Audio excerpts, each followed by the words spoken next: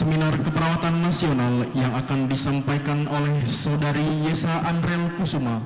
Kepada Saudari Yesa, disilahkan.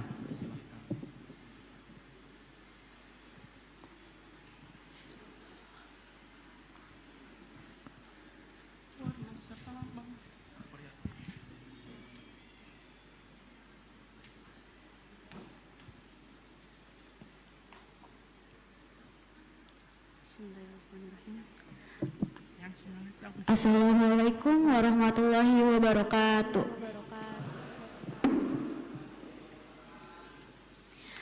Yang terhormat Direktur Akademi Keperawatan Yatna Yuwana Lebak, yang terhormat Wakil Direktur 1, 2, dan 3 Akademi Keperawatan Yatna Yuwana Lebak, yang saya hormati dosen dan staf Akademi Keperawatan Yatna Yuwana Lebak, yang saya hormati Panitia Penyelenggara Seminar Nasional Akademi Keperawatan Yatna Yuwana Lebak.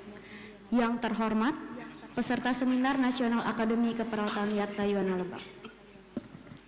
Alhamdulillah, puji dan syukur kehadirat Tuhan Yang Maha Esa yang telah memberikan kesehatan jasmani dan rohani sehingga kita dapat berkumpul dalam acara seminar nasional ini.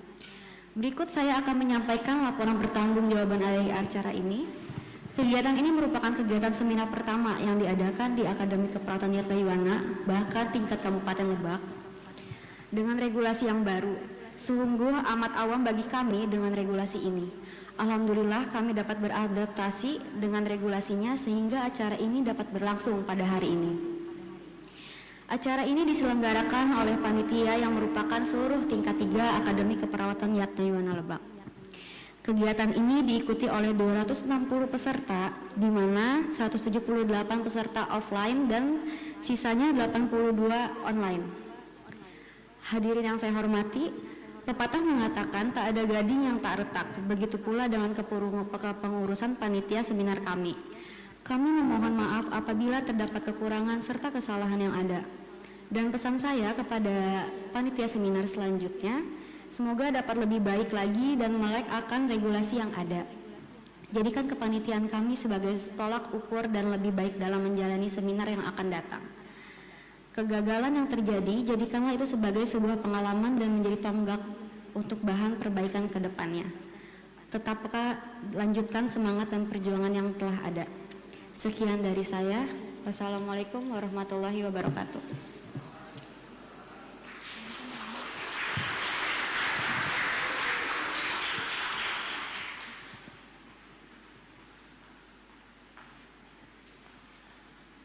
Kasih kepada Saudari Yesa yang telah menyampaikan sambutannya. Sambutan Direktur Akademi Keperawatan Yatna Yuwana Lebak kepada yang kami hormati Romo Garbito Pambo Aji, Sarjana Sastra, Magister Administrasi Rumah Sakit. Disilahkan.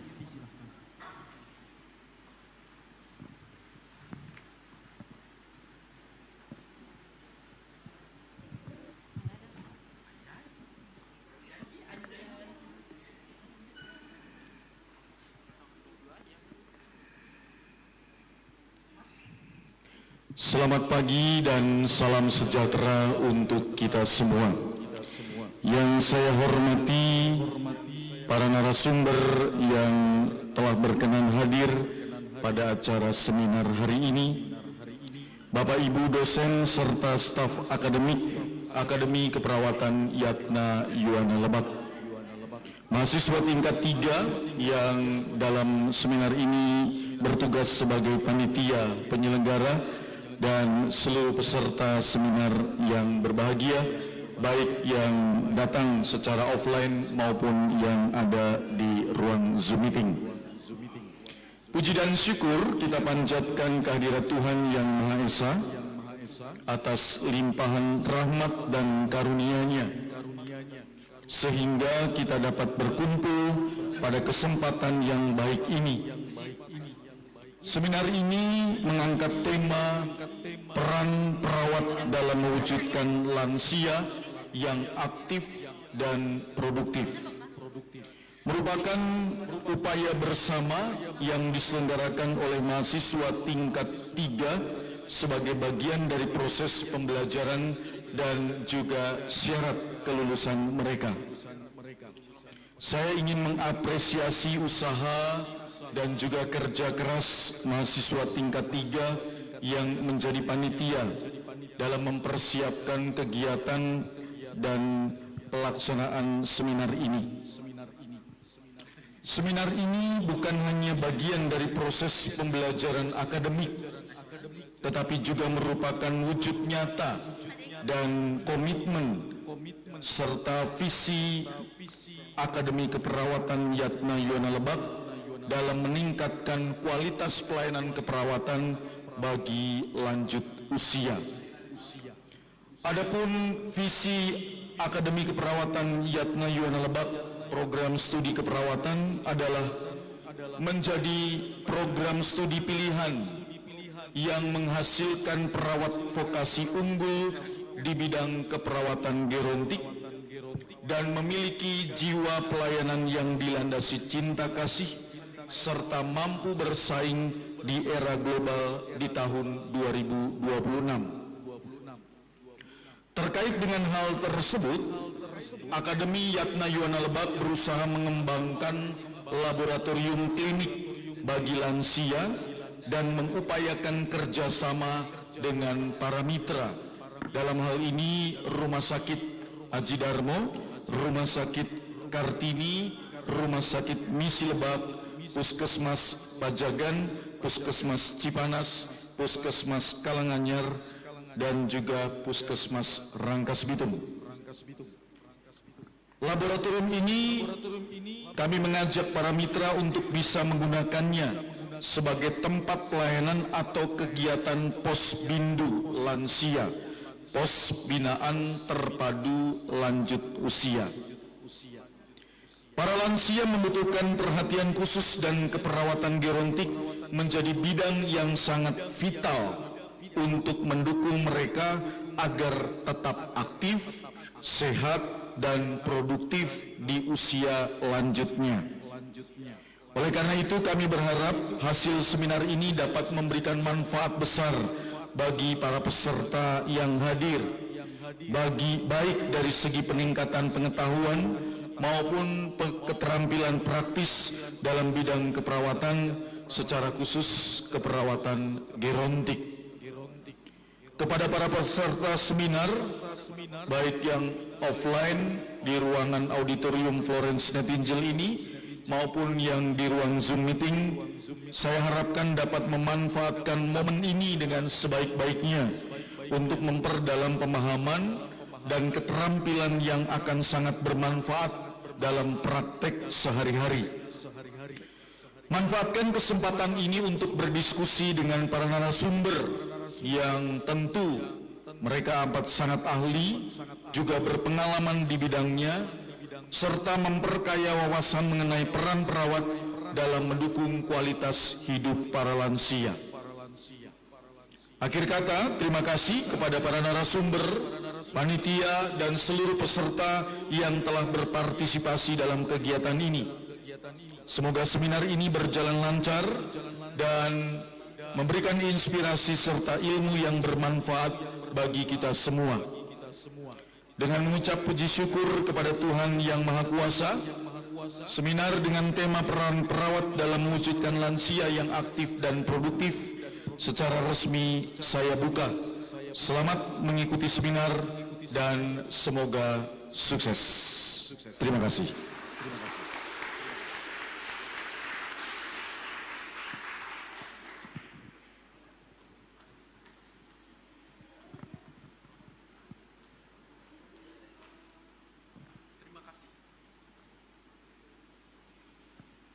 kasih kepada Romo Garbito Pambu Aji atas sambutannya.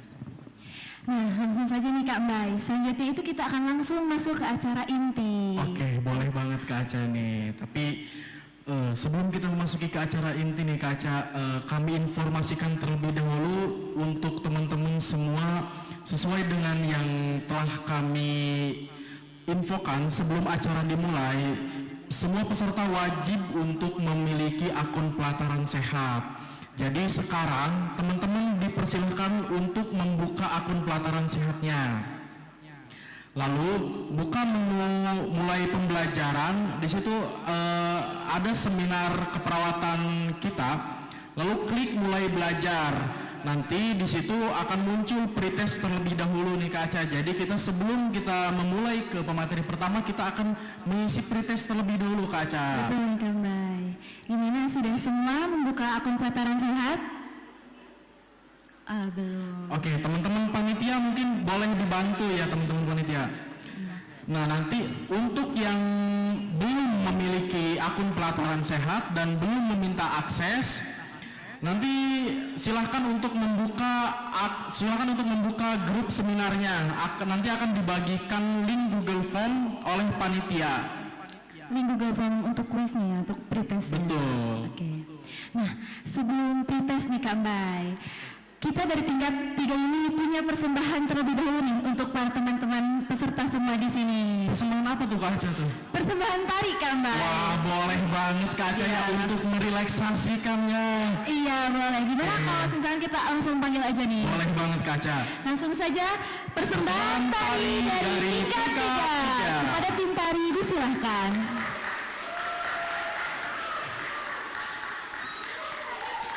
Yang semangat dong, 吃吗？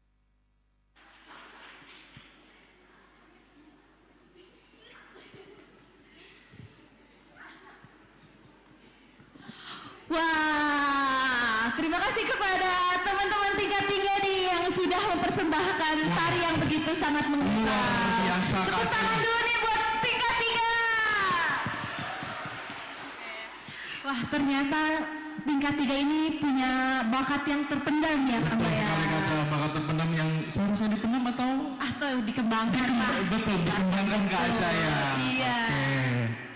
Nah, eh, teman-teman sekarang eh, silahkan untuk membuka grup seminarnya.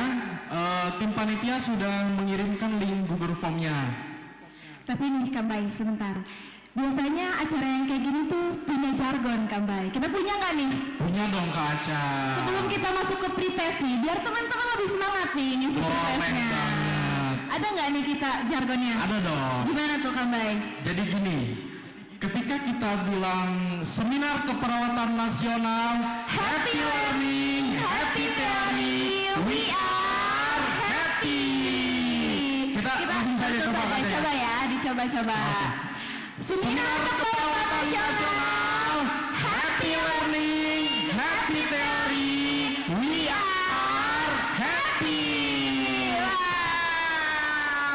ternyata pada semangat nih. Luar biasa semangat nih Kak Mereka udah siap nih buat pretest dan mendengarkan materi-materi Oke. kita. Nah, pretest ini kami berikan waktu 10 menit untuk mengisi. Untuk teman-teman peserta semuanya yang ada di sini dan yang ada di Zoom silahkan untuk mengisi pretest terlebih dahulu. Selamat mengerjakan. Selamat mengerjakan. Teman-teman panitia dimohon untuk membantu ya.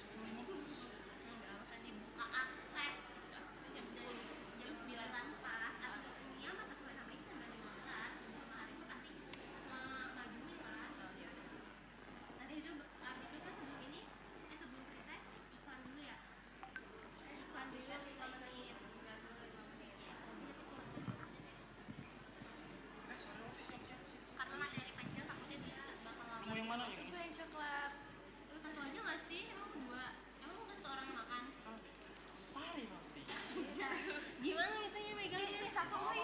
Enggak, tuh ini. Gimana megangnya? Udah gampang. Kelihatan dong itu mah tuh. Ada dua kantong ada. Oh di sini. Coba di sini satu nih. Di sini aja nih, di sini lah. Nanti jatuh kalau di situ. Nanti kok susah ngambilnya kan saya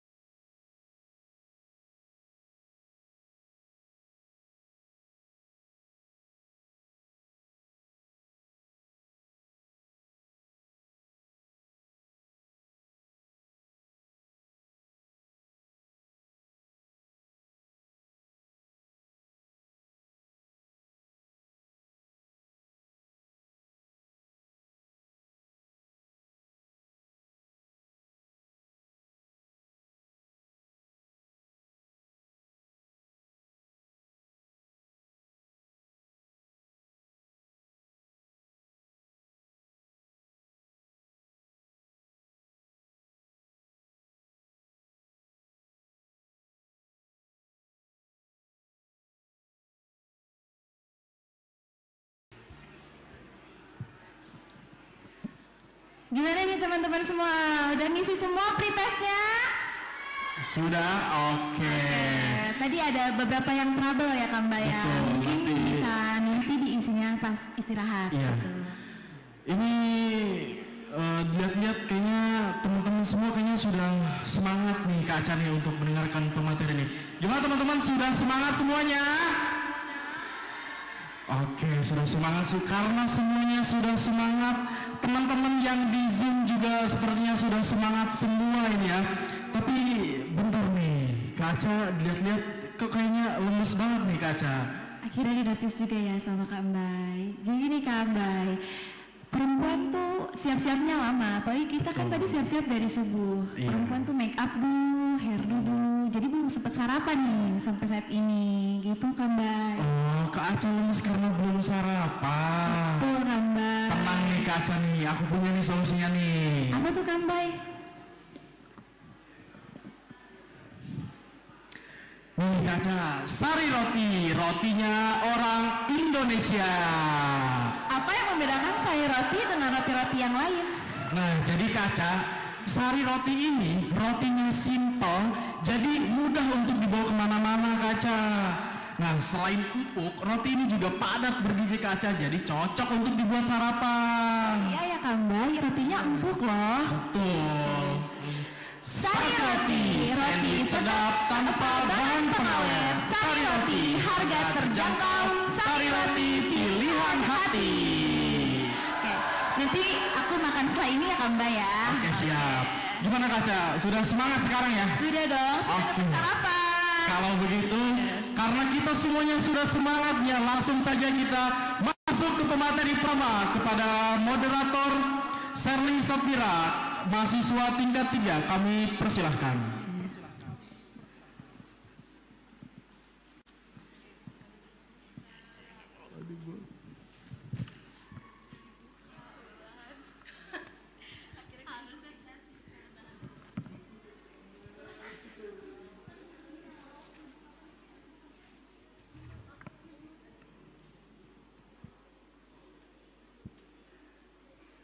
Assalamualaikum warahmatullahi wabarakatuh.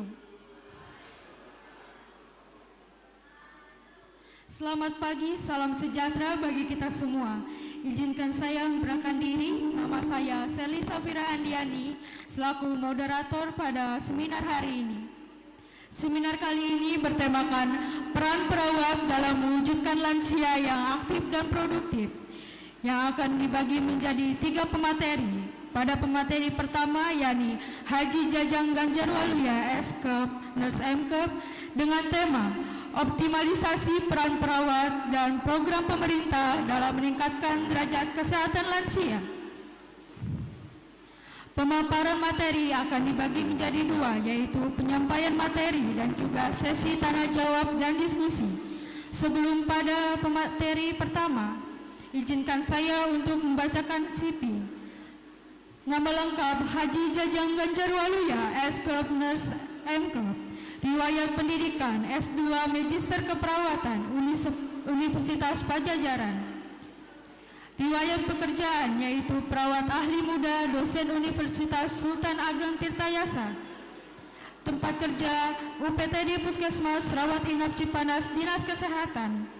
Beliau juga mendapat beberapa penghargaan. Yang pertama yaitu perawat teladan tingkat provinsi Banten di Gubernur Banten Serang.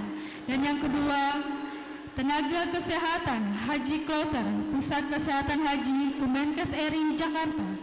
Dan yang ketiga Satya Racana Karya Satya X tahun di Presiden RI Jakarta. Beliau juga mengikuti beberapa pelatihan. Yang pertama yaitu International Nursing Day, The Future of Nursing in Primary, Primary Healthcare. Dan yang kedua yaitu pelatihan puskesmas terintegrasi PIS-PK bagi puskesmas Kabupaten Lebak. Dan yang ketiga yaitu orientasi keperawatan jangka panjang bagi lansia untuk caregiver informal. Dan yang keempat, orientasi keperawatan jangka panjang bagi lansia untuk caregiver informal. Sosialisasi keperawatan jangka panjang bagi usia lanjut. Dan terakhir, latihan training of trainer pelayanan keperawatan kesehatan masyarakat bagi koordinator puskesmas. Baik, berikut CV dari pemateri pertama kita. Langsung saja kita kepada Haji Jajang Ganjar Waluya S. Governors MK. Waktu dan tempat kami silakan.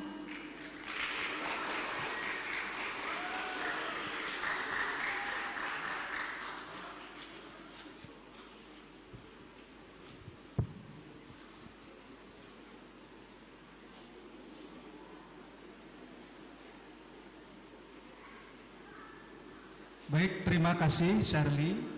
Shirley ya? Oke. Assalamualaikum warahmatullahi wabarakatuh.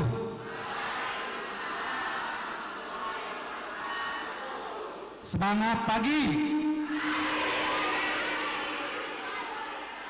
Tetap semangat.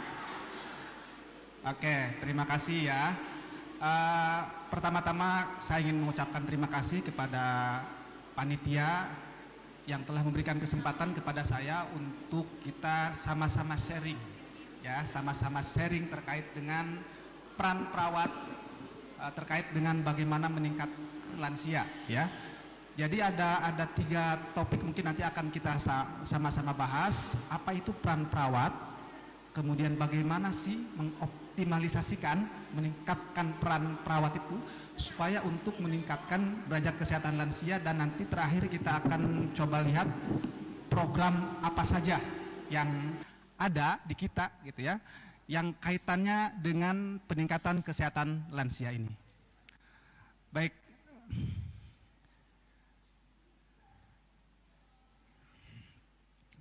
Untuk perkenalan mungkin tadi sudah disampaikan. Oke, teman-teman, yang sebelah sana kira-kira yang disebut lansia itu siapa? Lansia itu siapa sih? Nenek, kakek, bapak, tetangga. Ya? Dikatakan lansia itu siapa sih? Nenek, kakek. Kalau batasan usianya berapa lansia? 60 tahun ya. Jadi lansia ini menurut WHO 60 tahun ke atas. Begitu juga dengan Kementerian Kesehatan juga membatasi bahwa seseorang dikatakan lansia itu ketika usianya sudah di atas 60 tahun ke atas. Nah, coba kita lihat kenapa sih lansia ini menjadi fokus perhatian sekarang. Nah, sebelum ke sana saya ingin mengapresiasi dulu nih dari panitia yang sudah bisa mengangkat tema yang menurut saya ini menarik sekali itu ya. Bagaimana mewujudkan lansia aktif dan produktif. Yang biasanya kita memang bahas itu stunting, kematian ibu. Nah, saya saya melihat ini satu yang menarik nih. Bagaimana kita coba melihat bahwa lansia ini memang sekarang apa kecenderungannya viral gitu ya. Jadi sekarang orang mulai melihat lansia ini adalah satu bagian yang penting untuk uh, program-programnya dikembangkan. Apa yang melatar belakanginya gitu ya. Nah, kalau kita lihat nih uh, menurut data WHO ada dua perubahan mendasar yang di mana perubahan dua perubahan itu berpengaruh pada strategi atau pendekatan sistem layanannya yaitu peningkatan jumlah lansia dan peningkatan penyakit kronis. Ya dua dua peningkatan ini yang berpengaruh sekali dan berkaitan gitu ya. Karena apa? Karena pada lansia kita tahu lansia itu terjadi penurunan fungsi gitu ya.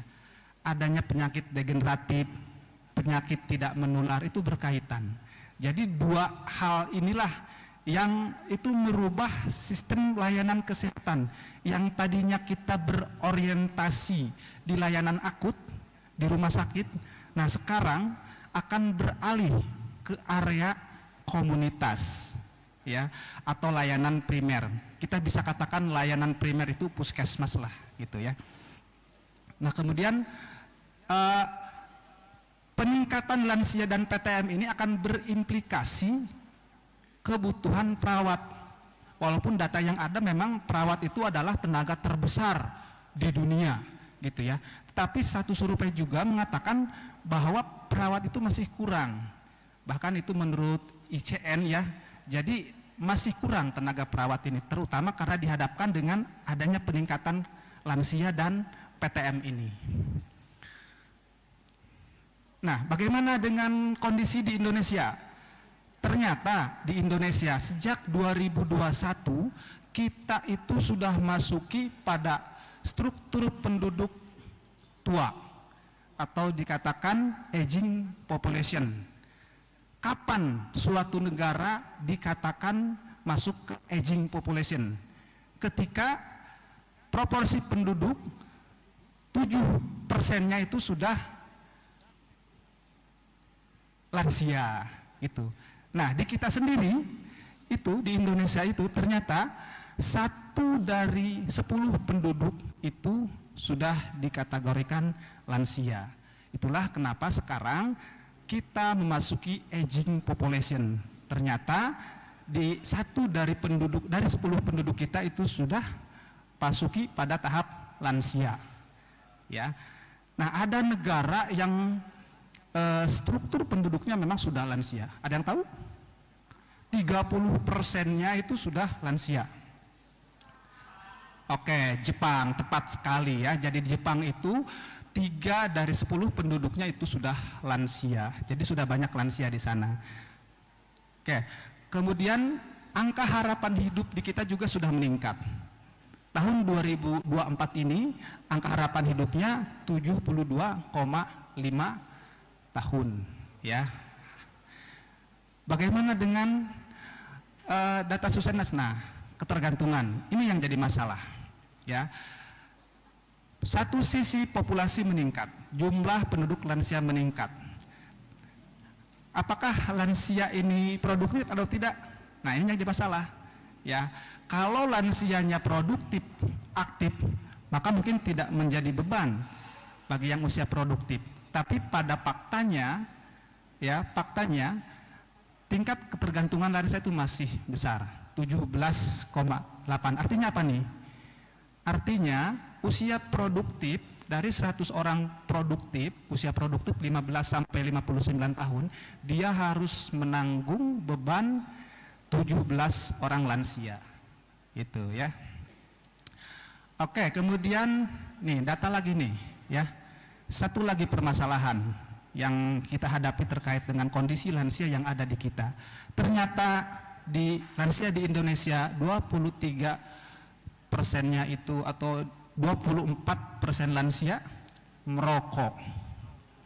Ya, ini jadi permasalahan, permasalahan serius karena menurut WHO ada empat permasalahan serius yang dikaitkan dengan peningkatan kasus PTM.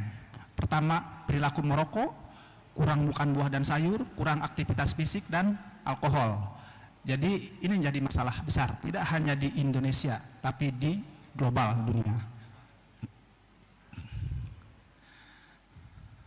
Nah, kita lihat apa yang terjadi pada lansia, penyakit apa yang diderita. Ternyata sebagian besar lansia kita menderita penyakit hipertensi, ya 69,5 persen, diikuti oleh penyakit DM, penyakit jantung dan stroke. Empat-empatnya ini adalah penyakit tidak menular. Ya, ini yang menjadi masalah. Tadi di awal secara global kita lihat ada peningkatan lansia dan ada peningkatan penyakit kronis, penyakit tidak menular ini. Dua yang dua hal yang saling berkaitan sekali. Kemudian kita lihat angka kesakitan pada lansia. Kata, kalau kita lihat di sini, uh, seiring bertambahnya usia, maka angka kesakitannya pun bertambah. Itu ya. Jadi kalau usia muda, lansia muda itu dia hanya 17,98 persen.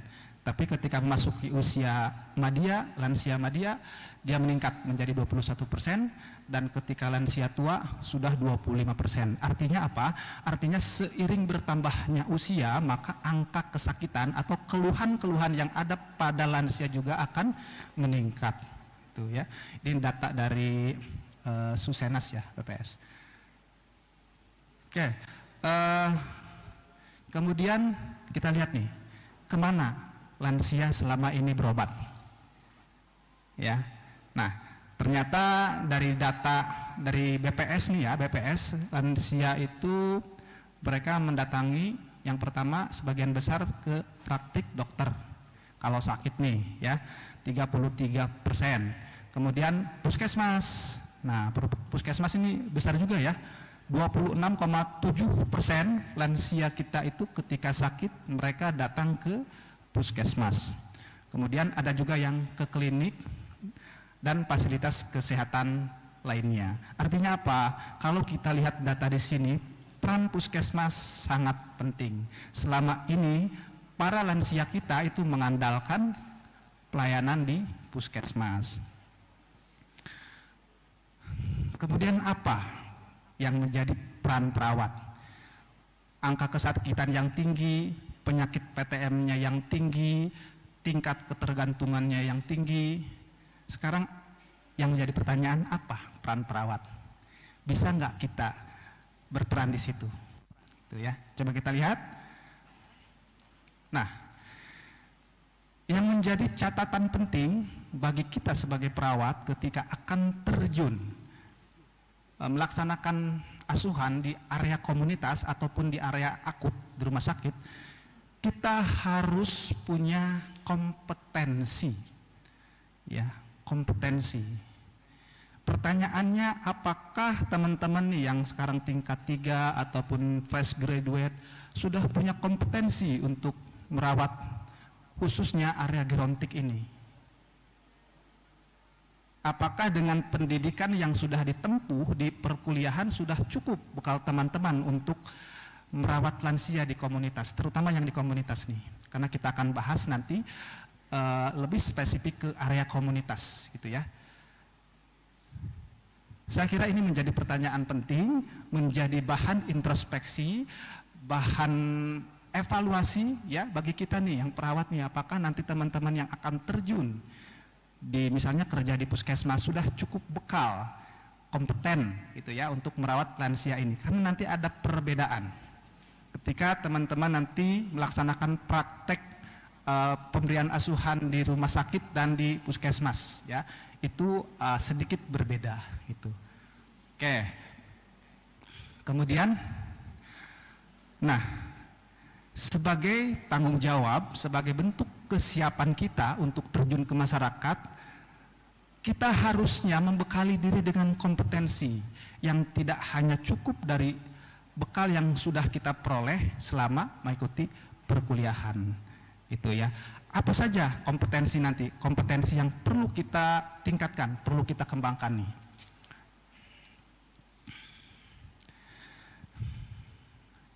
Nah, yang pertama, peningkatan kompetensi, kemampuan antar profesional.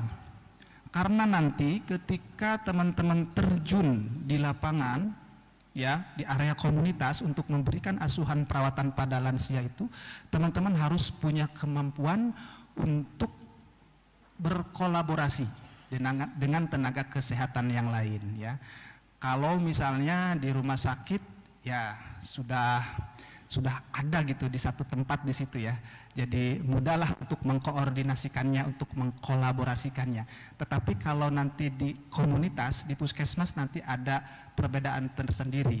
Itu bagaimana kemampuan teman-teman untuk nih mengkonsultasikan, mengkolaborasikan kebutuhan eh, kebutuhan perawatan pada lansia ini. Kemudian pemberdayaan, ya pemberdayaan. Apa sih pemberdayaan? Ada yang ngerti nggak? Bagaimana pemberdayaan? Apa sih yang dimaksud dengan pemberdayaan? Sebelah sini. Kenapa sih perawat harus punya kemampuan untuk memberdayakan lansianya? Ya. Kalau kalau di rumah sakit kira-kira kita eh, perlu nggak mengumpulkan perawat untuk mereka mengikuti satu program tertentu? Kira-kira perlu nggak? Ragu-ragu. Ada yang perlu, ada yang tidak. Kalau di komunitas kira-kira perlu nggak mereka untuk diberdayakan? Contoh yang teman-teman tahu, bentuk pemberdayaan lansia di, di masyarakat apa? Memandirikan lansia. Oke, sip, memandirikan lansia ya. Ada lagi? Sebelah sini kayaknya belum ada suaranya nih. Halo? Ah, Mas Cupi ya. Tes tes. Oke. Kemudian eh, perawatan yang berfokus kepada pasien ya. Sekarang itu kan eranya patient centered gitu ya. Apa pun yang kita rencanakan untuk perawatan pasien harus melibatkan pasien gitu ya. Termasuk nanti perawatan lansia di area komunitas juga akan seperti itu. Nah, coba kita lihat di sini apa saja kompetensi ya. Sorry.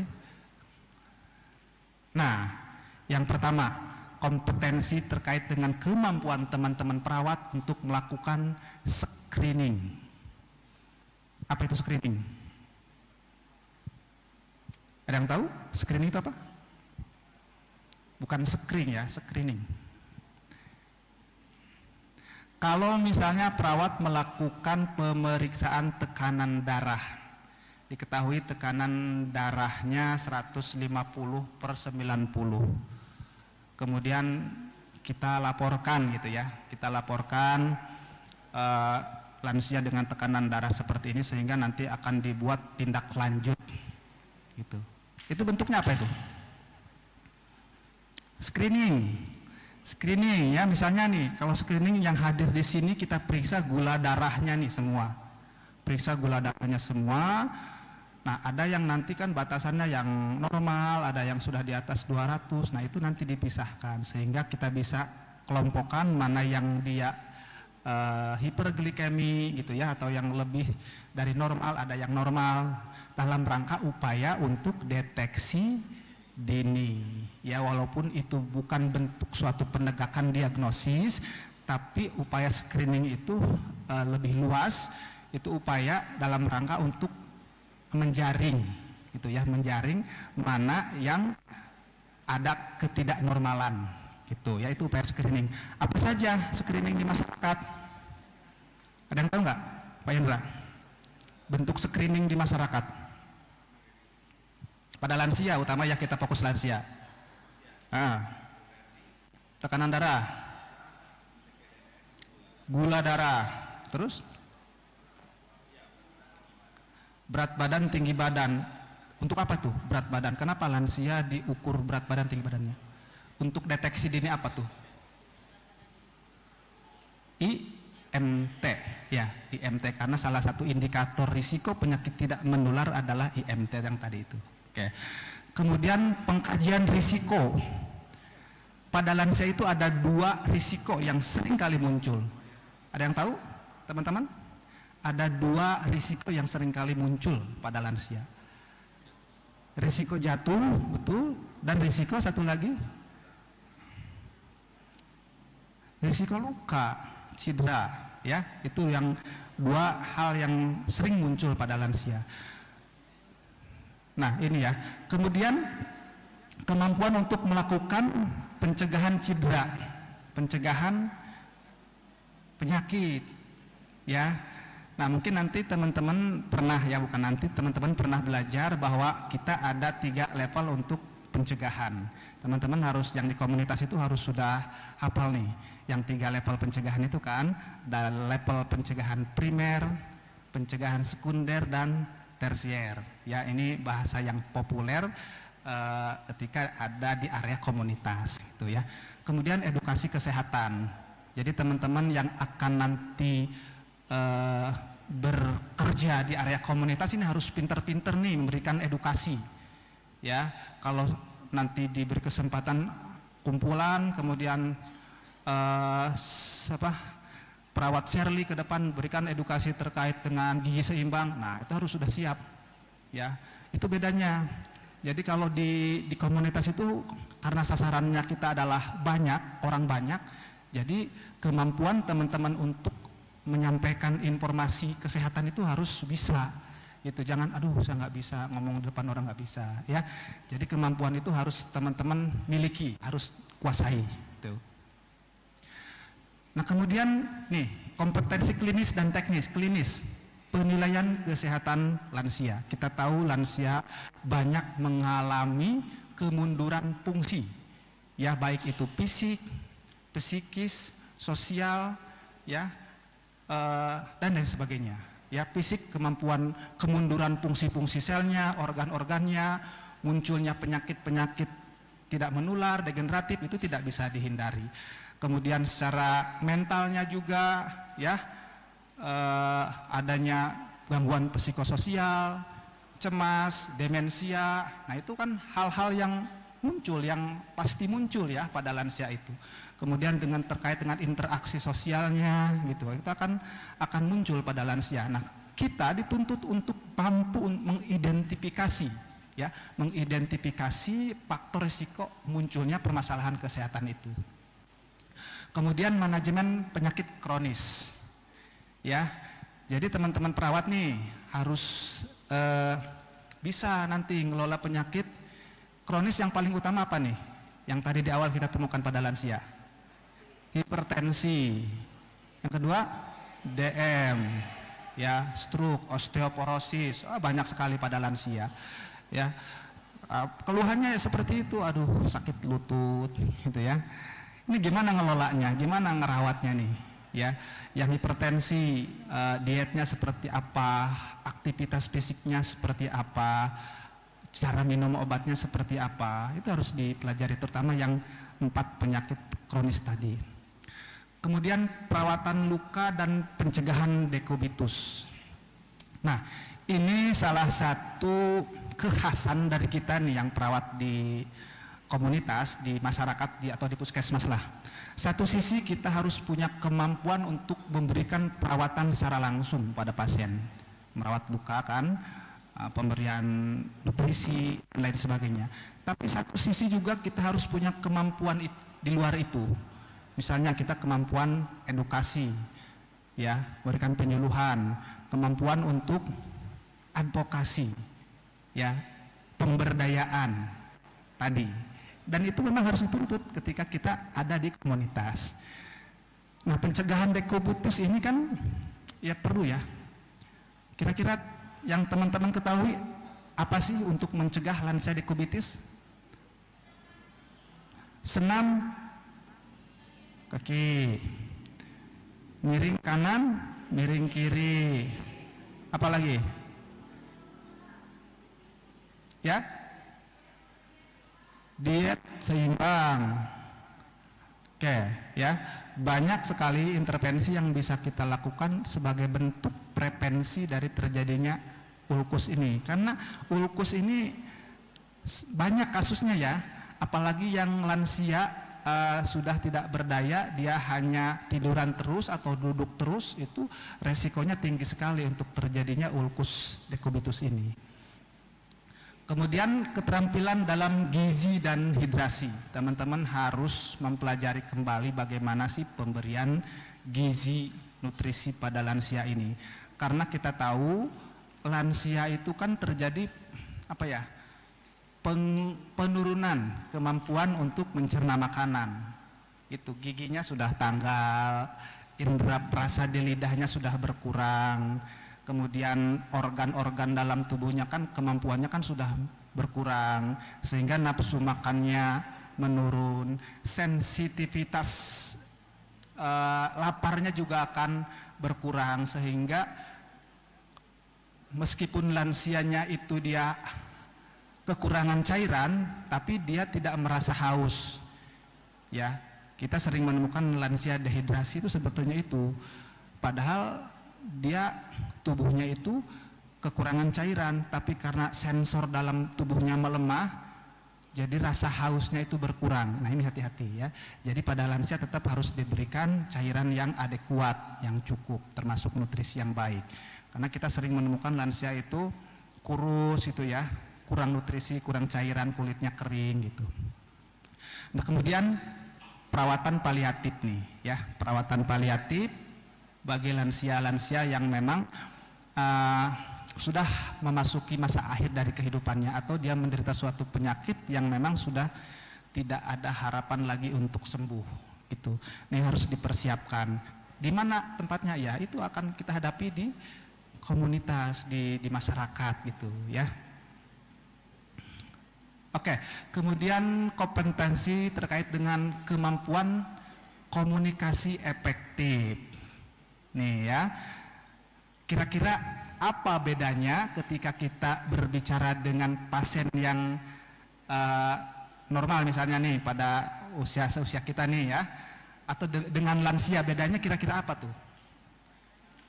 Ya, Ah, apa kira-kira yang membedakan komunikasi kita dengan pasien yang eh, masih muda lah dengan pada lansia?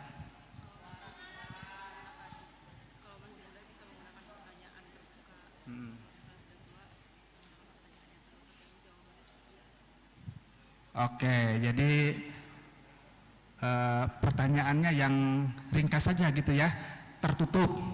Pak sudah makan belum? Itu maksudnya. Oke, oke. Apalagi nih, kira-kira bagaimana sih komunikasi kita dengan lansia yang baik itu? Harus jelas, suaranya keras, betul nggak? Nah, iya ya. Saya khawatir nanti kalau bicara kita terlalu keras dipersepsikan oleh lansia itu kita marah. Padahal sebenarnya yang terjadi itu bukan bukan tidak terdengar oleh dia atau suara kita yang pelan, tetapi apa coba? Adanya serumen di telinga. Permasalahan sederhana tapi bisa berakibat fatal. Ya, ini kenapa anak saya marah-marah terus sama saya? Ngomong saya nyuruh ini, kenapa telat sekali? Ternyata masalahnya ada serumen di telinga. Nah itu itu terus harus harus sampai pada tahap itu kita mengidentifikasi permasalahan pada lansia ya. Jadi perhatikan nih komunikasi bagaimana eh, kita harus memang harus jelas ya mudah dimengerti tapi kita juga harus bisa menangkap maksud dari lansia itu ya gitu. Kemudian penuh empati. Gimana nih? Maksudnya apa nih? Kalau kita komunikasi dengan lansia harus empati. Maksudnya gimana? Apakah kita harus eh, berbicaranya seperti lansia? Ya, empati? Empati itu apa sih? Empati, empati.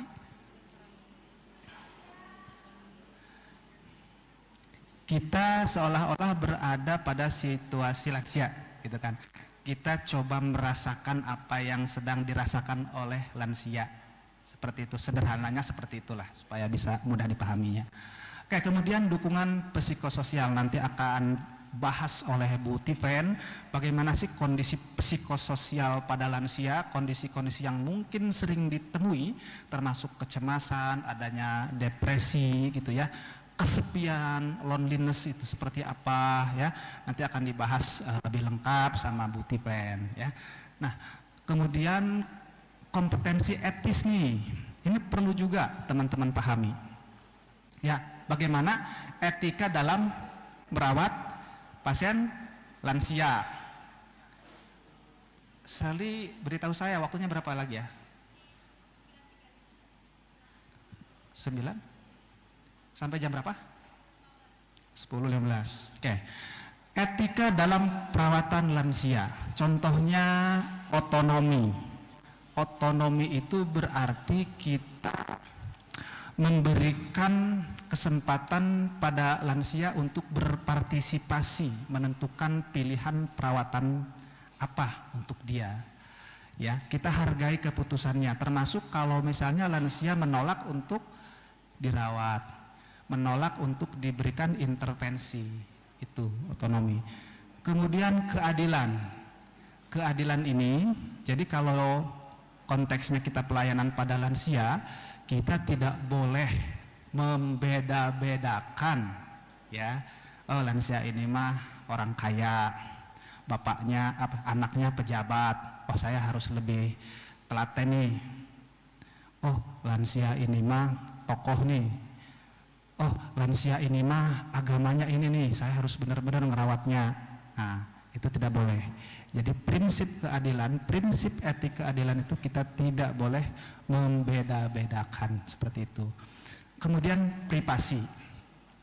Walaupun pada lansia kita tahu mungkin eh, tidak terlalu apa ya, kalau perawatan misalnya kita memperlihatkan bagian tubuh yang lain gitu ya, ah udah tua ini sih ngapain harus pakai sekarang gitu kan?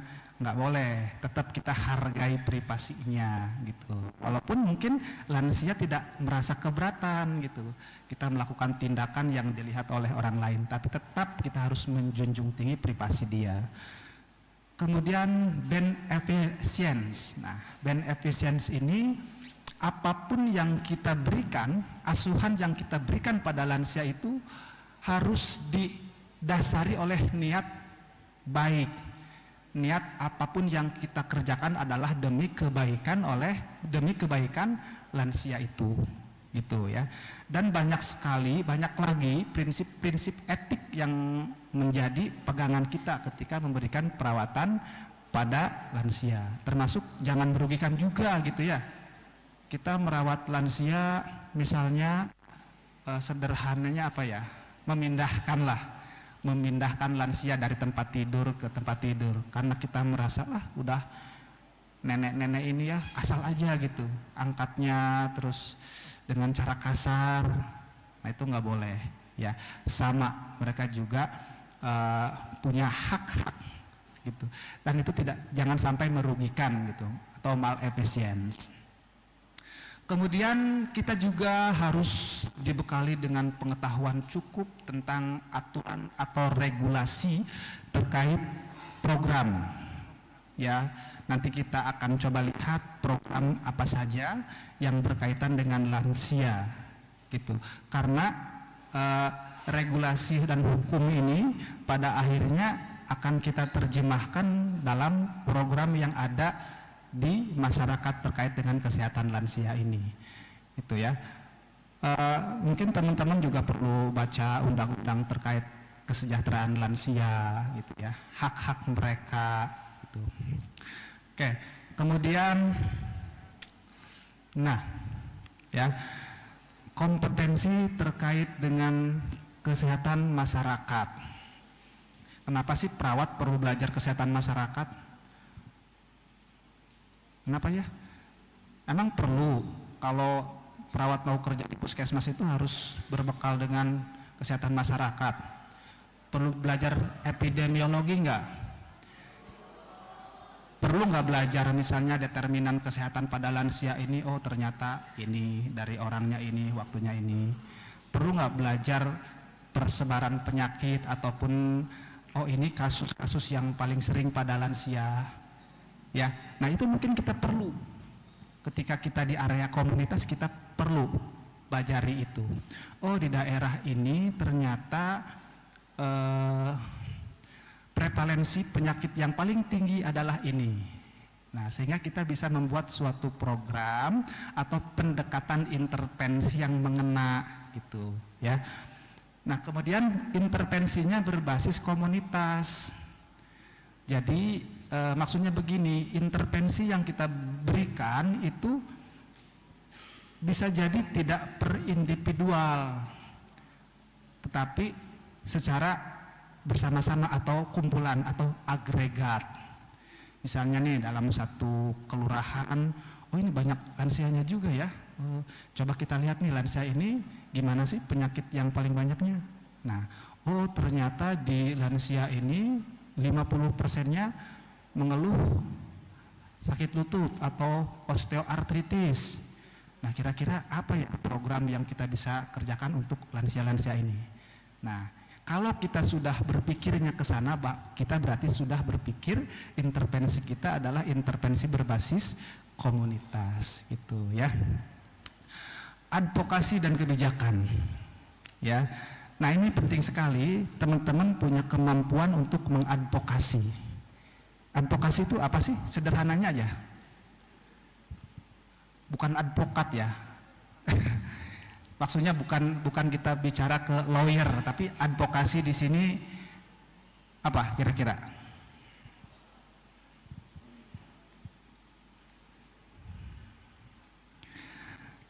bisa berupaya mempengaruhi eh, orang-orang yang punya kebijakan untuk mendukung program kita yang kita buat di puskesmas.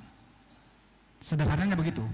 Jadi upaya kita mengajak atau mempengaruhi orang-orang yang punya pengaruh, punya kebijakan, punya kekuasaan untuk mendukung program kita. Kalau di level puskesmas kira-kira kita perlu dukungan siapa tuh? Kepala puskesmas internal kita, stakeholder lintas sektoralnya kira-kira kita perlu dukung siapa tuh? Dukungan siapa? Kepala desa, Pak Camat, apa lagi? Kita perlu nggak dukungan dari TNI Polri? Perlu ya.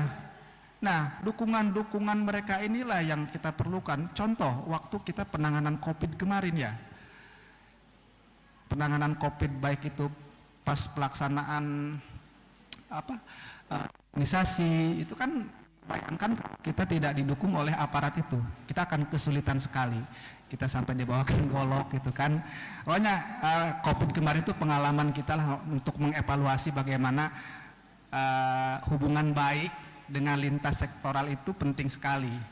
Ya kalau hubungan baiknya itu terjalin dengan baik dengan lintas sektoral alhamdulillah program kesehatan cakupan imunisasi baik. Tapi kalau kepala desanya nggak mendukung, tidak hadir, kecamatan juga nggak peduli, wah jangan harap program itu bisa terlaksana dengan baik. Itu di sini ya. Jadi kemampuan kemampuan advokasi ini penting.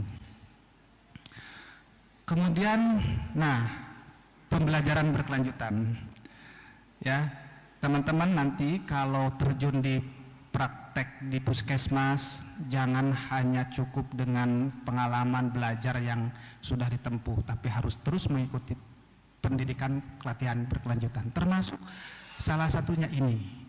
Ya di di sini di forum ini seminar ini kita bisa mengupdate informasi-informasi yang berkaitan dengan perawatan lansia itu ya. Kemudian refleksi diri ya. Ini kita bicara refleksi diri.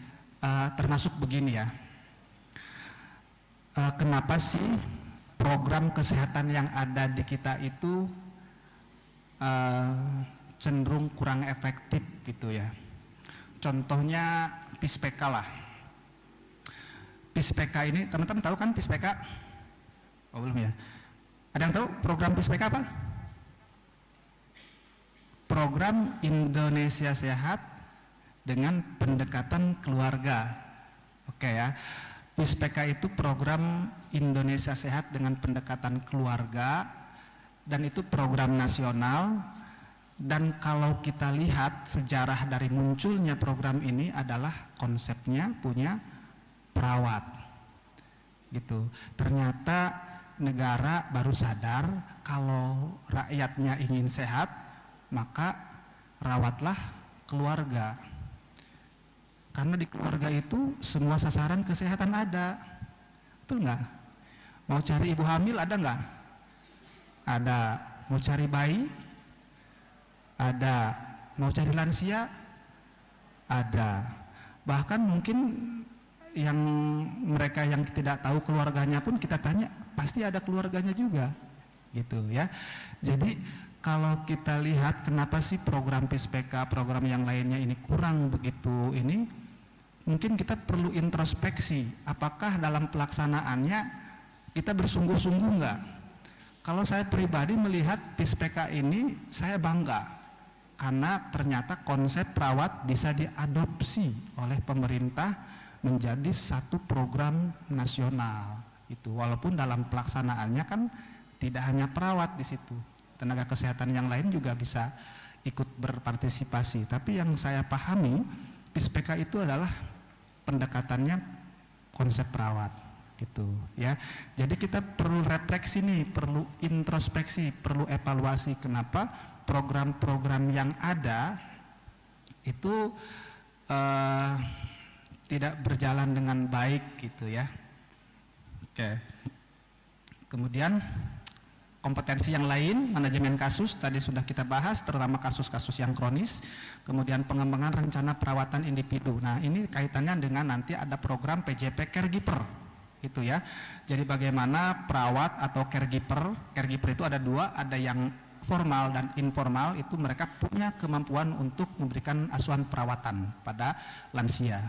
Kemudian kolaborasi antar profesi, tentu perawat ya di masyarakat harus punya kemampuan untuk mengkolaborasikan tindakan yang perlu. Misalnya kalau pasien lansia kita atau klien lansia kita mengalami permasalahan gizi, kita harus ke mana nih kolaborasinya itu atau lansia kita dengan hipertensinya tidak terkendali berarti kita harus kolaborasi dong dengan dokternya itu kalau memang tidak bisa diatasi di puskesmas maka harus dilakukan rujukan. Itu ya. Jadi kolaborasi antar profesi ini mutlak ya. Kita tidak bisa memberikan perawatan pada lansia seorang diri atau satu profesi saja tapi kita harus melibatkan profesi lain. Nah yang kedua kita akan lihat program-program yang ada dari Kementerian Kesehatan. Karena kalau kita bicara lansia, mungkin kementerian yang lain juga punya konsen, tapi yang akan kita bahas di sini adalah fokus kepada uh, program yang ada di Kementerian Kesehatan untuk meningkatkan kesehatan lansia ini. Ya. Nah, yang pertama posbindu lansia. Ya. Ada yang pernah mendengar atau sudah pernah terlibat? Waktu di puskesmas ikut posbindu? Belum? Sudah. Masa kan pernah praktek di puskesmas kan? Ada yang pernah ikut posbindu lansia? Belum. Saya tanyanya yang ada. Ya, oke kata Pak Eko juga tingkat tiga sudah terpapar nih ya. Artinya teman-teman mungkin pernah mendengar walaupun belum ikut ada juga yang pernah mungkin mengikuti.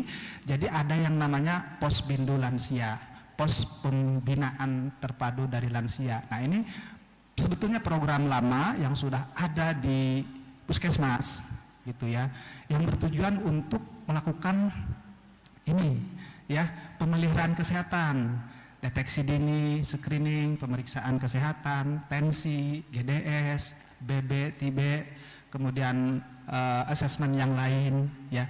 Saya kira ini program bagus gitu ya untuk terus kita laksanakan gitu. Walaupun nanti kalau kita lihat bagaimana sih pelaksanaan di lapangannya ya masih banyak kendala. Tentu nanti kita kendalanya akan lihat di sini bahwa uh, mengerucut pada SDM juga gitu ya. Ada SDM-nya juga yang jadi masalah. Oke, yang kedua nih program ini nih yang tadi saya sempat bahas uh, PISPK ya. Jadi PISPK ini program nasional nih. Yang idealnya kalau menurut saya pelaksananya itu adalah perawat. Ya, karena perawat sudah cukup bekal kok untuk melaksanakan program ini. Kita perawat sudah punya cukup kemampuan untuk memberikan asuhan gitu.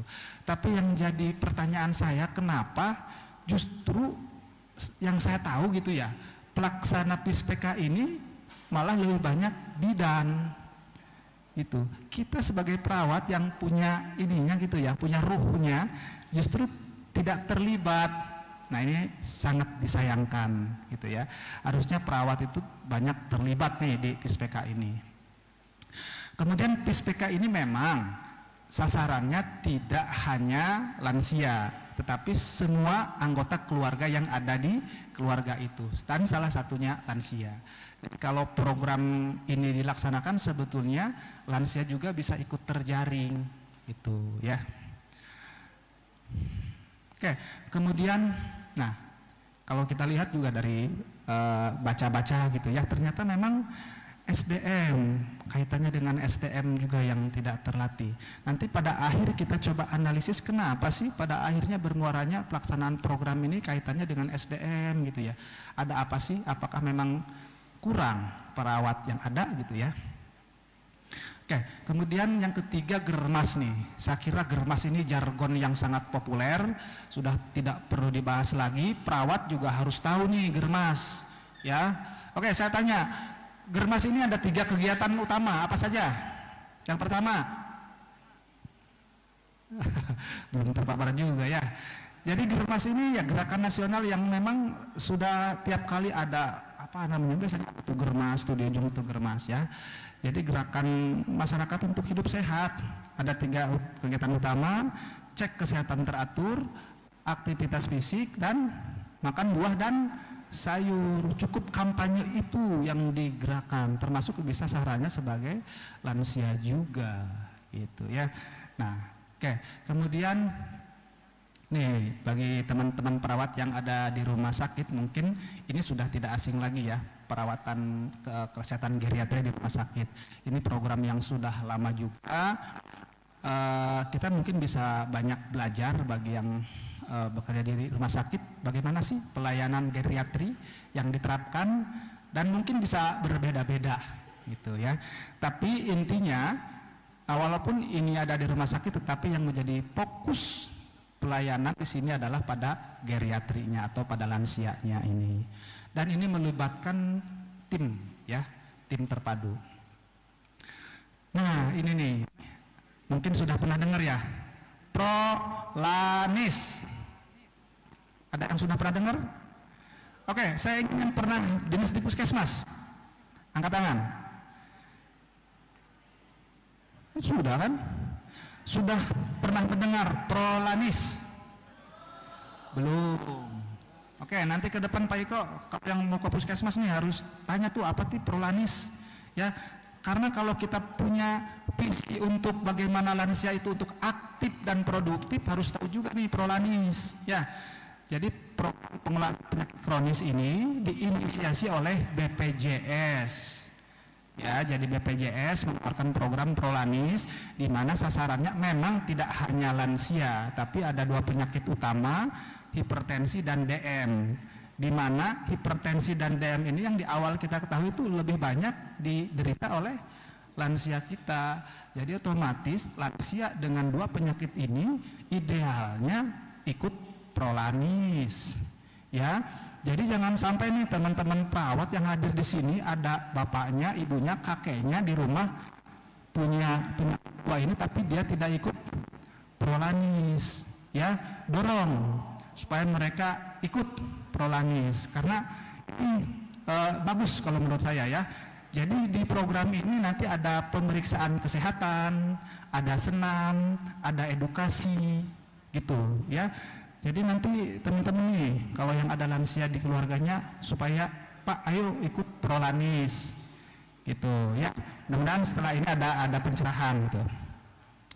Kemudian, ah pemberdayaan, bagaimana lansia ini mereka bisa bergabung dalam satu komunitas dan mereka bisa aktif dan produktif, ya kalau misalnya teman-teman di puskesmas nih datang satu ke punya wilayah desa wilayah binaan gitu ya. Kemudian punya data lansianya ini banyak nih lansianya. Tapi kalau kita lihat mereka sudah sendiri anaknya sudah tidak ada kemudian lansia ini.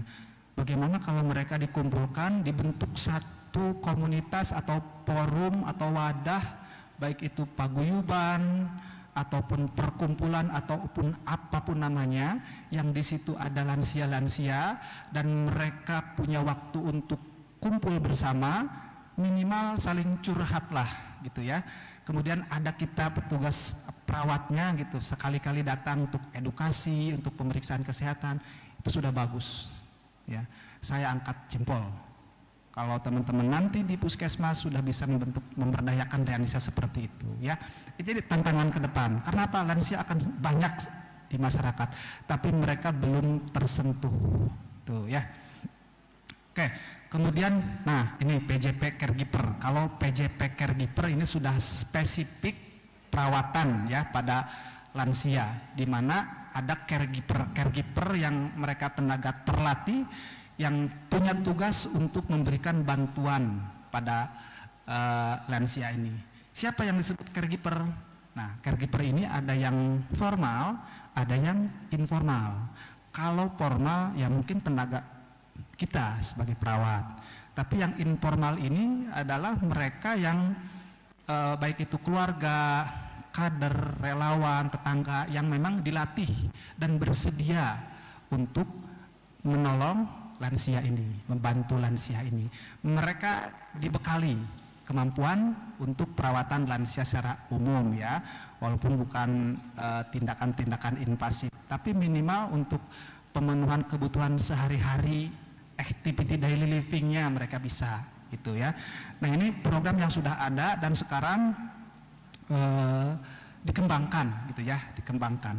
Kalau dulu program lansia di puskesmas ini masuknya pengembangan ya, saya ingat dulu pengembangan. Jadi bukan program prioritas, bukan program utama, tapi sekarang sudah menjadi prioritas. Nah ini salah satu bentuk perkembangan ya kemajuan kita. Oke. Kemudian PTM ya, PTM. Kenapa program PTM ini berkaitan dengan lansia? Kenapa penyakit program PTM ini ber, e, berimplikasi pada peningkatan kesehatan lansia? Karena kita tahu di awal tadi bahwa sebagian besar penderita PTM ini adalah lansia. Otomatis yang menjadi sasaran program PTM ini juga adalah mereka para lansia. Gitu ya. Jadi oh kalau begitu banyak juga ya di puskesmas program yang sasarannya lansia. Ya memang begitu. Yang jadi pertanyaan saking banyaknya gitu ya program yang ada sehingga kita jadi bingung gitu. Jadi bingung gitu menjalankannya karena SDM yang ada itu-itu aja. Programnya banyak. Tapi perawat tenaga kesehatannya ya cuma itu gitu itu yang jadi masalah sebetulnya. Oke kemudian nah coba kita lihat nih tantangannya. Saya ingin uh, kita sedikit membuka wawasan. Uh, kita nih dalam nanti misalnya di puskesmas menjalankan program ya lansia. Baik itu tadi mau germas mau pispeka mau PTM mau prolanis mau PJP caregiver Nah kira-kira kita sebagai perawat itu bisa, oke, itu bisa dijadikan kredit poin nggak? Atau gini, apakah ketika kita menjalankan program itu kita bisa dianggap menjalankan profesi kita? Kalau teman-teman mungkin belum paham ya kredit poin. Karena kebetulan saya penguji kompetensi gitu ya. Apakah dengan kita menjalankan program-program yang tadi nih terkait dengan lansia, kita bisa dianggap menjalankan profesi kita sebagai perawat? Bisa. Jawabannya bisa ya, teman-teman ya. Jangan nanti salah persepsi. Saya penguji ini nih, saya bingung ini kalau menilai perawat di puskesmas kerjanya apa sih? Nah itu ada salah mispersepsi. Ya, mereka menganggap bahwa yang menjadi klien kita adalah pasien yang sedang dirawat di rumah sakit. Ya, padahal individu yang sehat di masyarakat pun adalah klien kita. Dan ingat, kita memberikan asuhan itu tidak hanya individu kan, bisa keluarga, kelompok, masyarakat ya ini pengalaman saya ketika saya mengikuti uji kompetensi mereka bingung menilai kalau di puskesmas gimana sih bisa ngambil ngitung berapa sih pengkajian? Bingung bingung ya. Karena memang keterbatasan pemahaman bahwa kegiatan yang ada di puskesmas atau butir kegiatan profesi di puskesmas itu diterjemahkan dalam bentuk program. Ya Oke, mungkin ini perlu perlu waktu uh, untuk dijelaskan lebih lanjut, tapi setidaknya punya gambaran teman-teman ketika nanti bekerja di puskesmas itu sama juga menjalankan keprofesian perawatan dan itu bisa dinilai dengan SKP itu. Kemudian SDM nih. SDM tadi pada akhirnya kita bermuara pada satu SDM gitu ya. Sehingga kalau nanti ganti presiden, ganti menteri kesehatan, ini juga nanti akan berubah juga mungkin ya paradigmanya. Tapi saya kalau boleh punya opini, ada satu menteri kesehatan yang sudah lalu, dia punya inisiatif bahwa puskesmas itu harus kembali ke ruh awalnya, di mana harus menjadi satu motor penggerak upaya promotif dan preventif. Ada satu menteri kesehatan yang sebelum yang sekarang tuh, dia punya komitmen kuat untuk di situ, tapi sayang keburu diganti gitu ya. Padahal keinginan saya puskesmas itu kembali ke ruh awalnya. Kenapa? Begini gambarannya teman-teman. Kenapa sekarang puskesmas itu menjadi puskesmas rawat inap sih? Saya mungkin satu orang yang tidak setuju kalau puskesmas itu ber apa ya bertransformasi menjadi puskesmas rawat inap. Kira-kira kenapa? Karena dengan adanya rawat inap di puskesmas, maka perawat akan lebih banyak disibukkan di dalam gedung. Piket pagi, siang, malam, rawat jalan, UGD, ponet.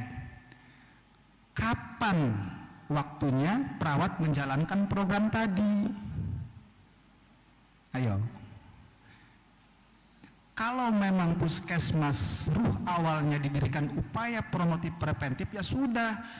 Tidak ada rawat inap rawat inap itu ya sudah rumah sakit aja bikin.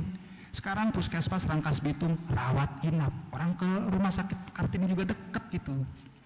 Sudah aja puskesmas mah lebih fokus kepada upaya promotif. Caranya apa? Perawat itu punya daerah binaan perawat itu jangan mau dalam gedung keluar bina punya desa. Gitu. Oke. Ya. Terakhir DTP ya. Jadi itu komentar saya sebagai bahan nanti uh, refleksi kita ke depan apakah memang betul seperti itu? Apakah memang masih dibutuhkan rawat inap atau yang ada sudah transformasi aja RSUD gitu. Demikian saya sudah diberitahu oleh panitia waktunya habis dan alhamdulillah tepat juga selainnya juga selesai Uh, terima kasih atas perhatiannya. Saya kembalikan ke moderator. Assalamualaikum warahmatullahi wabarakatuh. Mangga, Sarli.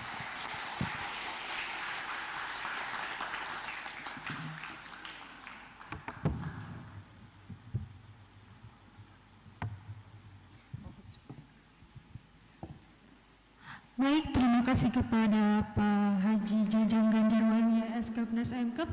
Bagaimana teman-teman uh, tentang materi yang telah disampaikan? Sudah uh, banyak belum uh, program-program yang kalian tahu sekarang?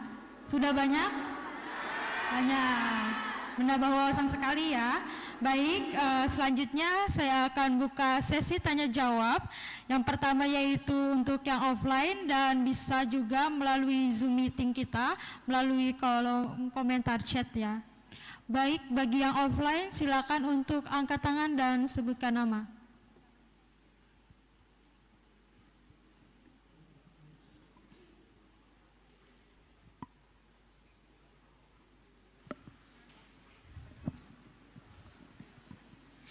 Baik, Assalamualaikum warahmatullahi wabarakatuh.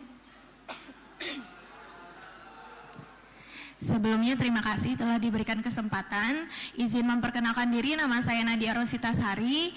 Izin bertanya Pak, sesuai dengan tema peran perawat dalam dalam mewujudkan lansia yang aktif dan produktif. Pertanyaannya, apakah lansia yang memiliki penyakit kronis masih tetap bisa aktif dan produktif? Terima kasih.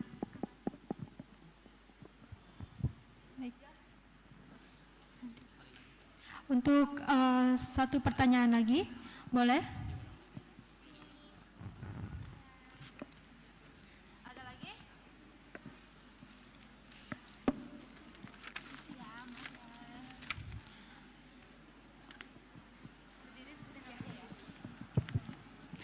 Eh, Selamat pagi eh, Bapak, selamat pagi semuanya. Izin memperkenalkan diri, saya Marianti dari tingkat 2B. Izin bertanya sebelumnya, eh, tadi eh, sekilas saya baca di bagian kompetensi dalam promosi kesehatan dan pencegahan penyakit itu ada edukasi ya. Eh, pertanyaannya yaitu eh, kita kan sebagai perawat eh, mengedukasi pasien dan juga keluarga.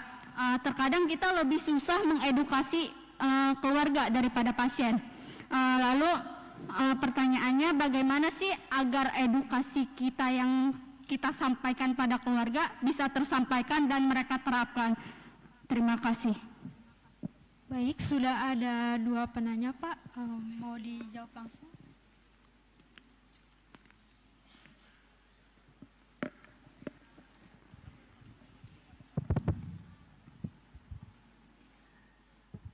Baik, eh, terima kasih dari Nadia ya. Saya ingin eh, coba kita jawab. Apakah pada lansia ini mereka bisa aktif dan produktif? Aktif dan produktif dua kata yang bersandingan dan menurut saya berat. Karena apa? Kita tahu lansia mengalami kemunduran kan? Eh, lihat fakta di lapangan, apakah mereka aktif?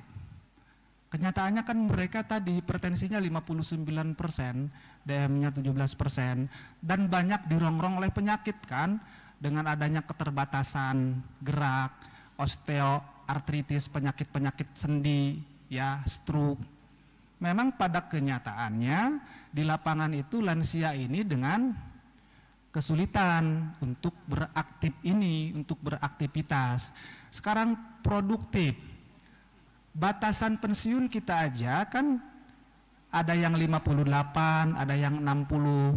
Kalau dikatakan produktif secara ekonomi mungkin sudah menurun gitu ya walaupun tidak produktif. Tapi yang mungkin produktif yang lain apakah mereka bisa menghasilkan karya yang lain atau mereka bisa beraktualisasi dalam bentuk lain itu masih bisa dikembangkan. Nah, saya tadi menekankan pada upaya pemberdayaan. Ya, bagaimana perawat nanti kalau di komunitas di masyarakat bisa melihat tadi, tentu kita harus melakukan pengkajian dulu di masyarakat. Ini lansianya ternyata banyak nih. Nah, kalau kita misalnya sampai punya uh, mengumpulkan data, kemudian menganalisis dan pada akhirnya kita bisa menginisiasi suatu program di mana kita bisa membentuk suatu forum, baik itu paguyuban, klub, perkumpulan apa pun namanya itu, yang di situ ada lansia-lansia. Nah, saya kira ini bisa membantu mereka untuk bisa aktif dan produktif. Karena kita lihat di lapangan lansia itu sering kali mereka ada di rumah sendiri, anaknya tidak ada kerja, sudah sibuk dengan kehidupannya. Mereka tidak ada aktivitas, tidak bisa produktif. Tapi kalau mereka bisa bergabung dengan sesama, minimal ada peer support, peer group, ada dukungan antar sesama yang itu bisa merangsang produktivitas mereka. Mungkin secara umum begitu ya. Kalau bisa dikatakan apakah bisa? Saya bisa. Ya, kita tetap optimis gitu. Bisa diterima? Ya, terima kasih. Kemudian bagaimana kita bisa memberikan edukasi yang tepat terutama sasarannya keluarga. Nah, tentu ya, kalau kita sasarannya individu mungkin mudah. Tetapi begini, mungkin saja ketika kita memberikan edukasi strateginya kurang tepat. Karena kita tahu ada tiga ranah ketika kita mau memberikan edukasi. Kalau misalnya keluarga mengatakan dia tidak tahu uh, apa ya contohnya yang paling mudah aja. Berhenti merokok lah ya. Atau merokok sesuai dengan tema ger, uh, PHBS misalnya tidak merokok dalam rumah keluarga mengatakan tidak tahu kalau merokok di dalam rumah itu merugikan kesehatan yang lain ya kemudian yang kedua misalnya keluarga mengatakan bahwa dia sudah tahu bahwa merokok itu merugikan kesehatan yang lain tetapi saya belum mau untuk mengikutinya karena memang sudah kebiasaan. Kemudian yang ketiga misalnya keluarga mengatakan dia sudah tahu bahaya rokok, kemudian dia sudah tahu eh sudah mau mau untuk berhenti merokok, keluarga juga sudah mendukung. Tapi keluarga mengatakan tidak tahu caranya. Ya, makanya dari itu perawat harus punya tiga strategi ini. Mana ranah yang akan kita sasar? Ada tiga ranah kan? ada ranah yang kognitif, afektif dan psikomotor. Kalau tadi keluarga mengatakan tidak tahu bahaya rokok, nah berarti kan edukasi yang kita berikan adalah terkait dengan ranah kognitif. Bagaimana kita memberitahu, berarti memberikan informasi terkait dengan rokok. Ya, yang kedua, apabila dari hasil pengkajian kita melihat bahwa keluarga itu dia sudah tahu bahaya rokok, tapi belum mau untuk berhenti merokok. Nah, berarti pendekatan kita tidak lagi edukasi terkait memberikan informasi bahaya rokok, tapi pendekatan kita menggunakan motivasi supaya keluarga mau. Ya, beda kan? Awal kita memberikan informasi, bla bla bla bahaya rokok ini ini ini, supaya tahu. Yang kedua, keluarga itu sudah tahu tapi belum mau. Oh, berarti kita pendekatannya motivasi, harapannya sikapnya berubah. Dan yang ketiga, ranahnya psikomotor. Kalau keluarga tadi mengatakan dia sudah tahu dan sudah mau, tetapi tidak tahu caranya, maka edukasi yang kita berikan adalah dengan mengajarkan. Tidak lagi memberitahu, tidak lagi motivasi, tapi kita ajarkan. Oh ini loh bu, oh ini loh pak, yang kita bisa lakukan apabila ingin berhenti merokok. Call Turki, berhenti secara bertahap atau dengan pengurangan. Ini loh bu, kalau bapak nanti uh, mau, kita ada uh, upaya berhenti merokok, ada konselor di puskesmas, bapak bisa diikuti situ. Nah, itu beda kan? Jadi memang sulit karena keluarga juga kan terdiri banyak individu itu kan dan bisa berpengaruh. Tetapi saya yakin kalau pendekatannya kita tepat dengan tadi itu kita bisa mengena lah. Itu. Bisa dipahami nggak? Bisa di, bisa diterima nggak? Oke, cukup? Ya, terima kasih.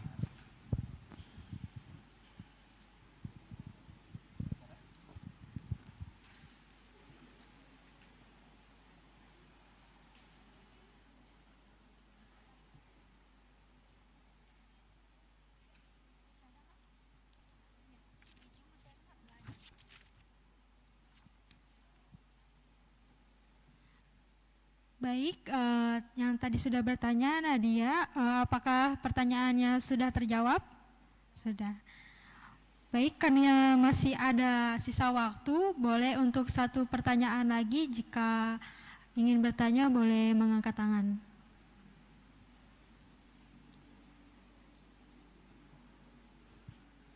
Baik. Ya. Masih ada? Oh, masih ada satu lagi, Kak.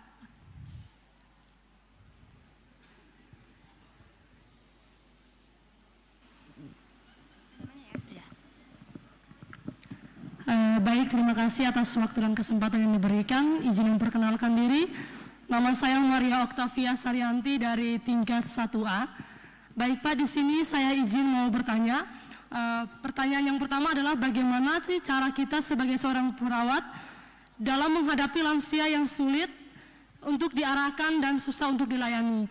Lalu yang kedua adalah bagaimana cara kita juga untuk mempertahankan kebutuhan dan, dan energi serta gizi yang baik kepada lansia agar uh, para lansia ini tetap kelihatan sehat. Sekian dan terima kasih. Baik, uh, Maria bisa tolong diulang lagi pelan-pelan. Oke baik, uh, pertanyaannya yang pertama adalah uh, bagaimana cara kita sebagai seorang perawat dalam menghadapi lansia yang sulit dan diarahkan dan susah untuk dilayani.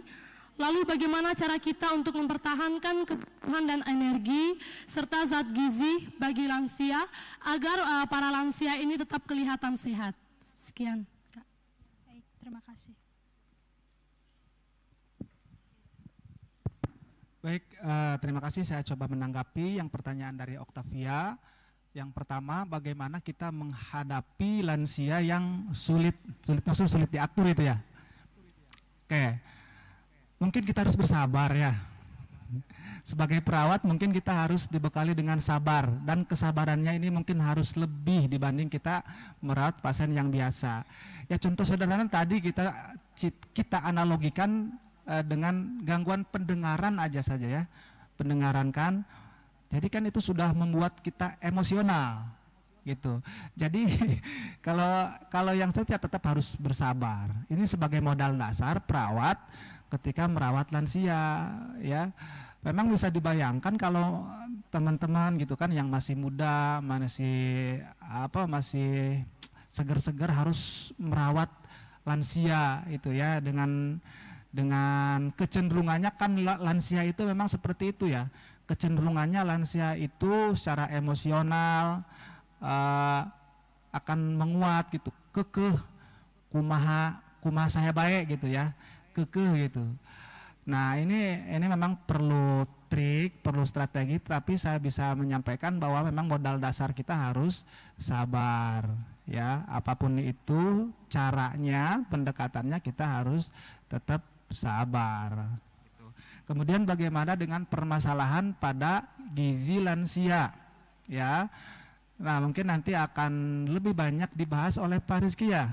Nah ini karena pemenuhan dari kebutuhan fisik itu yang pasti tadi sudah di awal saya sampaikan karena pada lansia ini terjadi banyak kemunduran terutama fungsi dari gigit yang tidak ada kemudian indera perasaannya juga sudah berkurang kemudian eh, sistem pencernaannya juga kemampuannya sudah berkurang gitu sehingga selera makannya berkurang sensitivitas rasa lapar hausnya juga sudah menurun gitu maka risiko terjadi kurangnya nutrisi dan cairan ini tinggi sekali pada lansia.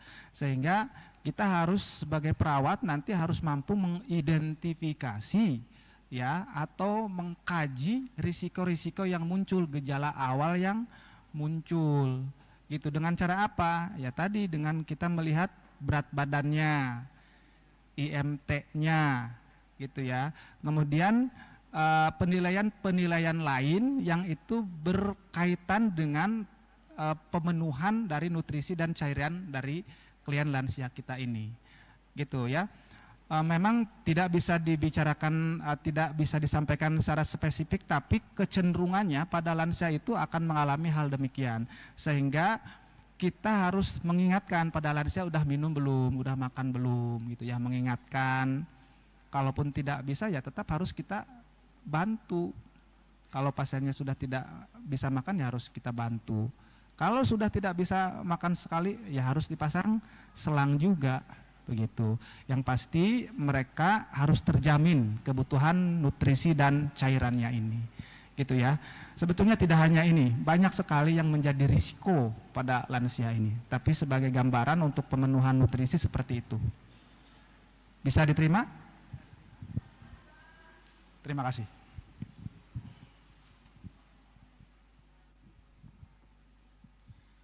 Baik. Baik, eh, sudah terdapat tiga pertanyaan dan juga sudah terjawab. Eh, sesi tanya jawab eh, sudah selesai. Eh, izin saya untuk eh, menyampaikan kesimpulan pada materi kali ini. Eh, lansia yang sehat merupakan lansia yang dapat menjalani kehidupan sehari-hari dengan aktif, mandiri, dan juga produktif. Kesehatan lansia bertujuan untuk meningkatkan derajat kesehatan lanjut usia yang berkualitas melalui sarana pelayanan dan juga yang ramah bagi lanjut usia. Eh, pertanyaan tadi sudah ada tiga dan terjawab semua dan juga waktu dimulai yaitu jam 9 dan selesai pada jam 10.16.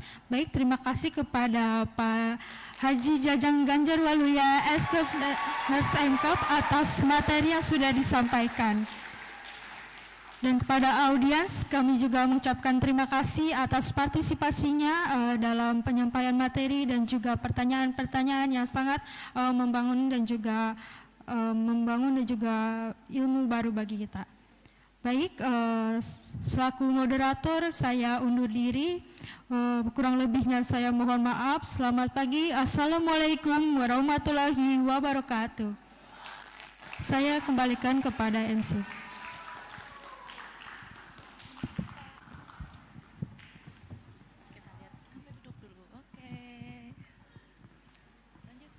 Wah, Kak Aca nih penyampaian materi dari pemateri pertama kita sudah selesai. Iya. Sangat luar biasa sekali Kak Sangat Aca. amat Banyak sekali ilmu-ilmu baru yang kita dapatkan dan Menambah wawasan kita juga ya Kak Mbak. dan gitu. semoga ilmu yang telah disampaikan bisa kita aplikasikan dalam kehidupan kita sehari-hari. Iya.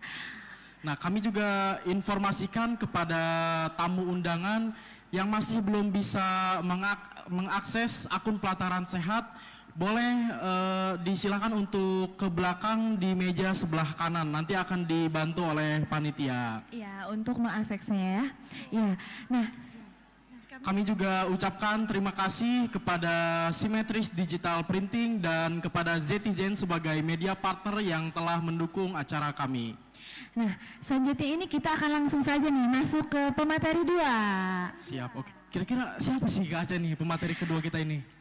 Dapat informasi nih Kak Mbak. Iya. Katanya pemateri kita ini kita datangkan jauh-jauh nih. Dia sedang menempuh pendidikan S3-nya. Dari mana tuh Kak Aca? Dari Surabaya katanya Kak Mbak. Allah, salah satu di ya. salah satu universitas ternama, Betul. yaitu Universitas Erlangga katanya Wow, gitu. sangat effort sekali ya. Iya. Datang jauh-jauh dari Surabaya untuk membagikan ilmunya kepada kita teman-teman semua. Mungkin teman-teman Mungkin teman-teman di sini udah pada penasaran nih ya sama pemateri kita kedua ini. Iya. Mungkin kita langsung saja ya serahkan eh, materi selanjutnya akan dibawakan oleh pemateri kedua kita kepada mo- moderator pemateri kedua kami silakan.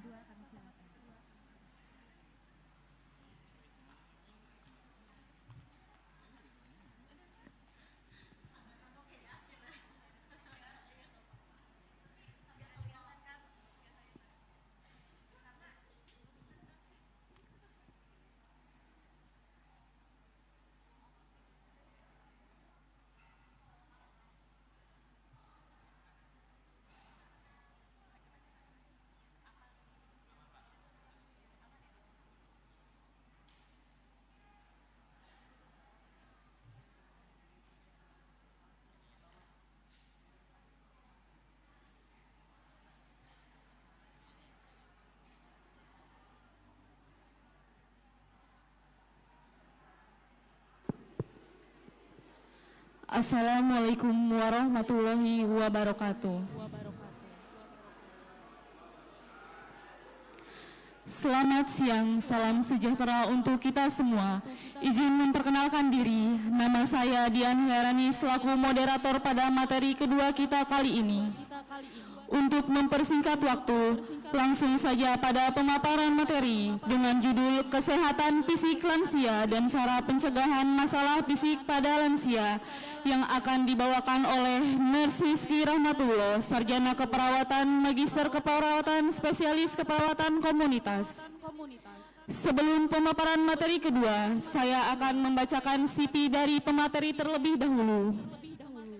Nama Nurse Rizky Rahmatullah, Sarjana Keperawatan, Magister Keperawatan, Spesialis Keperawatan Komunitas, tempat tanggal lahir, Bekasi 23 Mei 1996, pengalaman pekerjaan, dosen stikes IMC pada tahun 2019 sampai dengan 2020, dosen Fakultas Kedokteran Untirta pada tahun 2022 sampai dengan 2023, instruktur BTCLS Pro Emergency pada tahun 2024, dosen Universitas Negeri Surabaya pada tahun 2024 sampai dengan sekarang. Pendidikan yang ditempuh terakhir yaitu spesialis keperawatan komunitas Universitas Indonesia pada tahun 2022 sampai dengan 2023. Pengalaman organisasi salah satunya yaitu anggota Ikatan Perawat Gerontik Indonesia pada tahun 2023 sampai dengan sekarang. Prestasi Beliau sudah meraih beberapa prestasi, salah satunya yaitu juara satu emas lomba karya tulis ilmiah Universitas Brawijaya tingkat nasional pada tahun 2023. Itulah sekilas CV dari pemateri kita kali ini. Baik, langsung saja kita simak pemateri da- dari Nes Rizky Rahmatullah kepada Nes Rizky Rahmatullah waktu dan tempat dipersilahkan.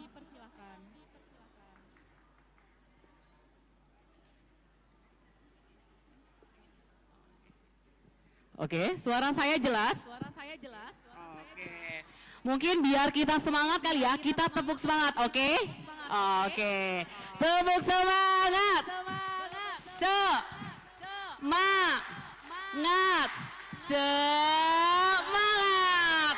Tapi kurang kompak ya. Sekali lagi boleh? Eh.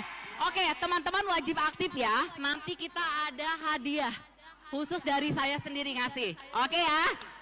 Oke. Tepuk semangat.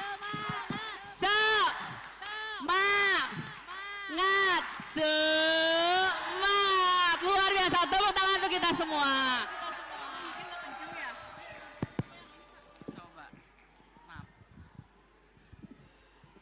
Oke, suara saya jelas gak? Oke, saya baru sampai loh dari Surabaya ke sini tadi setengah tujuh pagi. Oke, jadi luar biasa ya dari Akper Yatna, Yatna Yuwana yang telah memberikan kesempatan kepada saya untuk memaparkan materi pada kesempatan hari ini. Sebelumnya suara saya terlalu kencang? Cukup? Oke, baik. eh, pada kesempatan hari ini kita akan membahas terkait tentang pencegahan masalah fisik lansia dan cara mengatasinya. Nah, teman-teman, sebelumnya saya mau tanya nih, teman-teman sudah pernah praktek di ruang geriatri? Belum. Wah, ini luar biasa. Berarti ini adalah kesempatan yang luar biasa teman-teman untuk mempelajari. Karena data prevalensi nanti akan dijelaskan bahwa peningkatan lansia selalu mengalami peningkatan. Oke, kita boleh lanjut? Oke, dipersilakan next. Nah, nah teman-teman, mungkin kalau misalkan teman-teman panggil saya, boleh aja panggil Rizky atau Ki juga nggak apa-apa. Jadi kalau misalkan teman-teman pengen nge-DM di Instagram, boleh, saya sudah masukkan. Terus juga saya juga, oke, ke kalau lanjut nih ke atas bawah, ke atas. Oke, terus kalau teman-teman kalau misalkan ya juga ada, nah aslinya saya dari Bekasi, gitu. Terus kalau teman-teman juga terkait tentang mau menanyakan terkait tentang lansia juga diperbolehkan. Oke, kita lanjut ya. Nah, teman-teman, di sini ada gambar yang saya tampilkan. Sekira-kiranya teman-teman bisa gak menggambarkan apa sih gambar di sini? Boleh angkat tangan? Boleh angkat tangan? Kalau lihat dari gambar di depan? Dipersilakan. Ada yang berani? Kalau terkait tentang gambar di depan, ada lansia nih, kondisinya adalah yang tidak bisa melakukan aktivitas. Boleh diperjelas kalau dari gambar bisa menginterpretasikan? Boleh? Angkat tangan boleh? Silakan. Angkat tangan. Oke, saya cari aja ya, kita pilih. Oke. Mungkin kita kembali ini aja. Oke, Mbak, boleh berdiri? Oke, silakan, Mbak. Oke. Oke, silakan, Mbak. Ayo, ayo biar dapat door prize katanya. Oke. Silakan.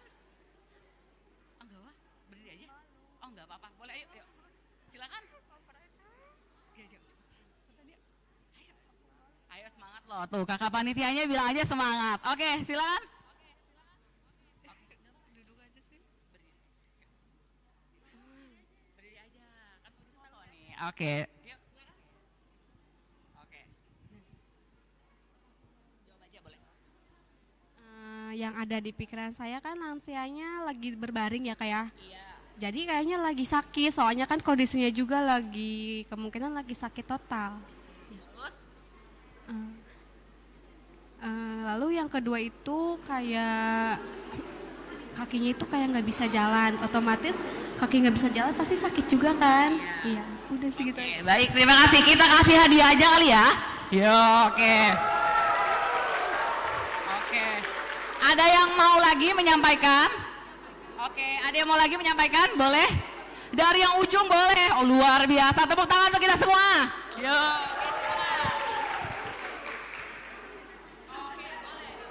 Eh, izin memperkenalkan izin memperkenalkan diri nama saya Putri Amelia dari kelas 2B Eh, yang aku pikirin di sini ya sebenarnya lansia itu eh, emang harus dibantu lebih di perawatannya lebih diperhatiin terus untuk kesehatannya juga harus lebih diperhatiin karena eh, lansia kan kayak udah males ngelakuin kayak olahraga atau gimana. Di sini juga kan hanya bisanya tiduran. Terus jadi kita sebagai perawat atau mungkin em, anaknya harus lebih perhatian ke orang tua. Demi kesehatannya juga kan. Sama di sini di gambar keempat ini eh, kayak lingkungannya juga harus lebih diperhatikan.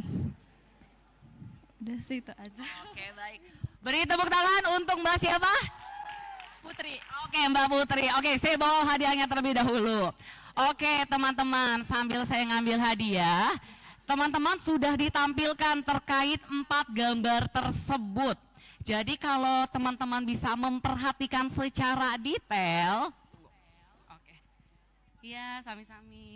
Nah, kalau misalkan teman-teman bisa melihat secara detail, kondisi seperti ini adalah yang teman-teman temukan ketika lansia sudah tidak lagi berdaya.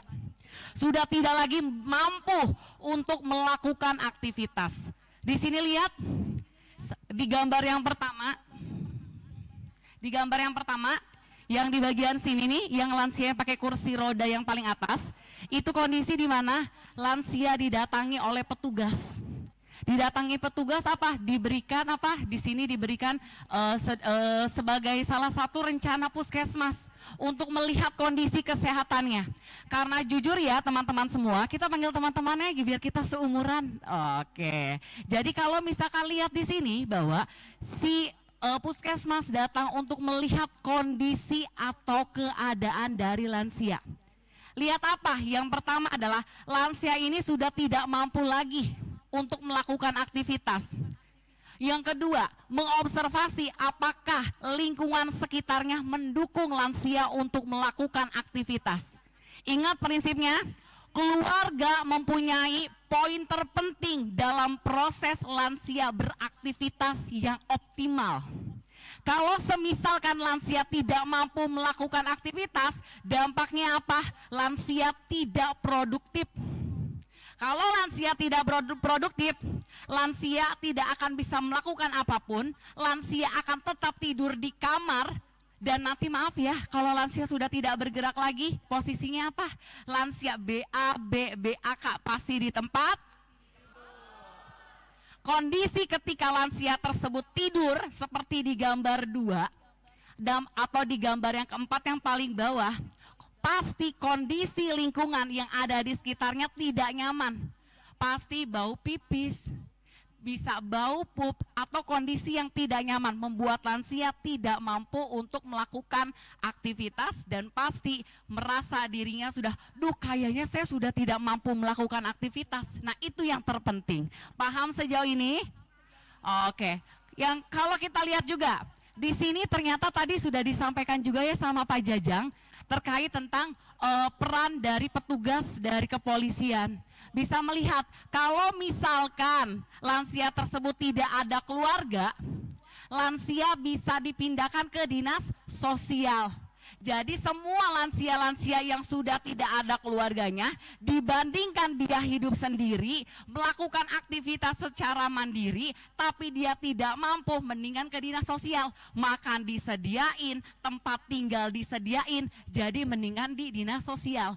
Sehingga peran or, eh, peran dari eh, si petugas tersebut mengantarkan lah gitu.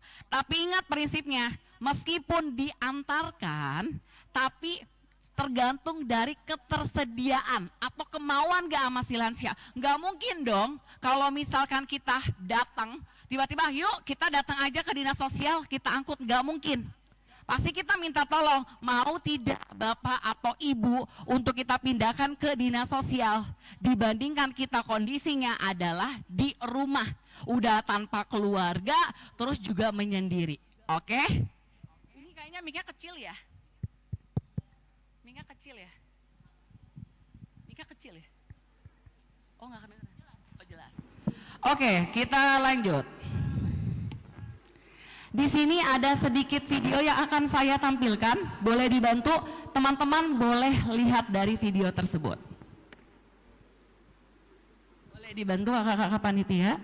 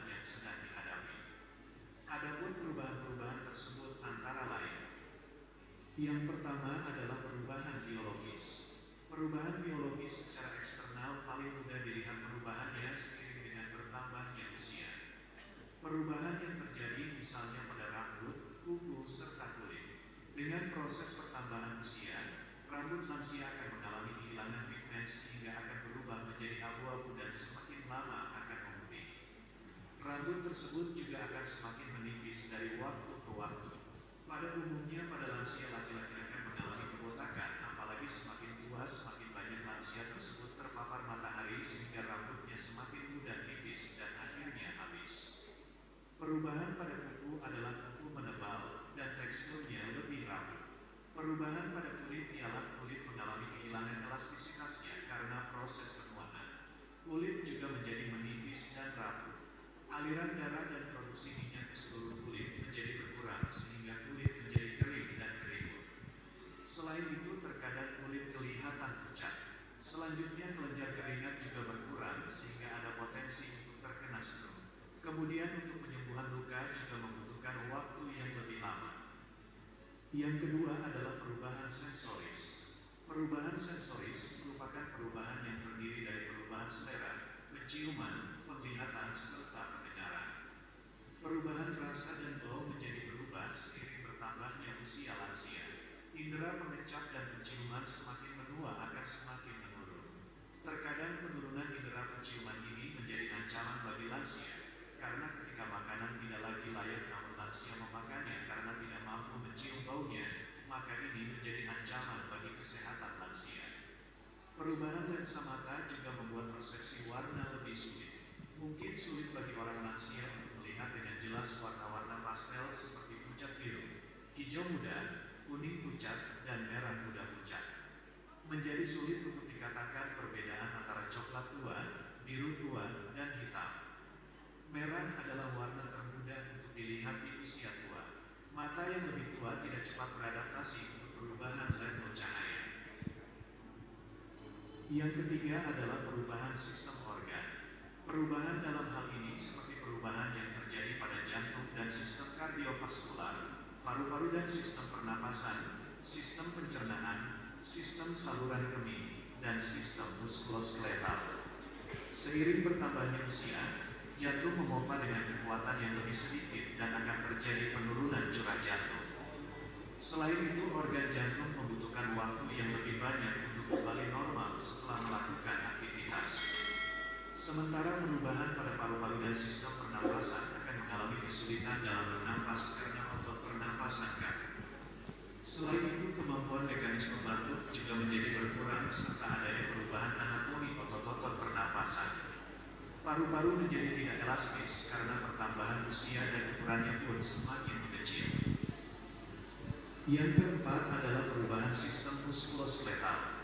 Dengan bertambahnya usia, lebar bahu menurun. Struktur tulang ada yang hilang, otot melemah, dan hilangnya elastisitas pada ligamen. Tulang rawan antara sendi semakin tipis dan cairan perumas menurun menyebabkan kekakuan pada sendi. Kekakuan sendi membatasi aktivitas fisik dan mobilitas. Ini mempengaruhi gaya berjalan dan postur. Dengan penurunan aktivitas fisik, kekuatan dan stamina juga akan terpengaruh. Yang kelima adalah perubahan pada sistem gastrointestinal. Dengan bertambahnya usia, terdapat penurunan kontraksi otot kerongkongan sehingga membutuhkan lebih banyak waktu untuk makanan untuk sampai ke perut. Hal ini menjelaskan mengapa banyak orang dewasa memiliki sensasi kenyang sebelum menyelesaikan makanan lengkap, yang mana hal ini akan mengakibatkan kekurangan nutrisi pada lansia. Yang keenam adalah perubahan pada saluran kemih. Dengan bertambahnya usia, ukuran dan volume ginjal menurun dan hal ini mempengaruhi fungsi ginjal. Hal ini juga akan mengakibatkan kebutuhan untuk buang air kecil lebih sering. Selain itu, kandung kemih juga tidak mengalami kekosongan sepenuhnya setelah berkemih. Hal ini dapat menyebabkan infeksi saluran kemih. Otot-otot kandung kemih yang lemah dapat menyebabkan inkontinens atau ketidakmampuan untuk mengontrol fungsi kandung kemih. Yang ketujuh adalah perubahan psikologis. Pada penuaan normal, lansia akan menjadi lebih lambat dalam mengingat fakta. Mereka butuh waktu lebih lama untuk bereaksi terhadap berbagai hal. Namun, jika diberikan cukup waktu, mereka mungkin sangat fungsional. Proses belajar dan kekuatan daya ingat akan terganggu jika lingkungan berisik, tidak nyaman, atau tidak menyenangkan. Belajar dan memori bisa terganggu karena sakit, terlalu banyak minum obat, depresi, dan stres. Dan yang terakhir adalah perubahan sosial. Lansia banyak mengalami kerugian. Anak-anak mereka tumbuh dan meninggalkan rumah. Mereka pensiun dari pekerjaan. Mereka mengalami kondisi fisik yang menurun. Dan lansia seumuran atau yang di atas mereka sudah ada yang meninggal. Kebanyakan lansia hidup penghasilan tidak tetap dan kebanyakan bergantung kepada anaknya. Demikian video terkait dengan materi perubahan-perubahan yang terjadi pada lansia. Jika ada yang ingin didiskusikan, silakan komen di kolom Oke, baik. Nah, di sini ada gak satu lagi nih kebetulan masih ada satu hadiah. Ada gak sih yang berani untuk memaparkan sekilas lah dari video yang tadi sudah disampaikan? Boleh angkat tangan ya? Boleh. Silakan Ibu. Eh, perubahan yang terjadi pada lansia ada delapan. Satu perubahan biologis.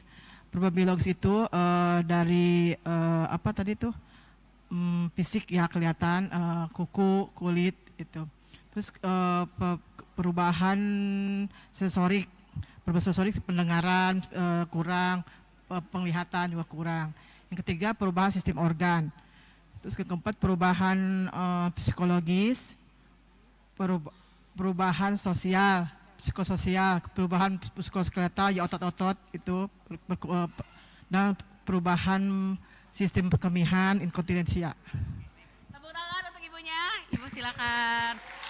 Oke, luar biasa sekali loh. Ibu sudah memaparkan terkait tentang hal-hal yang terjadi pada lansia. Nah, sebenarnya teman-teman, kalau misalkan lansia itu emang akan mengalami namanya proses penurunan seperti apa yang sudah disampaikan pada video tersebut. Wajar atau tidak? Wajar. Karena kenapa? Sel-sel yang di dalam lansia itu akan mengalami penurunan atau kematian sel. Sehingga sel yang biasanya banyak semakin lama usia bertambah semakin berkurang.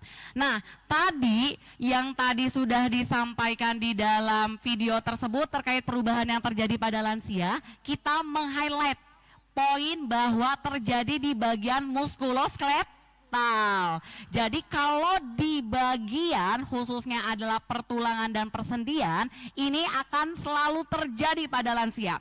Kebetulan pada saat saya spesialis di UI, saya mengambil terkait tentang geriatri atau lansia.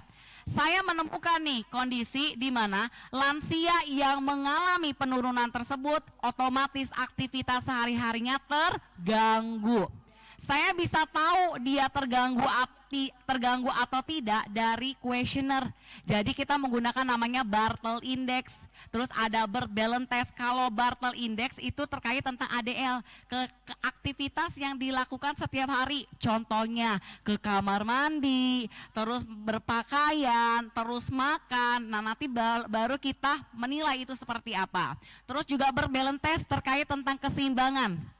Teman-teman suka ngeliat gak kalau lansia jalannya begini? Nah, suka jalannya itu cuma satu langkah, satu langkah. Nah, kalau bahasa orang Sunda apa Bu tadi? Iya, gitu, pokoknya geloyongan. Dan dampaknya apa? Kalau misalkan lansia sampai jatuh, sampai jatuh, lansia bisa mengalami kondisi yang fatal. Kan kalau jatuh itu mungkin di bagian kepala bisa mengalami stroke. Kalau misalkan dia jatuh bisa mengalami patah tulang. Nah, ber- berarti teman-teman kalau misalkan di rumah punya eh, nenek yang usianya lebih dari 60 tahun, itu nanti sama teman-teman harus dijaga. Kalau misalkan dia jalan ke kamar mandi susah, dibantu. Karena ingat ya, kamar mandi suka li licin. Oke. Nah, tadi juga sudah dijelaskan juga ya sama Pak Jajang, kalau yang dikatakan dengan lansia adalah seseorang yang mencapai usia 60 tahun ke atas. Jadi kalau yang di bawah 60 berarti bukan lansia. Gitu. Kita lanjut. Nah, ternyata lansia di Indonesia ataupun di beberapa wilayah selalu mengalami peningkatan. Bahkan di wilayah Jepang, lansia selalu eh, lansia jumlah prevalensinya tertinggi. Jadi teman-teman, namanya orang-orang yang usianya terus bertambah tidak luput akan menjadi lansia. Jadi per- eh, kelahirannya itu tidak terlalu banyak, tapi orang yang masih hidup dengan usia yang panjang itu semakin bertambah. Jadi teman-teman yang mungkin yang nextnya, yang kan di sini ada juga yang tingkat tiga ya Bu Tiffany ya. Saya dengar juga ada yang mau jadi caregiver di Jepang. Nah ini adalah salah satu wadah, mungkin teman-teman yang akan bekerja di Jepang, ini salah satu eh, lowongan mungkin untuk teman-teman mengaplikasikan keilmuannya khususnya kepada lansia. Karena lansia perlu bantuan. Meskipun ada keluarga yang membantu, tapi peran perawat juga penting dalam melakukan kegiatan sehari-hari gitu. Nah, di sini ada beberapa lansia. Kita lihat bahwa dari tahun 2014 sampai 2030 perbandingannya sel- mengalami selalu peningkatan. Bahkan teman-teman, kalau lansia semakin banyak, kita sebagai perawat juga harus kompeten keilmuannya. Jangan sampai misalkan oh lansia dibantu aja cuma dipegangin doang. Hati-hati, cara pemegangan lansia juga kita punya keunikan punya ciri khas. Jangan sampai lansia merasa tidak nyaman dengan keadaan kita gitu. Suara saya jelas? Oke, kita lanjut ya. Tak dulu sebelumnya gini, teman-teman, saya menjelaskan ya, namanya seorang lansia itu perlu bantuan, akan tetapi kita lihat kondisinya. Apakah si lansia tersebut dia bisa baca tulis atau tidak? Kadang-kadang kan lansia suka, ih saya mah bete katanya kalau di kamar aja. Berarti kita kalau dia tidak bisa baca, kita ajarin cara membaca itu seperti apa. Atau kita mengajarkan cara permainan apa biar si lansia tersebut tidak boring gitu. Terus yang kedua, di ternyata lansia tinggal bersama eh, tinggal bersama pasangannya itu jarang. Ada yang sudah meninggal.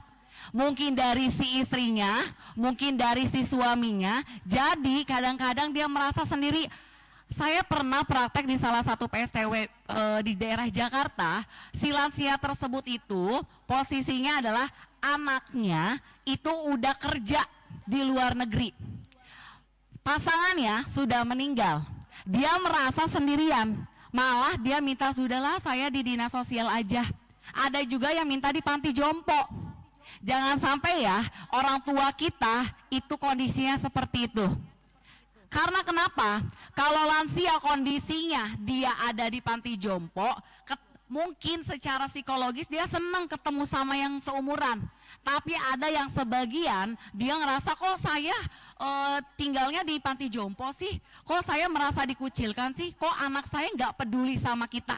Nah itu akan nanti dibahas sama Kak Tiffany, akan tetapi secara psikososial, secara psikologi mereka merasa kok gitu ya, jadi nggak ada rasa penerimaan. Makanya kita sebagai seorang perawat kita juga harus peka.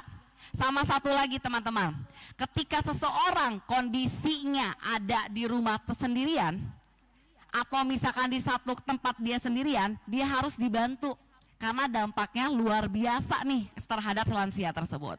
Oke, kita lanjut. Kok nggak gerak? Enggak, enggak. Oh. Nah, di sini ada masalah kesehatan pada lansia. Jadi, yang pertama adalah penyakit kardiovaskuler. Saya menemukan nih teman-teman, orang-orang lansia suka makan-makan yang asin-asin. Saya mah nggak makan yang asin, tapi makannya ikan asin. Nah, jadi kan itu kan tetap kan cara untuk awet si ikan asin tersebut dengan menggunakan apa? Garam. Otomatis kalau garam itu akan mengikat cairan sehingga kadang-kadang orang-orang yang eh, si lansia tersebut ya asal makan aja. Terus yang kedua, biasanya indera eh, perasa dari si lansia tersebut menurun. Jadi kita sebagai eh, ora- orang eh, yang mempunyai keilmuan di bidangnya, kita harus memahami, oh ternyata lansia seperti ini dan mungkin kita menginformasikan walaupun terkadang susah untuk diterima. Tapi kita coba terlebih dahulu. Lanjut. Kalau misalkan dia lama-lama dia makan yang suka asin, terus kadang-kadang lansia kan sering suka makan makanan yang kolesterol ya. Ih kayaknya enak nih makan-makan tunjang. Terus makan-makan yang bersantan, terus berminyak. Nah itu tidak diperbolehkan karena kenapa? Nanti dia bisa punya kecenderungan dia kena penyakit stroke karena eh, penyempitan dari pembuluh darah. Nah itu teman-teman harus ketahui. Makanya tadi kan di- eh, dijelaskan juga Pak Jajang, nutrisi itu penting loh. Jadi nanti pada saat pemilihan makanan itu juga harus. Dan satu lagi teman-teman, usahakan di usia 25 masuk usia 30 kita tuh harus aware sama kesehatan diri sendiri. Kalau nextnya teman-teman kan pasti ditambah usia, wajib ya kita eh, minum susu yang punya kalsium tinggi. Jadi jangan sampai pada pada saat di masa tua kondisi tulang kita tidak mengalami kerapuhan gitu. Lanjut ya. Selanjutnya teman-teman ada namanya radang persendian. Teman-teman suka ngelihat gak sih kalau lansia yang lama-lama suka bungkuk posisi begini? Nah, kalau misalkan teman-teman menemukan kondisi lansia seperti itu, kenapa dia harus menggunakan tongkat? Karena di bagian area kaki dia tidak bisa menahan. Karena tidak bisa dan dan tidak mampu, kalau dia tidak menggunakan tongkat, dia bisa jatuh ke bawah. Karena apa? Di sini dia merasakan nyeri, area sakit. Nah, cara untuk mengatasinya itu pada saat dulu saya peminatannya kan lansia dengan osteoartritis. Jadi saya membuat namanya tindakan namanya exercise for osteoarthritis of the knee. Jadi posisi yang orang-orang yang mengalami oste- osteoartritis ada namanya tindakannya. Saya buat aplikasi namanya Si Gemas. Sistem Informasi Gerakan Manula Sehat. Itu ada di Play Store. Sebelumnya saya juga pernah menang lomba aplikasi di 2021 namanya Sigelis. Sistem Informasi Gerakan Lansia Sehat, saya dapat juara tiga di Universitas Brawijaya. Nah, di dalam aplikasi tersebut bukan hanya secara eh, intervensi, tapi juga secara informasi serta ingat pembuatan suatu aplikasi itu harus menghubungkan antara lansia, pelayanan kesehatan, sama keluarga. Keberhasilan apa pun, kalau teman-teman lakukan itu harus ada tiga eh, segitiga yang menghubungkan satu sama lainnya. Tapi juga ingat ya teman-teman, pelayanan kesehatan bisa masuk ke dalam lingkungan tersebut tanpa adanya kader itu tidak mungkin. Jadi peran kader tahu kader gak? Yang suka ngebantu tuh kadang-kadang cek kesehatan apa pada saat kegiatan posbindu, prolanis. Nah peran kader itu penting. Dengan adanya peran kader kita bisa membantu dan kadang-kadang kan kalau puskesmas cuma ada acara tertentu masuk kan tapi dengan untuk memanggil warga-warga lansia tersebut ya si kader tersebut jadi satu pintu dia ketuk ketuk ketuk. Bu nanti ada kegiatan posbindu ya. Bu ada kegiatan prolanis ya. Datang ya cek kesehatan gratis. Nah itu kegiatan tersebutlah dalam proses eh, intervensi mungkin yang bisa dilaksanakan. Terus yang kedua teman-teman kalau di kegiatan posbindu prolanis biasanya mungkin yang di puskesmas suka menyelipkan kegiatan. Contohnya senam bersama Biasa mungkin di satu hari di kegiatan bersama kita melakukan senam bersama. Fungsinya untuk apa? Nggak belum tentu lansia melakukan aktivitas di rumahnya. Dia paling ini, aku udah melakukan aktivitas kok, tapi cuma nyapu doang. Nah, dengan ada kegiatan prolanis, dengan cek kesehatan, kita selipkan dengan senam tersebut, itu bisa salah satu cara agar lansia tetap produktif dengan melakukan exercise, khususnya di bagian persendiannya. Gitu. Suara saya jelas? Oke. Lanjut, terkait tentang diabetes mellitus. Teman-teman izin tanya, ada yang keluarganya kena diabetes? Ada. Kalau misalkan dia kena diabetes, biasanya punya kecenderungan sekitar 60 sampai 70% mengalami diabetes juga. Kenapa? Karena biasanya orang-orang yang diabetes itu udah punya ciri khasnya. Yang pertama, suka makan terus. Yang kedua, pipis terus. Sama satu lagi apa? minum terus. Jadi tiga kondisi ciri khas tersebut itu bisa mempengaruhi. Teman-teman, eh, saya kebetulan eh, ngambil pada saat saya kebetulan S2-nya dua kampus sekaligus. Jadi yang satu adalah keperawatan medikal bedah, satu adalah keperawatan komunitas, spesialisnya komunitas sudah selesai. Sekarang saya lanjut spesialis yang kedua eh, medikal bedah di UNER. Jadi saya ngambil kuliah dan kebetulan pada saat saya S2, saya kan ngambil peminatan terkait tentang eh, gagal ginjal ya. Nah, di gagal ginjal bahwa orang-orang yang sudah mengalami komplikasi di dalam diabetes itu bisa mengarah apa? Cuci darah. Karena apa? Saya tanya, saya tanya eh, ke, ke sekitar 40 atau 70 orang. Saya tanya, kenapa bisa kena eh, gagal ginjal? Salah satu faktornya adalah diabetes dan diabetes kena gara-gara apa? Dia suka minum minuman kemasan. Suka ketemu kan yang suka, ih saya mah minumnya maunya jangan sebutin merek kali ya. Saya sukanya minum yang teh-teh, yang siap saji, yang tinggal seduh. Atau minum, minum minuman yang membuat stamina meningkat, itu jangan ya. Karena banyak orang-orang yang mengenai kena diabetes gara-gara ya kebiasaannya.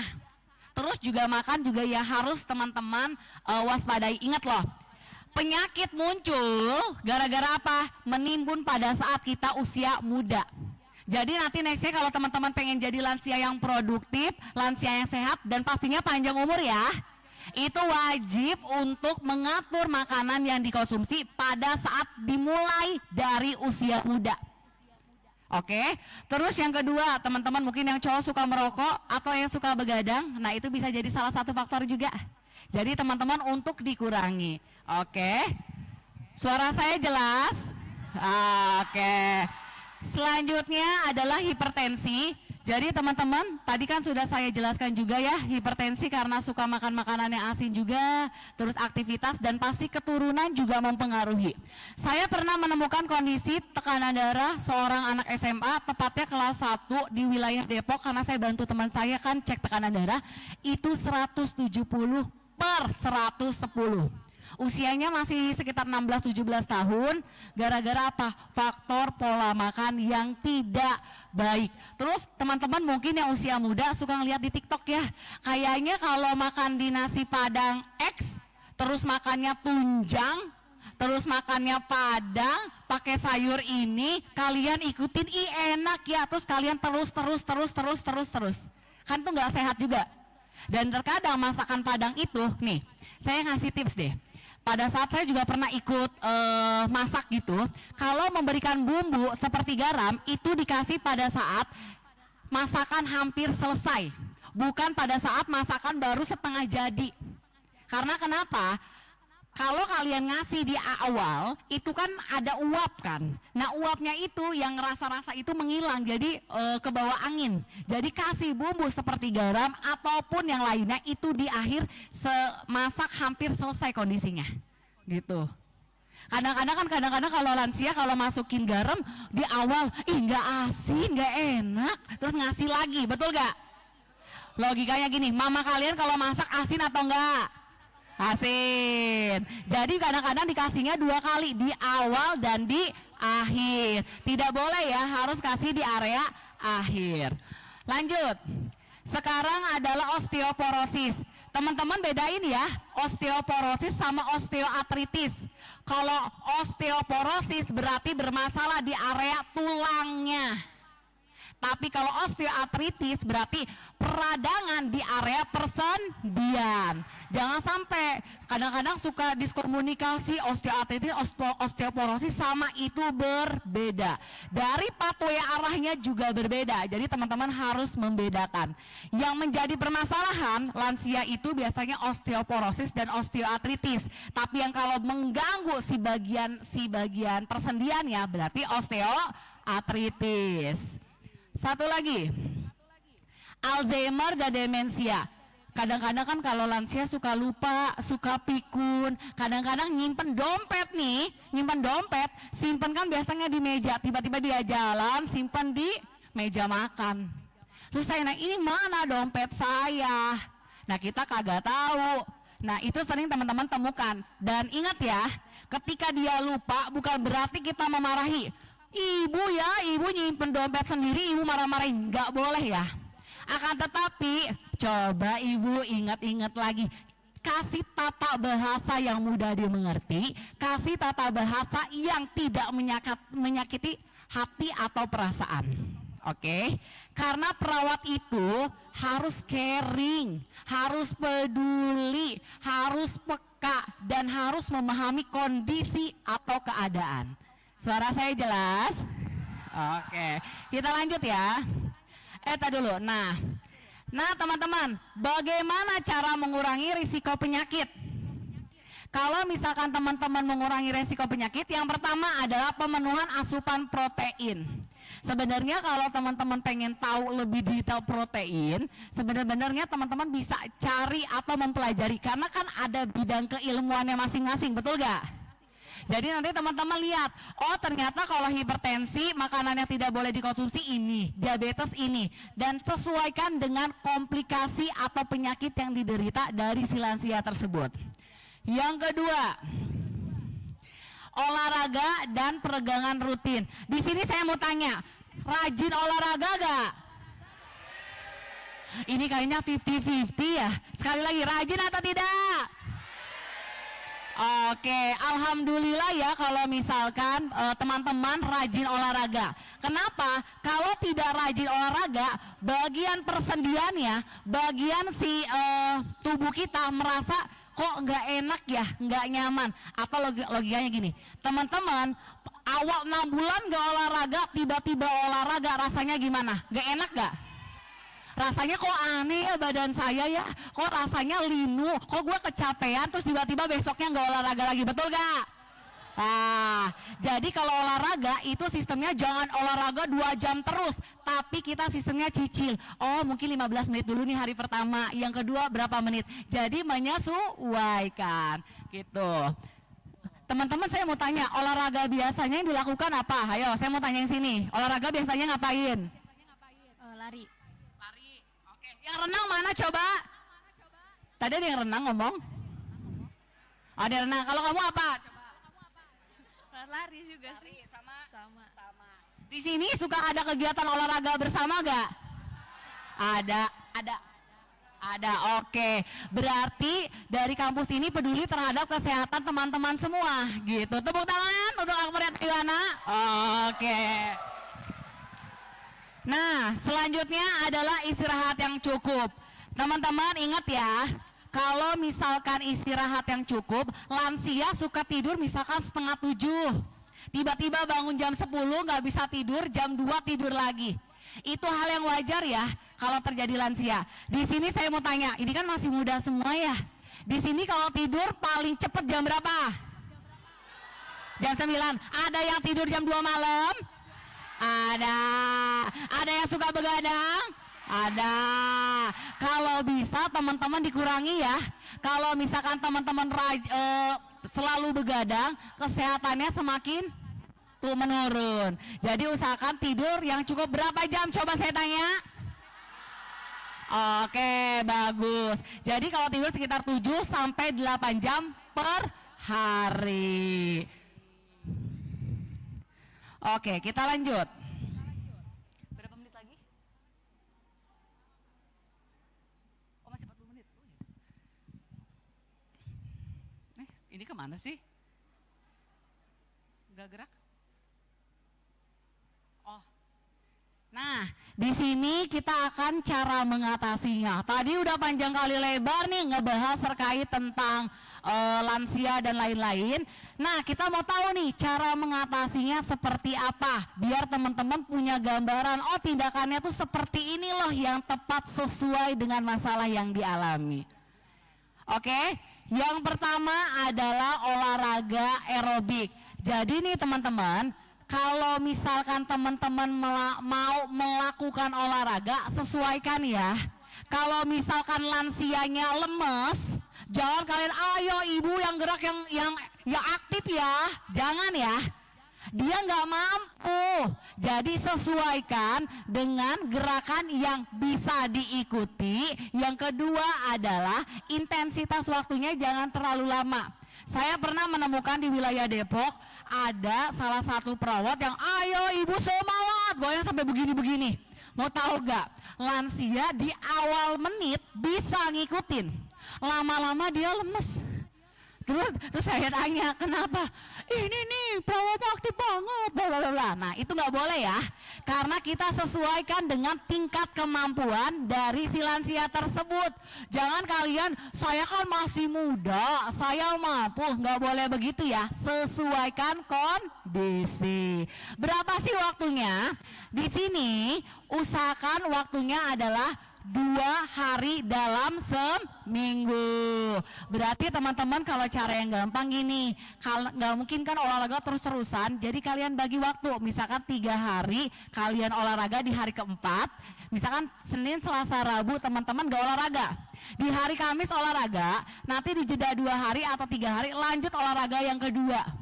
Waktunya berapa lama? Di sini udah ada jelasnya bahwa dua menit dengan intensitas yang tinggi.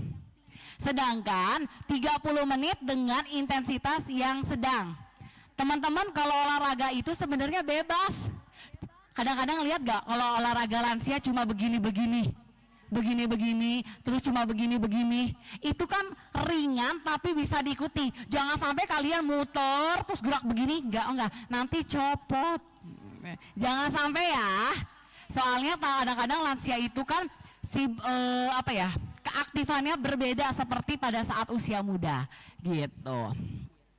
Lanjut, latihan menguatkan otot. Di sini posisinya di mana? Memperkuat dan menyokong otot dan jaringan eh, ki, ikatnya. Setidaknya dua hari dalam seminggu. Di sini bisa teman-teman lihat teknik cara untuk melakukan kegiatan dari latihan menguatkan otot. Di sini yang pertama adalah berdiri dari kursi, ditahan beberapa detik dan dilakukan berulang. Jadi saya contohkan ya di sini ya. Ini kan ada bagian kursi. Ingat ya, kursinya harus ada senderannya. Saya pernah kejadian, eh, kita kan diamanahkan untuk membimbing anak profesi UI. Terus posisinya di sini nggak ada itunya, nggak ada eh, belakangnya. Sama dia begini, pas lagi berdiri aman di satu kedua kali. Yang ketiga dia geloyongan, hampir jatuh. Jadi teman-teman usahakan ketika dia duduk berdiri, duduk berdiri, jangan duduk berdiri, duduk berdiri, tapi kasih pelan-pelan.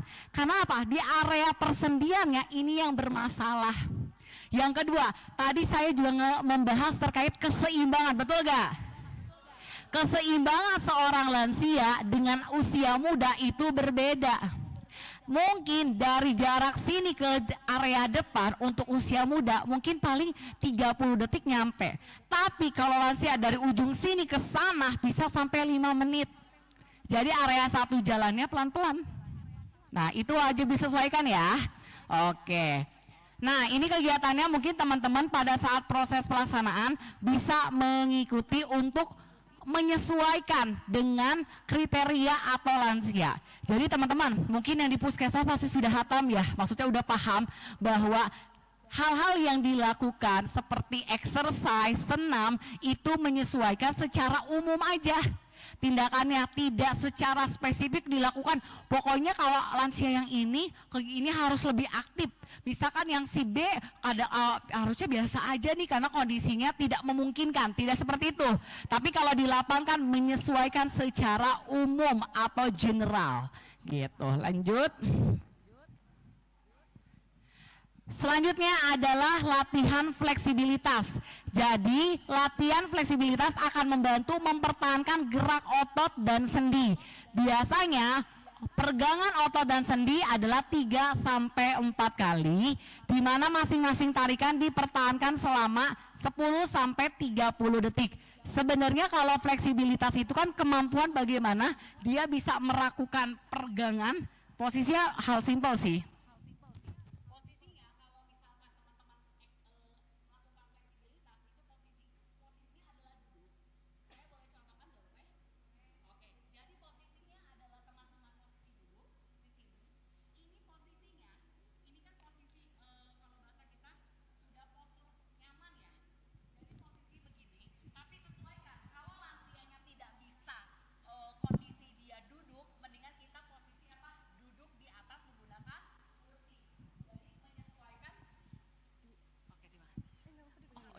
Oke, baik. Jadi menyesuaikan dari kondisi si lansia tersebut. Jadi menyesuaikan posisi eh, si fleksibilitas ini disesuaikan dengan kondisi di mana si tangan itu ditempelkan area sini. Di sini itu kalian ngerasa deh kalau kalian duduk itu ada teg- ada tegangan gitu loh. Nah itu seperti itu. Apa bu? Iya, ada rasa ketertarikan. Oke. Atau misalkan teman-teman, pada saat saya spesialis tahu bola gak sih yang lima ribuan? Nah, saya itu boleh pinjam ke Tiffany. Nah, ini misalkan, ini tempat duduk, ini tempat duduk, teman-teman duduk posisi sini, tahu bola yang lima ribuan yang suka dimainin di lapangan sama anak kecil? Nah, si bola tersebut simpen area sini, terus kalian jepit si bola terus tuh jepit 5 sampai 10 detik rasain deh. Di bagian sini ada rasanya ketarik. Dan itu jauh lebih enak katanya. Dan itu kalian lakukan eh, sekitar pengulangan 10 sampai 15 kali. Jadi untuk merasakan eh, ketarikan di area si persendian tersebut. Nanti dicoba aja ya untuk menggunakan bola. Berapa menit lagi? Oh 15 menit lagi. Oke, selanjutnya. Nah, teman-teman, ini adalah manfaat dari latihan fisik bagi usia lanjut atau lansia. Saya lebih dekat ya karena tidak terlihat. Yang pertama adalah meningkatkan kelenturan dan keseimbangan tubuh sehingga mengurangi risiko terjadinya jatuh cedera. Jadi kalau dengan melakukan olahraga nih si lansia, jadi lebih bagus nih si tubuhnya, jadi bisa lebih lentur. Ingat gak lansia? Kalau kalian temukan lansia, kadang-kadang ada yang sudah tiduran, ketika si kaki ditekukan dia bilang, au, au, au, au, sakit, au. Pernah gak? Nah, itu teman-teman jangan kalian potekin begitu. Jadi jangan posisi si jangan posisi si kakinya itu sama dia ditekuk gitu. Jangan kalian langsung sekaligus. Kenapa? Bisa patah. Jadi pada saat kalian itu coba ibu tarik nafas sampai kalian eh, tekukan pelan-pelan. Kalau misalkan dia udah bilang, "Au, sakit, sakit." Kalian jangan tetap dipak di dipaksa, bisa patah. Dan ini sering terjadi teman-teman temukan ketika lansia yang tidak pernah aktivitas. Kakinya jadi jadi kalau bahasa kita jadi kaku. Terus yang kedua, biasanya terjadi di area persendian, bisa di bagian kaki ataupun di area tangan. Karena di sini ada namanya cairan sinovial.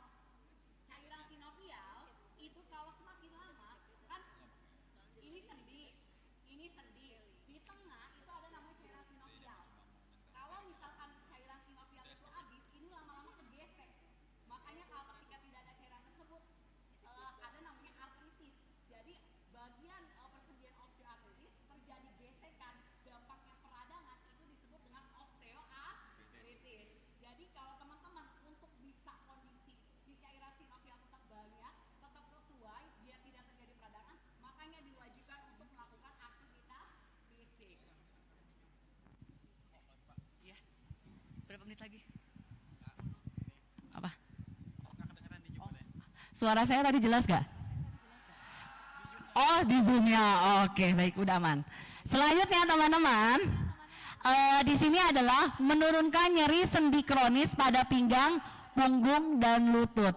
Jadi lama-lama tuh kalau orang orang lansia tuh posisinya si bagian pers- eh, khususnya di area punggung, tulang punggungnya jadi membengkok kadang-kadang. Karena dia tidak mampu menahan. Kalau enggak gini, kalian pernah ke Jawa gak?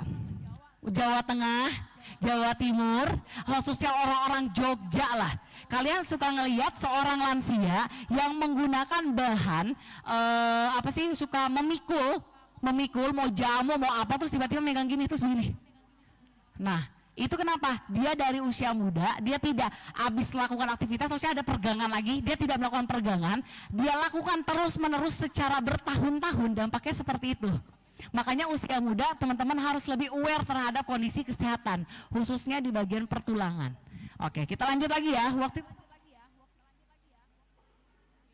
Oke, selanjutnya adalah memperkuat masa tulang mencegah osteoporosis.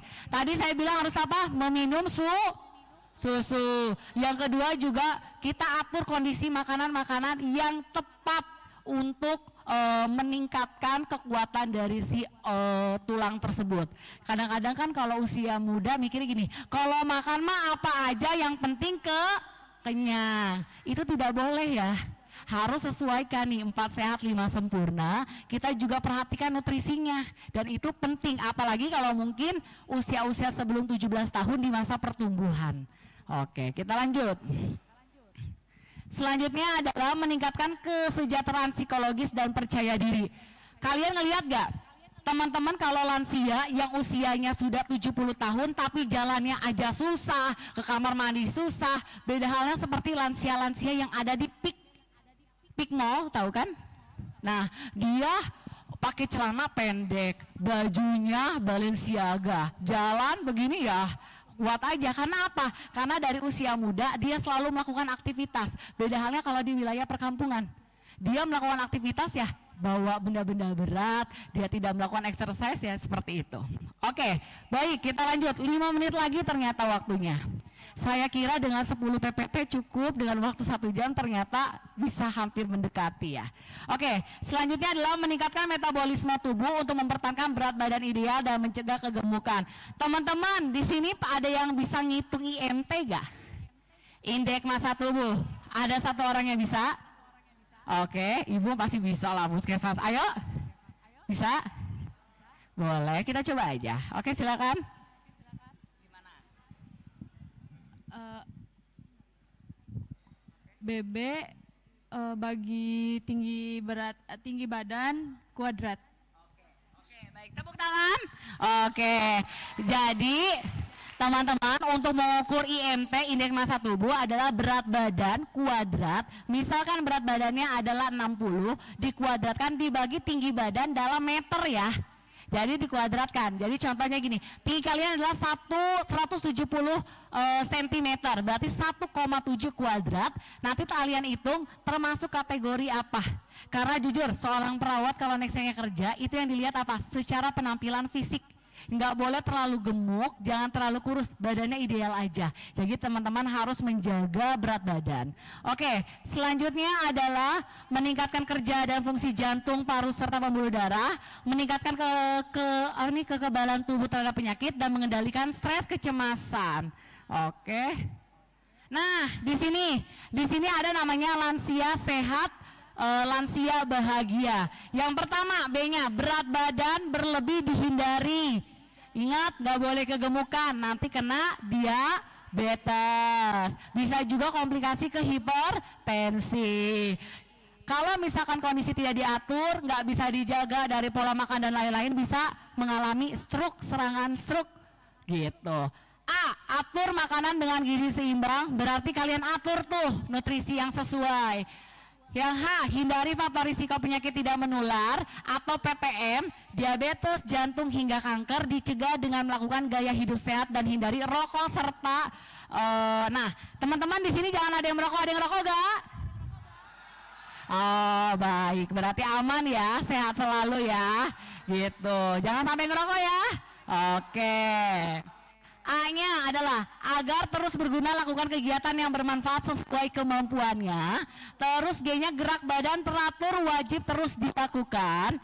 I-nya iman dan takwa ditingkatkan serta kelola stres. Ingat, Biasanya kalau semakin tua, pendekatan diri ke Tuhannya semakin bagus, betul gak? Iya, pernah saya ngomong kenapa lebih dekat kepada Tuhan, kenapa nggak dari pas lagi usia muda? Enggak, saya nanti mau matinya yang istiqomah gitu. Jadi itu yang sering saya temukan. Tapi mulai dipupuklah dari awal usia muda. Sama yang terakhir adalah awasi dengan melakukan pemeriksaan kesehatan secara teratur. Biasanya puskesmas itu menginformasikan cek e, posmindu prolanis itu satu bulan sekali ya. Dan untuk waktunya itu disesuaikan dengan e, jadwal puskesmas juga.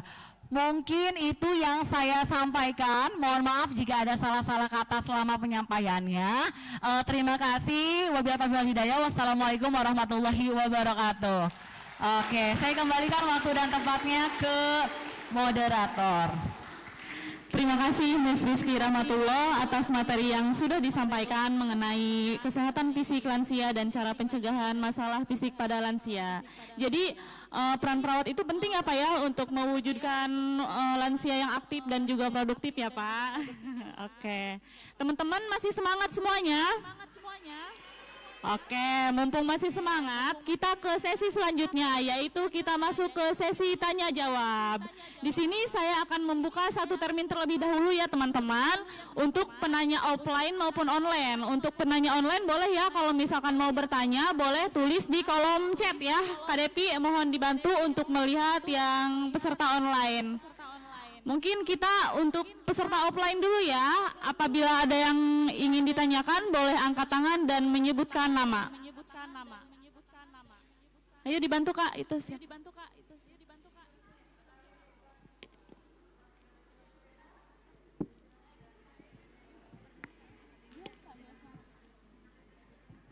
Cek. Baik, eh, terima kasih atas kesempatannya. Sebelumnya perkenalkan nama saya Rina Kemala dari Universitas Valetehan. Mungkin izin bertanya kepada Kak Rizky. Em, seperti yang kita ketahui, eh, nggak sedikit ya Kak kalau lansia itu mengalami masalah kesehatan fisik. Nah pertanyaannya adalah gimana sih cara kita sebagai perawat untuk meyakinkan pasien lansia bahwa eh, masalah fisiknya itu bisa teratasi atau bahkan bisa dibuat lebih ringan lah. Karena tidak sedikit juga lansia yang menyerah gitu ya. Kayak ya udahlah, saya kan sudah tua, saya kan sudah tidak bisa produktif lagi gitu. Gimana sih cara kita bisa meningkatkan confidence-nya para lansia? Cukup. Terima kasih. Terima kasih Kak Kemala. Bagaimana Bapak mau ditampung terlebih dahulu apa mau langsung dijawab? Oh boleh, yaudah. Sok Bapak dipersilakan untuk. Oke. Oke. Oke, halo. Halo. Oke, jadi kalau misalkan teman-teman menemukan kondisi lansia di mana dia itu susah untuk meningkatkan, betul nggak? Nah, cara yang pertama adalah bagaimana teman-teman untuk meyakinkan bahwa kesehatan itu adalah penting. Tidak semudah kita memberikan suatu informasi seperti kita membalikan telapak tangan. Akan tetapi kita meyakinkan dengan tata bahasa yang mudah dipahami. Yang kedua tidak menggunakan bahasa yang menyakitkan. Dengan kita melakukan eh, komunikasi yang efektif, terus kita menjalin trust. Jadi menjalin eh, suatu komunikasi yang di mana si orang tersebut khususnya lansia percaya kepada kita sebagai tenaga kesehatan. Dengan kita melakukan seperti itu otomatis akan ada jalinan kasih lah antara si lansia dengan si perawat tersebut. Jadi yang utama adalah komunikasi. Yang kedua, bagaimana teman-teman menunjukkan keinginan, kemauan untuk melakukan perubahan tersebut. Logikanya gitu. Kalau kalian ditolak sekali, aduh saya sakit hati, saya ditolak. Nggak mungkin menjadi seorang perawat yang kualitasnya oke, confidence. Akan tetapi bagaimana kita meyakinkan kemauan kita dan kita memberi kita juga melakukan pendekatan ke keluarga juga. Ingat loh, keberhasilan tindakan enggak, tindakan kita berhasil tanpa adanya peran keluarga, rencana atau intervensi yang kita lakukan pasti nggak dilanjutkan, betul nggak? Dengan kita mengikut sertakan keluarga, secara otomatis kita bisa menyerah terimakan. Kan nggak mungkin kalian praktek full di masyarakat sampai kalian lulus, betul nggak? Paling cuma sekitar tiga minggu sampai satu bulan. Jadi peran kalian harus juga melibatkan keluarga, karena peran keluarga adalah family support. Orang pertama yang mensupport keberhasilan dari intervensi yang kita lakukan. Terus juga kalian juga memberikan penjelasan juga yang mudah dimengerti. Ingat tidak semua lansia, tidak semua keluarga dia pintar untuk memahami apa yang kita inginkan. Karena tingkat pendidikan, juga tingkat pengalaman itu juga berpengaruh. Seperti itu. Paham? Ada tambahan? Cukup baik, terima kasih. Terima kasih.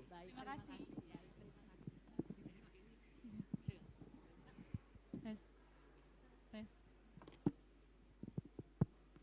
Terima kasih Nes Rizky. Gimana Kak Kemala? Udah puas jawabannya?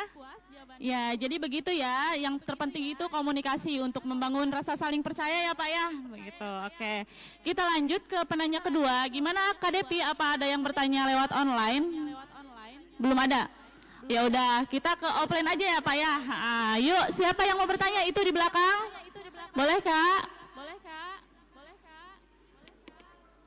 Ya, boleh sebutkan nama dan juga langsung ke pertanyaan.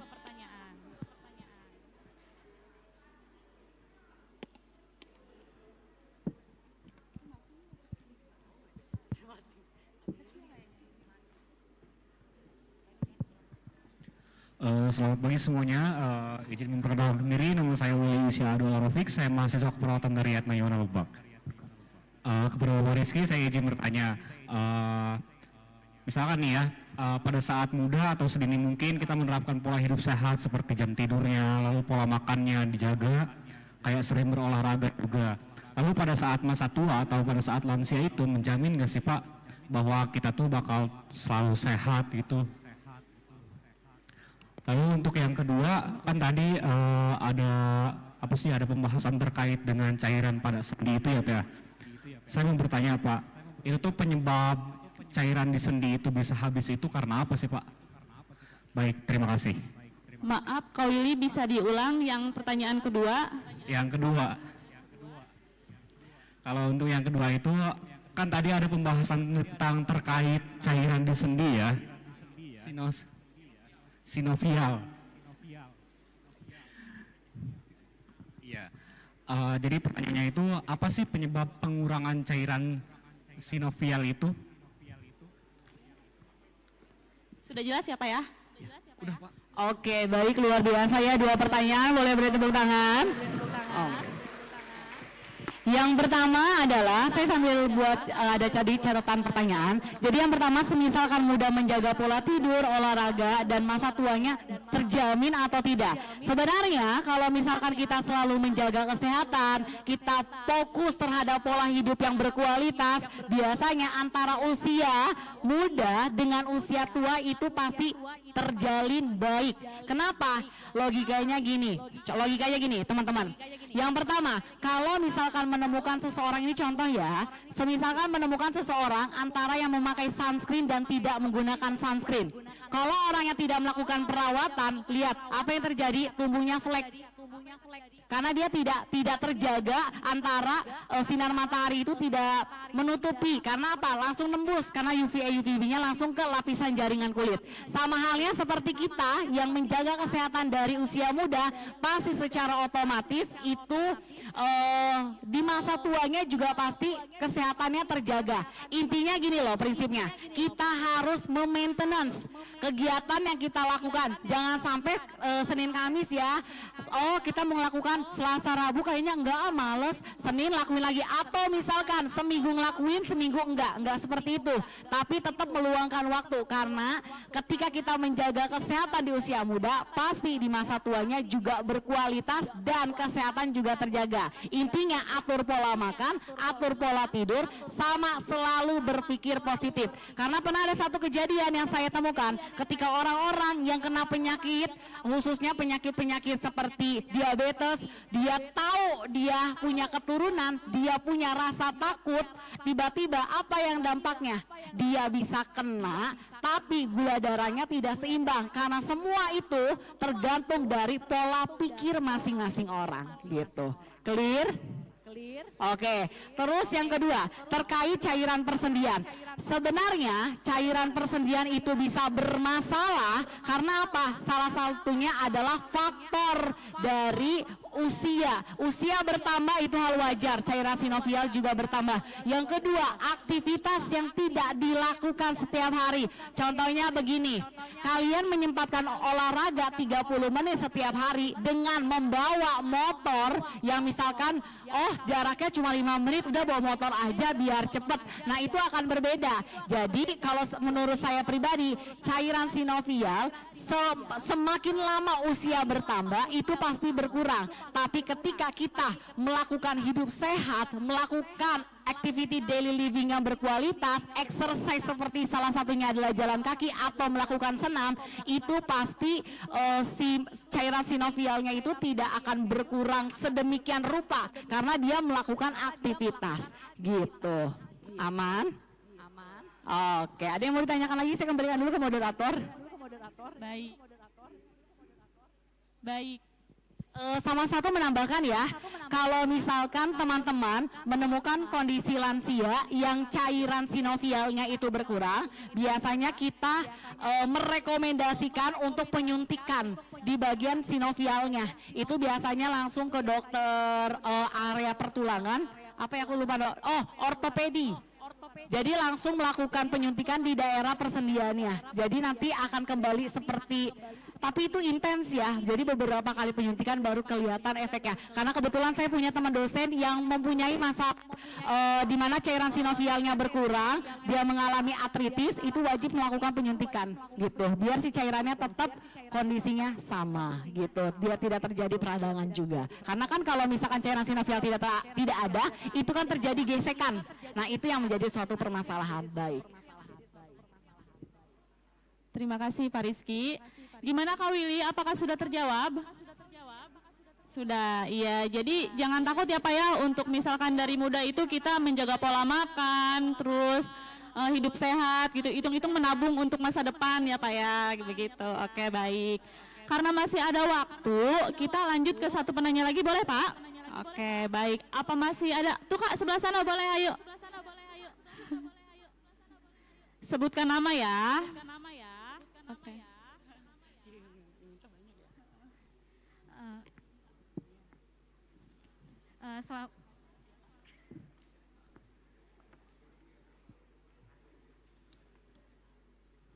Eh, Assalamualaikum warahmatullahi wabarakatuh. Selamat pagi Ibu, selamat pagi teman-teman semuanya.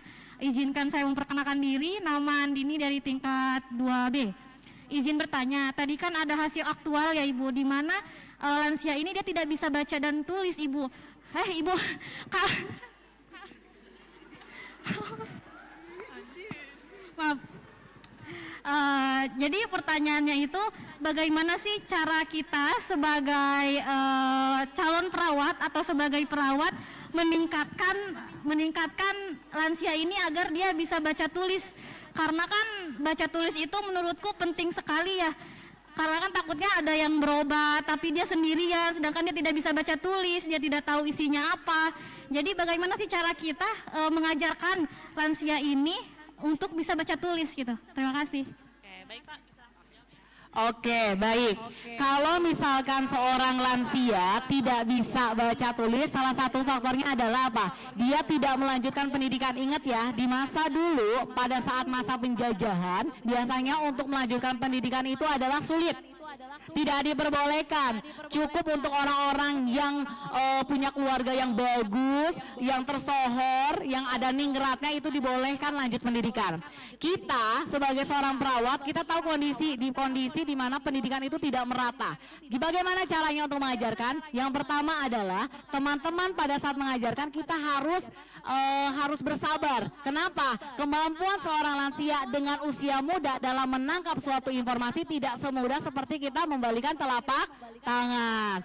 Dengan seorang perawat yang belajar caring, peduli dengan kondisi di lingkungan, kita harus tahu dan sadar bagaimana ngajarinnya itu pelan-pelan tapi pasti. Dan gak mungkin satu kali ngajarin, dua kali ngajarin langsung paham. Karena proses penangkapan informasi yang dia peroleh melalui penglihatan dan pendengaran diimplementasikan itu sulit. Seperti kita mengajarkan seperti anak kecil lagi, karena posisi circle-nya lansia akan kembali seperti anak ke- kecil lagi. Pipis kadang-kadang sembarangan, BAB suka sembarangan. Pada saat menangkap informasi juga tidak semudah seperti itu, karena seperti anak kecil lagi. Jadi kita sebagai seorang perawat harus memahami kondisi secara fisiologis dan biologis yang terjadi pada lansia.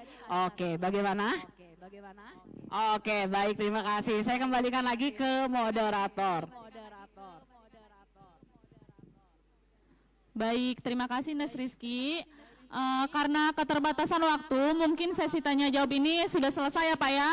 Tapi apabila teman-teman masih ada yang ingin ditanyakan, boleh eh, chat di grup seminar. Nanti kita akan share jawabannya melalui grup atau eh, melalui Instagra- Instagram. Jadi boleh dikepoin Instagramnya ya. Atau boleh bisa langsung menghubungi Bapak Rizky ya Pak, boleh? Boleh. Terima kasih.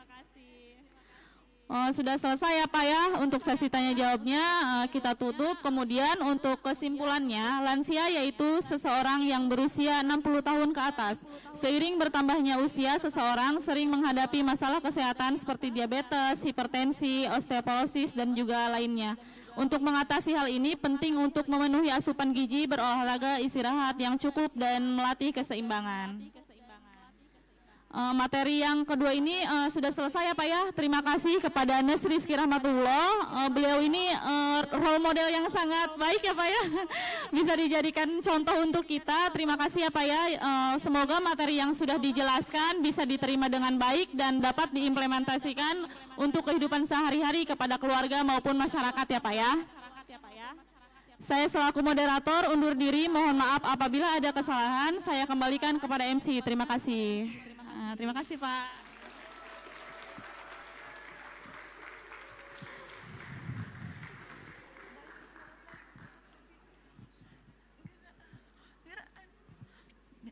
Wah, gimana nih semuanya setelah pemateri kedua kita? Seru banget. Ternyata Kak Mbay dari pemateri pertama sampai pemateri kedua dua-duanya sangat amat keren ya Kak Mbay ya. Betul sekali Kak Aca. Nah, tadi juga eh, ternyata banyak sekali ya cara untuk mencegah kesehatan fisik pada lansia. Tadi juga ada caranya itu olahraga aerobik, lalu kemudian latihan menguatkan otot, Ada latihan juga latihan fleksibilitas. keseimbangan, Betul sekali Kak. Aca. Iya, ternyata banyak ya Kak yang bisa Betul. dilakukan. Oke. Kalau biar lebih seru gimana kalau kita jargon lagi nih Kak Aca nih? Iya, soalnya udah pada lemes nih kelihatannya. Betul. Gimana Iya. masih ingat dengan jargonnya? Oke, langsung Oke. saja. Kalau misalkan kita bilang seminar keperawatan nasional, jawabannya Happy Theory, we are kurang kompak nih Kak Aca nih, Ya, kurang kita kompak coba kita lagi. sekali lagi ya. Oke. Seminar Keperawatan Nasional, Happy Learning, Happy Theory, we are happy. Masih Gini, semangat masih Kak Aca semangat ya. Ternyata nih Kak Mbay. Betul. Biar tambah semangat. Gimana nih kalau misalkan kita langsung main door prize aja? Setuju banget Kak Aca. Setuju nih bagi-bagi door prize? Gimana nih Kak Aca caranya agar mendapatkan door prize-nya nih? Ah mudah sekali nih Kak Mbak ini. Sekarang di sini teman-teman semua bisa diraba-raba nih. Kursi, di bawah kursinya, di bawah bangkunya bisa sambil diraba-raba. Kalau semisalkan ada di antara teman-teman semua yang mendapatkan kertas bertuliskan selamat, Boleh maju boleh ke maju depan. ke depan. Ada yang dapat? Sudah ada yang mendapatkan? Coba Sudah ada yang dapat? Coba ayo kita turun di kambai. Boleh, boleh, boleh, boleh, boleh. Mana? Ada nggak nih? Sudah ada yang dapat? Ada nggak nih? Ah sibuk. Sudah ada? Kayaknya sudah ada yang dapat nih Kak Aca nih, satu orang nih. Boleh silakan maju ke depan. Ada ini boleh ke depan. Boleh ke depan. Maju maju.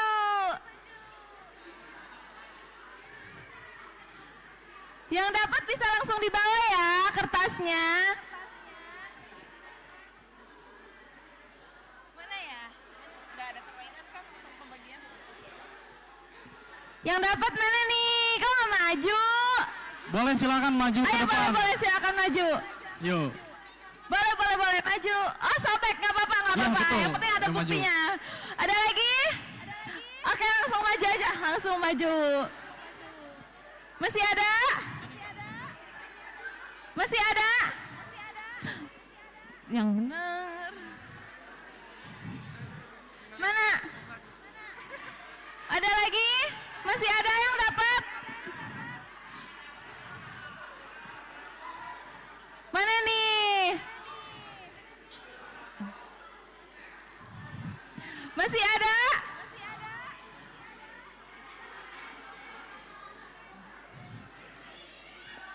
Kita baru mendapatkan dua pemenang nih. Baru dua orang nih. Ada satu Kita orang lagi tuh, kaca tuh. loh.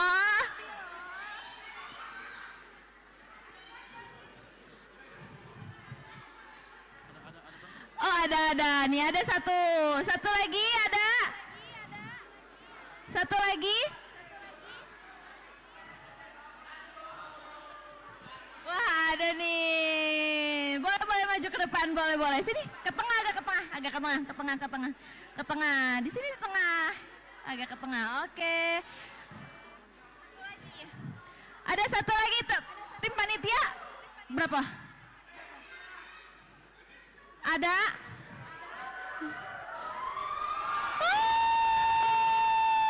Maju ke depan boleh maju ke depan. Sini boleh maju langsung ke depan. Wah kita udah dapat nih kambai maju dulu ke tengah ke tengah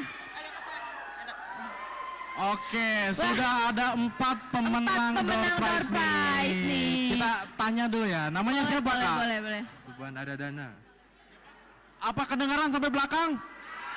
Kurang kencang. Subhan ada dana. Dari tingkat 2A. Beri tepuk tangan dulu untuk Subhan dari tingkat dua. Oke. Mungkin yang ujung sana dari namanya siapa? Oh, dari sini dulu boleh. Di sini namanya siapa nih? Randita. Randita. Dari tingkat 1 B oh dari tingkat 1 B dari tingkat 1 B nih kalau ini namanya siapa nih? Siti Amelia. 1A 1A mana nih 1A oke Satu lagi. siapa ini Nama saya Aditya dari tingkat 2B. Tingkat 2B masalahnya oke. Rame ya tingkat rame 2B juga ya. rame-rame nih. Kita langsung saja ya ke pembagian hadiahnya nih gimana? Biar nggak menunggu lama-lama nih. Kepada Bapak Rodi diperkenan untuk memberikan hadiahnya. maju sini dulu iya langsung saja bapak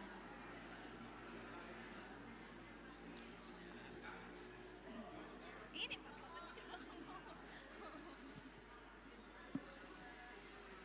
oke Nih, maju maju maju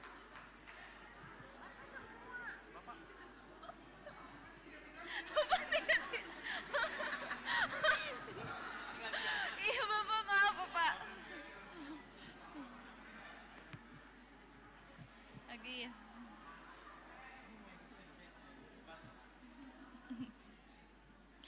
Satu lagi pak. Kita foto bersama dulu ya pak. Bapak foto bersama dulu deh, Pak.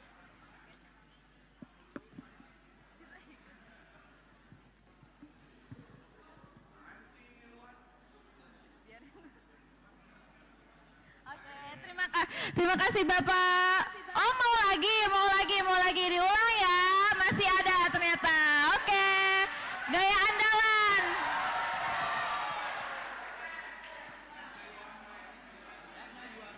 Oke. Oke, terima kasih Bapak. Selamat ya kepada para pemenang nih. Boleh langsung balik lagi ke tempat. Waduh, Kak Aca nih, ternyata nggak kerasa kita sudah tengah hari nih menjalani acara ini. Pantesan Iya. dari tadi di belakang tuh perut aku udah mulai keloncongan nih Kak Aca nih. Bisa lihat teman-teman juga ternyata udah ada nih muka-mukanya yang Muka-mukanya muka. kayaknya udah lapar. cacingnya udah mulai demo nih Oh iya betul betul sekali Kang Bay. Nah sekarang kita akan memberikan waktu untuk istirahat sholat makan. Untuk eh, peserta yang ada di sini boleh mengambil eh, makannya di, meja belakang. belakang. Tadi sudah diberikan eh, nomor undian serta voucher itu untuk sekalian voucher makan. Lalu untuk pengambilannya bisa dimulai dari kursi belakang, di- dari kursi belakang. Untuk peserta yang berada di Zoom juga silahkan untuk beristirahat kembali. Nanti eh, kita akan bergabung di sini di jam 1 siang. Nah untuk teman-teman juga yang ingin melaksanakan sholat, boleh eh, tempat sholatnya di area kampus. Nanti akan diarahkan oleh panitia. Dan untuk yang ingin makan siang, boleh nanti makannya di sini karena kita akan ditemani oleh Eartons nih teman-teman. Kita bisa sambil makan siang, mendengar sambil mendengarkan musiknya. Langsung di sini ada bandnya nih langsung. sekali. Oke kalau begitu selamat istirahat teman-teman. Sampai berjumpa kembali di siang hari. Sangat sekali Kak Aca ya. Iya betul. Gimana teman-teman masih semangat untuk mendengar- mendengarkan pemateri terakhir kita? Kurang Oke. semangat nih Kambai. Betul. Gimana kalau kita jargon dulu? Boleh banget Kak Aca ya. Boleh banget nih. Kita jargon dulu Masih ya. ingat kan jargonnya gimana? Oke, langsung saja. Kita langsung saja nih ya. Seminar Seminar Keperawatan Nasional. Happy learning, happy theory, we are happy. Luar biasa sekali Kak ya. Oke, nih Kambai.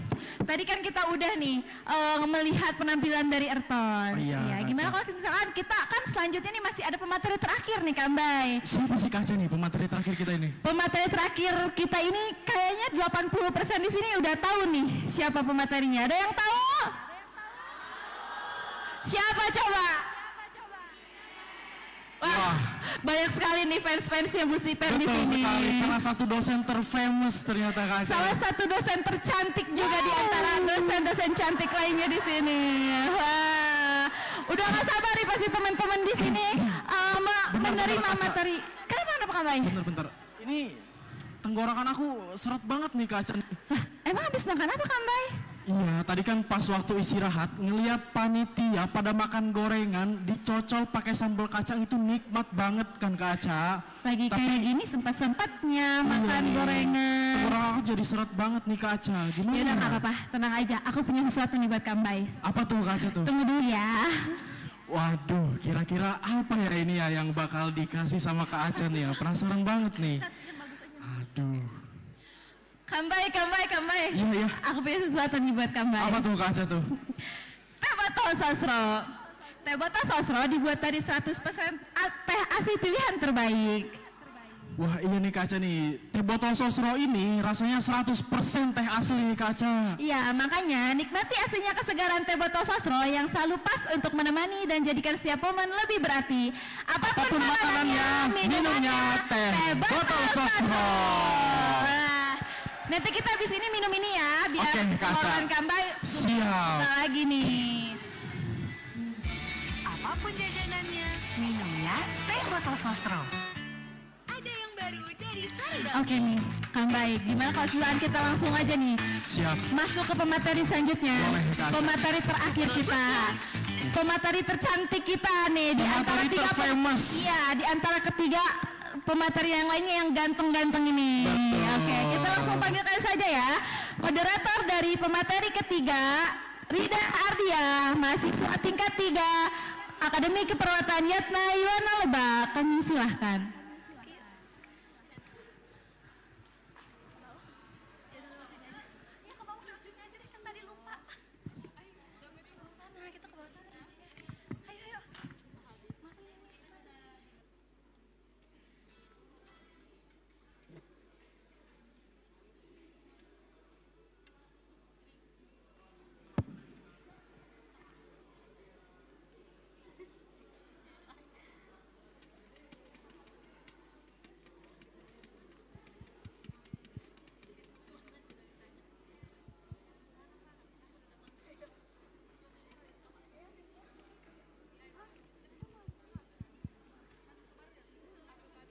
Asal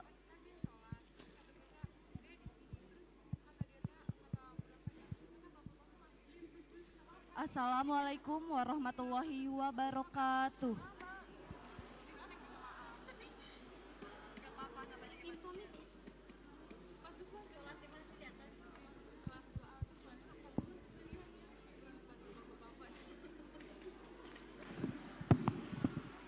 Oke. Assalamualaikum warahmatullahi wabarakatuh.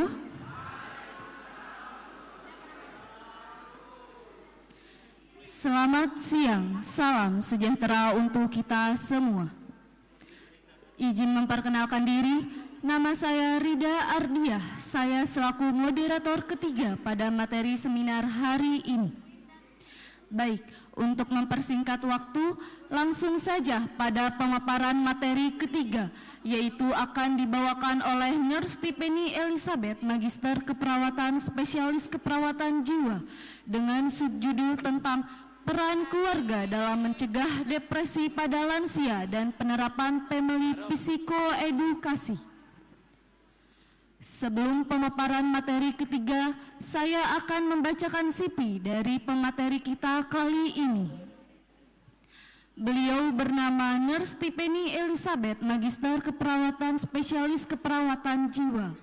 Lahir di Sukabumi pada tanggal 20 Maret 1994 riwayat pendidikan Akademi Keperawatan Yatna Yuwana Lebak, Universitas Santo Borromeus, dan Universitas Indonesia. Pengalaman bekerja, beliau ialah tenaga pengajar di Akademi Keperawatan Yatna Yuwana Lebak tahun 2018 hingga saat ini. Dan mengikuti organisasi Persatuan Perawat Nasional Indonesia tahun 2015 hingga saat ini. Dan Ikatan Perawat Kesehatan Jiwa Indonesia tahun 2021 hingga saat ini. Itulah sekilas CV dari pemateri kita. Baik, langsung saja kita simak pemaparan materi dari Nurse Tiffany Elizabeth, Magister Keperawatan Spesialis Keperawatan Jiwa. Kepada Nurse Tiffany Elizabeth, waktu dan tempat dipersilahkan.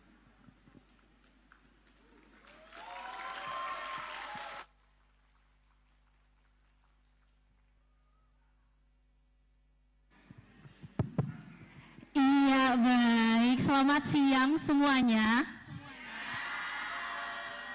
Uh, beda ya wajahnya karena udah makan siang ya. Iya. Oke, okay. uh, kalau tadi panitia punya jargon, jargonnya tadi apa? Happy learning, happy, we are happy. Saya nggak mau kalah. Jadi semuanya ngikutin ya. Saya punya jargon. Lihat lihat saya dulu nanti kita bareng-bareng bersama-sama ya. Oke. Uh, apa kabar? Ketika saya menanyakan apa kabar, berarti jawabannya sehat jiwa, sehat raga, semangat, semangat, semangat. Bisa? Oke. Keren, mantap. Oke. Satu, dua, tiga. Apa kabar? Sehat jiwa, sehat raga, Mantep, keren banget tepuk tangan.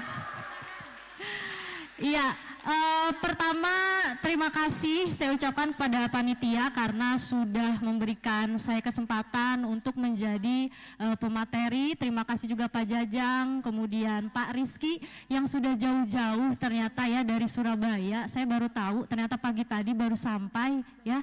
Kemudian terima kasih juga kepada tamu undangan dari Rumah Sakit Aji Darmo, Rumah Sakit Misi Lebak, Rumah Sakit Kartini, Puskesmas Rangkas Bitung, Puskesmas Cipanas, kemudian Puskesmas Pajagan dan Kalang Anyar. Dan tamu-tamu VIP yang tidak bisa saya sebutkan satu persatu. Terima kasih sekali lagi. Ya, uh, Bapak Ibu, adapun hari ini kita sedang mengisi atau melaksanakan acara seminar keperawatan jiwa. Adapun ini sebagai syarat sebenarnya. Syarat di mana mahasiswa tingkat tiga ini harus melaksanakan seminar ini di akhir pembelajarannya. Jadi sebelum yudisium mereka ditantang, bisa nggak nih sebagai perawat mengadakan seminar keperawatan jiwa gitu kan ya. Nah uh, saya rasa ini merupakan institusi pendidikan pertama yang berada di Lebak ya kalau tidak salah belum ada yang uh, sampai ke Kemenkes kemudian dari mahasiswanya sendiri begitu. Mungkin kalau perawatnya banyak tapi kalau mahasiswa rasa-rasanya kita yang pertama. Tepuk tangan dulu untuk kita semua terkhusus sebenarnya sebenarnya ini yang punya hajat itu bukan semata-mata dari uh, kami akper dan bekerja sama dengan emergency medical training ya. Yang punya hajat sebenarnya tingkat tiga ya. Yang pakai baju PDH itu yang warna merah-merah nah mereka lah yang bisa tercapai sehingga terlaksananya dengan baik. Keren gak? keren ya? Oke okay, good Baiklah, uh, mari kita lanjut Bu Tiffany ya. Uh, hari ini saya akan sharing apa sih kalau tadi Pak Jajang tentang kebijakan, kemudian bagaimana program-program di puskesmas, pemerintah, kemudian disambut oleh Pak Iki tentang fisik. Nah saya hal yang menarik juga yaitu tentang kesehatan mentalnya ya. Udah tidak asing ya, apa sih kesehatan mental? Tetot. Oke, nanti saya jelaskan ya. Ya, uh, peran keluarga dalam mencegah depresi pada lansia dan penerapan family psikoedukasi. Ada yang pernah dengar apa itu FPE atau family psikoedukasi? Belum ya? Ya, nanti kita akan bahas di slide akhir setelah uh, saya jelaskan dari awal terlebih dahulu. Next. Tadi sudah perkenalan, boleh di Nah, jawab dulu pertanyaannya. Apa itu kesehatan mental? Apa itu kesehatan mental? Ada yang tahu? Angkat tangan. Belum ada yang tahu? Iya? Kesehatan fisik berbeda, ya, berbeda. Tapi tidak apa-apa. Tidak apa-apa sudah tepat untuk datang ke seminar ini supaya tahu apa sih bedanya kesehatan fisik dan kesehatan mental. Apa yang membuat uh, keduanya itu sangat-sangat berbeda gitu ya. Nah, siapa kira-kira yang beresiko terkena kesehatan mental ya? Next. Ya, mari kita lihat dulu di sini Ibu Bapak di kanan kiri layarnya besar ya Kondisi kesehatan mental merupakan kondisi kesehatan mental yang memungkinkan orang bisa mengatasi tekanan hidup atau stresor ya. Stresor itu yang nanti akan mengakibatkan yang namanya stres gitu ya. Nah, menyadari kemampuan mereka, belajar dan bekerja dengan baik, serta berkontribusi pada komunitas mereka masing-masing di lingkungan. Kemudian kesehatan mental ini merupakan komponen yang integral. Jadi maksudnya di sini adalah tidak ada kesehatan yang utuh kalau tidak dibarengi dengan kesehatan mental gitu. Tapi Bu, bagaimana kalau semisal setiap orang itu pasti ada stresor ya? Stresor gitu kan. Ada nanti yang namanya kecemasan ringan, sedang, berat, sampai mengakibatkan depresi. Kira-kira normal tidak sih seseorang itu mengalami kecemasan? Normal. Mengapa normal? Karena setiap kita hidup selama bernafas selalu ada stres, stresor gitu ya. Kecemasan ringan itu terjadi dengan sangat wajar ketika seseorang mengalami masalah hidup. Mereka akan lebih fokus ya. Nah, yang perlu diwaspadai adalah kecemasan sedang hingga berat. Itu butuh untuk penanganan medis. Jangan di, uh, diagnosa early atau early diagnosa kayaknya saya burn out deh gitu kan. Kayaknya saya ansietas deh gitu ya. Atau bahkan kayaknya udah seminggu suasana hatinya sedih terus depresi deh ini. Wah bahaya. Jangan early diagnosis begitu ya.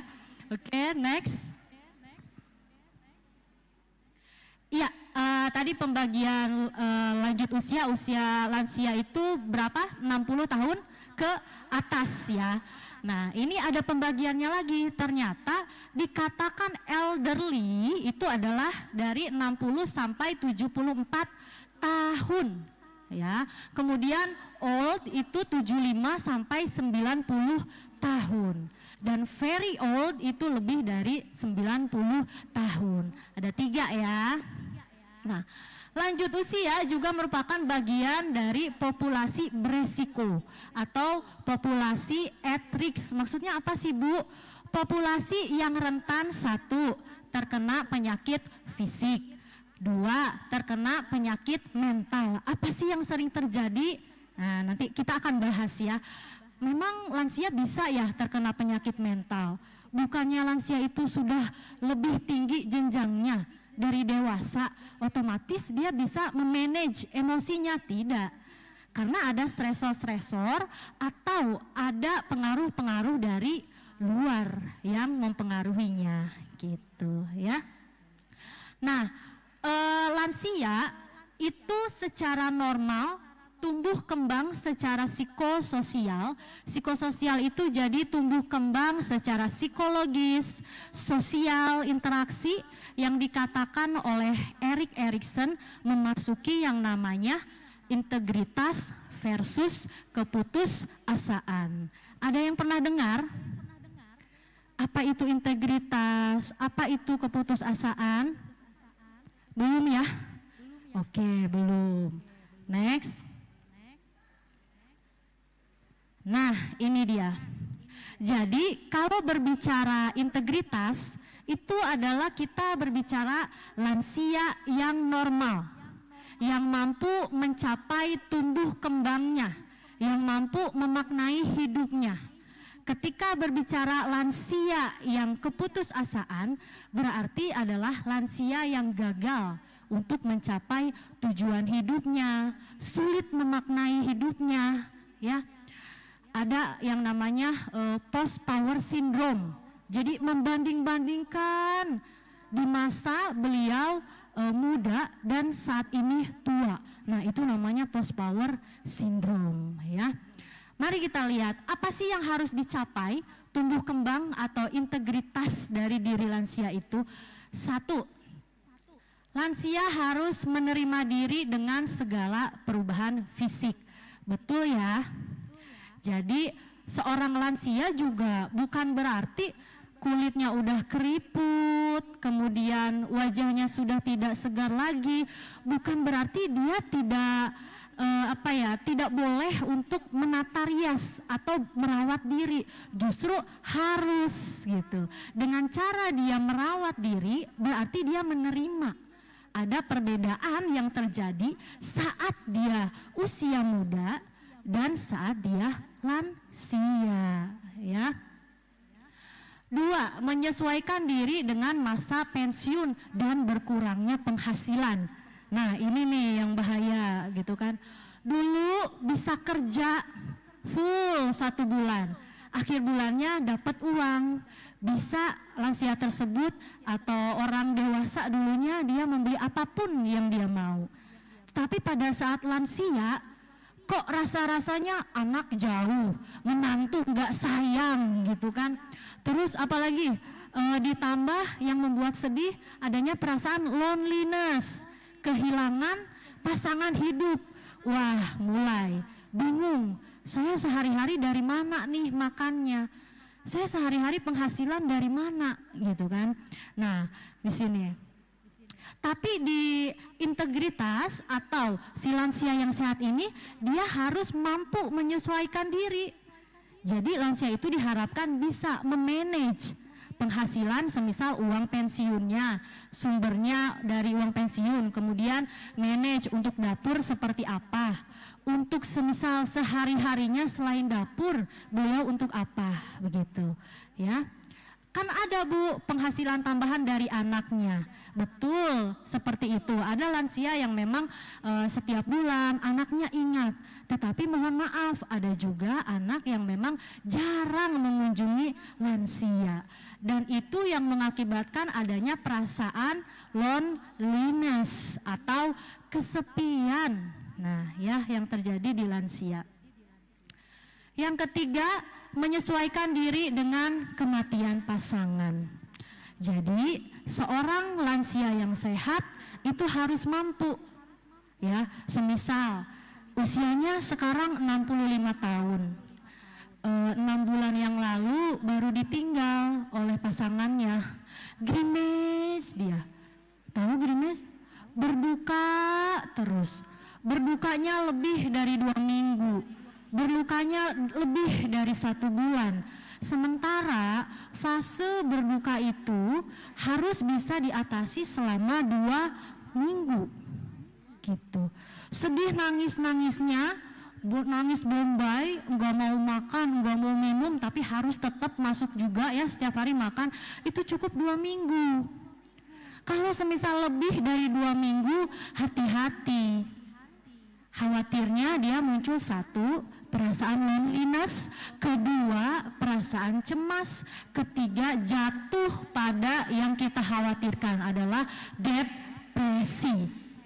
Nggak cukup di depresi, ternyata e, menantu, anak-anak, cucunya juga nggak ada yang merhatikan. Apa? RBD, rencana bunuh diri. Itu yang ditakutkan puncak dari kesehatan mental yang paling beresiko bukan uh, bukan halusinasi saja, bukan dari depresi saja, tetapi adalah kehilangan nyawa atau resiko bunuh diri. Orang halusinasi, apa sih yang paling ditakutkan kalau dia sendiri? Tiba-tiba muncul halusinasi dengarnya. Ayo, ayo loncat aja dari gedung, loncat dari gedung bunuh diri. Itu yang paling ditakutkan.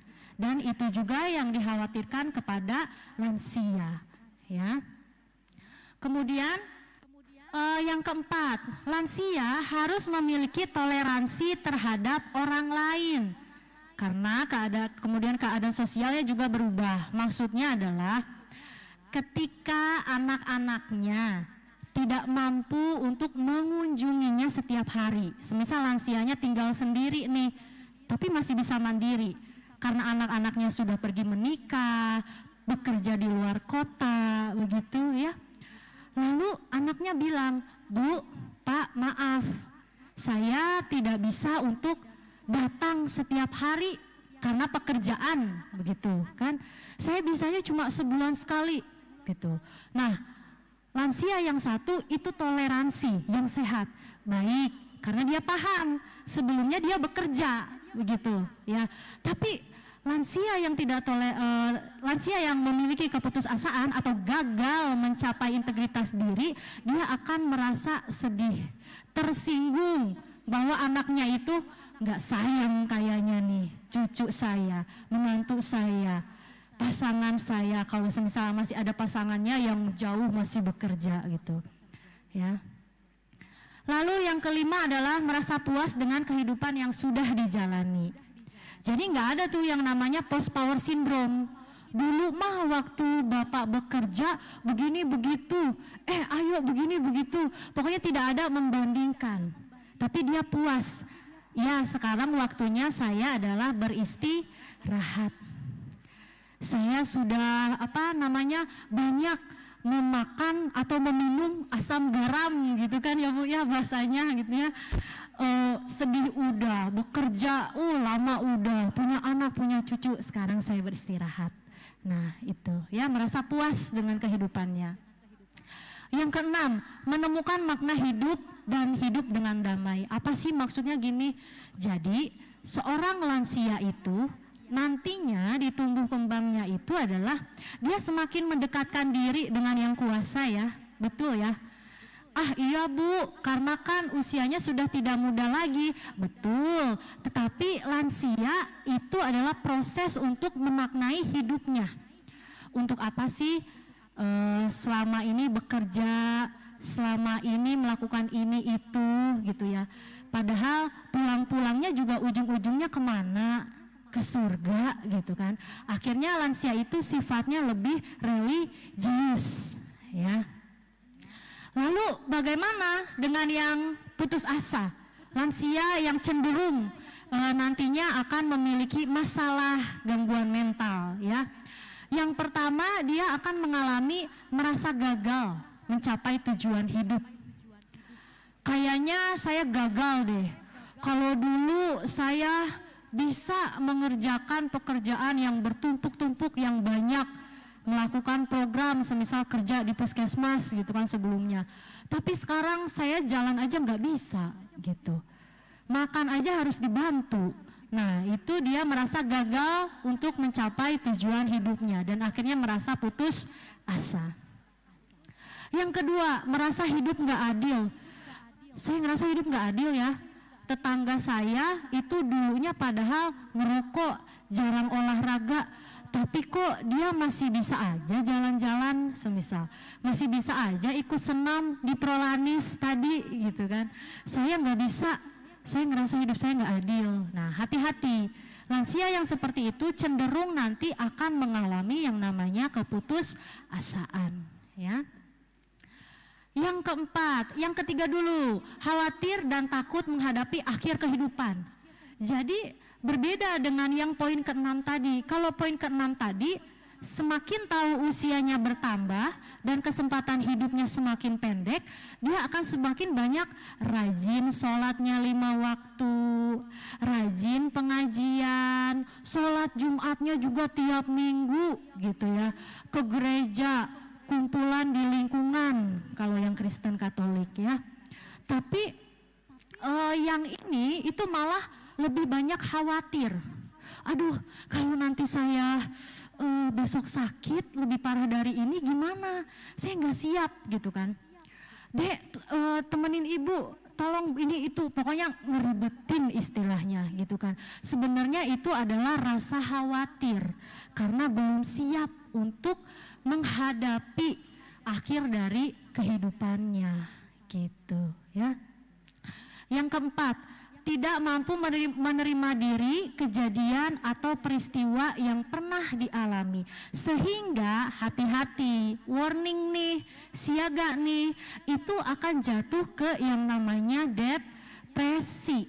Sebelum depresi biasanya mereka mengalami yang namanya loneliness tadi kesepian ya oke okay, next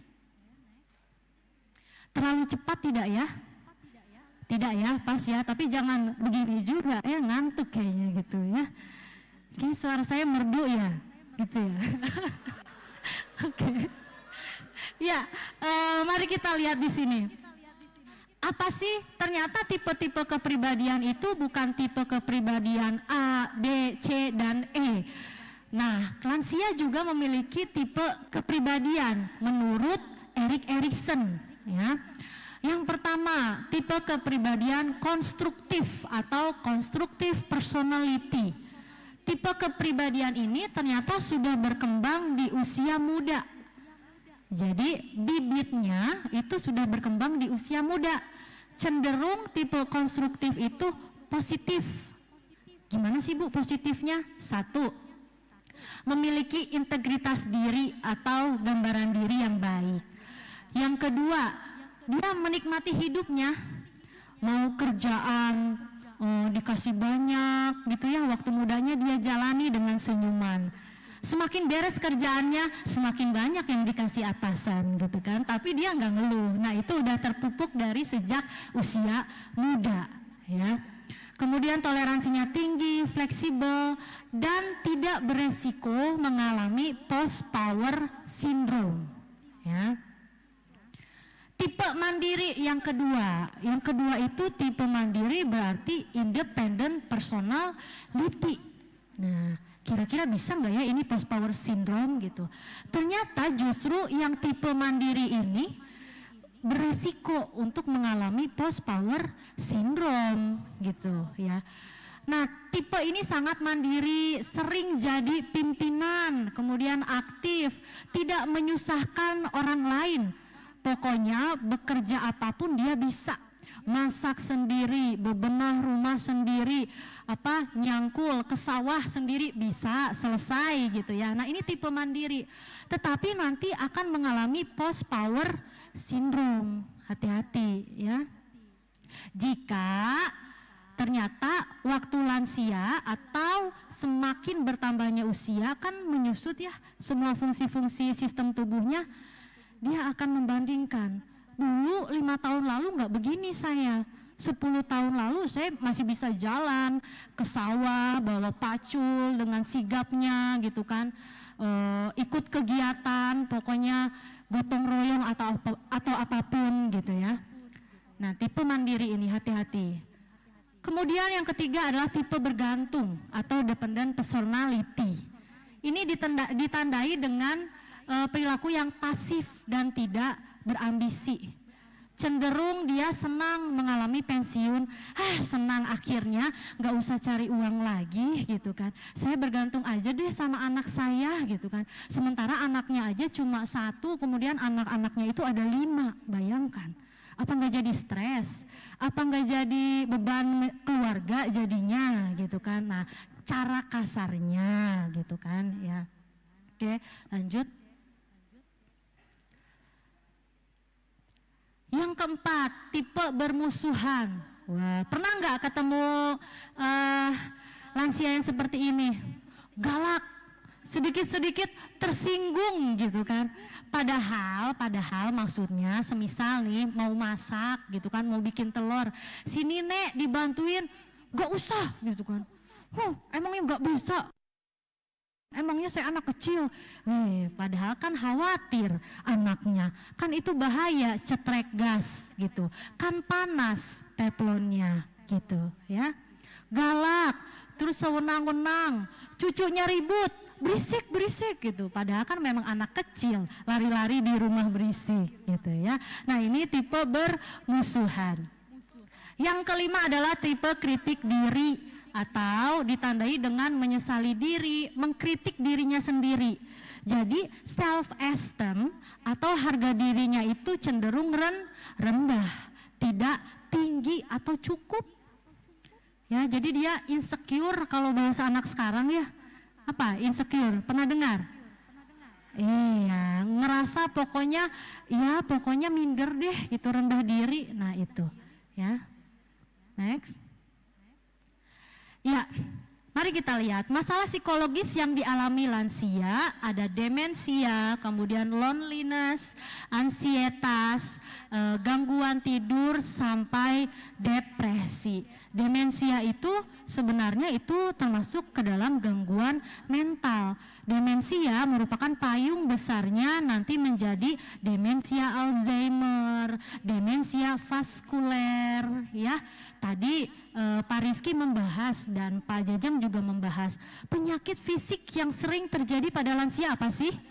Hipertensi, DM gitu kan ya. Nah, stroke gitu kan, hati-hati. Stroke itu kan penyakit vaskuler, penyumbatan darah juga.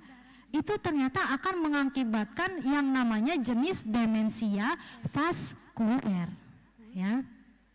Nah, berikutnya loneliness ini yang sering terjadi, yaitu perasaan kesepian uh, yang merupakan respons psikologis yang negatif terhadap ketidaksesuaian antara hubungan sosial yang diharapkan dan sebenarnya terjadi. Contoh, lansia ini uh, tinggal hidup sendiri, pasangannya sudah meninggal dunia satu tahun lalu dia ingin anak-anaknya itu selalu dengan dirinya sendiri gitu. Tetapi gak bisa karena anak-anaknya sudah memiliki keluarga sendiri-sendiri. Akhirnya dia mungkin akan mentoleransi satu, dua, tiga kali. Tetapi di balik itu semua mulai pikiran dan perasaannya bergejolak. Tidak menentu, mulai muncul perasaan kesepian. Harapannya apa sih? Anaknya menemani terus di rumah, tapi kan tidak bisa. Anaknya harus bekerja, harus nganterin uh, cucu juga, semisal cucunya lansia tersebut ke sekolah, tidak bisa gitu ya. Ada perbedaan antara harapan dan kejadian secara nyata atau sosial itu adalah loneliness ya. Nah, loneliness ini bisa terjadi tadi saya sudah berikan contoh banyak ya, berkaitan dengan kurangnya partisipasi keluarga yang sudah hidup terpisah dan mulai berkurangnya kemandirian dan ada ketergantungan kepada anggota keluarga. Ya. Terdapat banyak uh, usia yang hidup sendiri, lansia yang hidup sendiri beberapa mengalami kesepian atau terisolasi. Di sini Bapak Ibu bisa lihat. Di Indonesia itu ternyata 7,10 persen lansia itu hidup sendirian dan cenderung mengalami kesepian tadi. Ya, cukup banyak ya kalau tadi menyimak dari awal pemateri pertama, kedua, berapa sih angka lansia dan akan terus berkembang sampai 2050 gitu kan. Nah, ternyata di Indonesia itu 7,10 hidup sendirian dan beresiko atau mengalami loneliness sampai dengan depresi ya. Oke, lanjut. Iya, masuk kita ke masalah yang digadang-gadang depresi gitu ya. Depresi ini jadi ujung dari kecemasan, kesepian lalu jatuh ke depresi.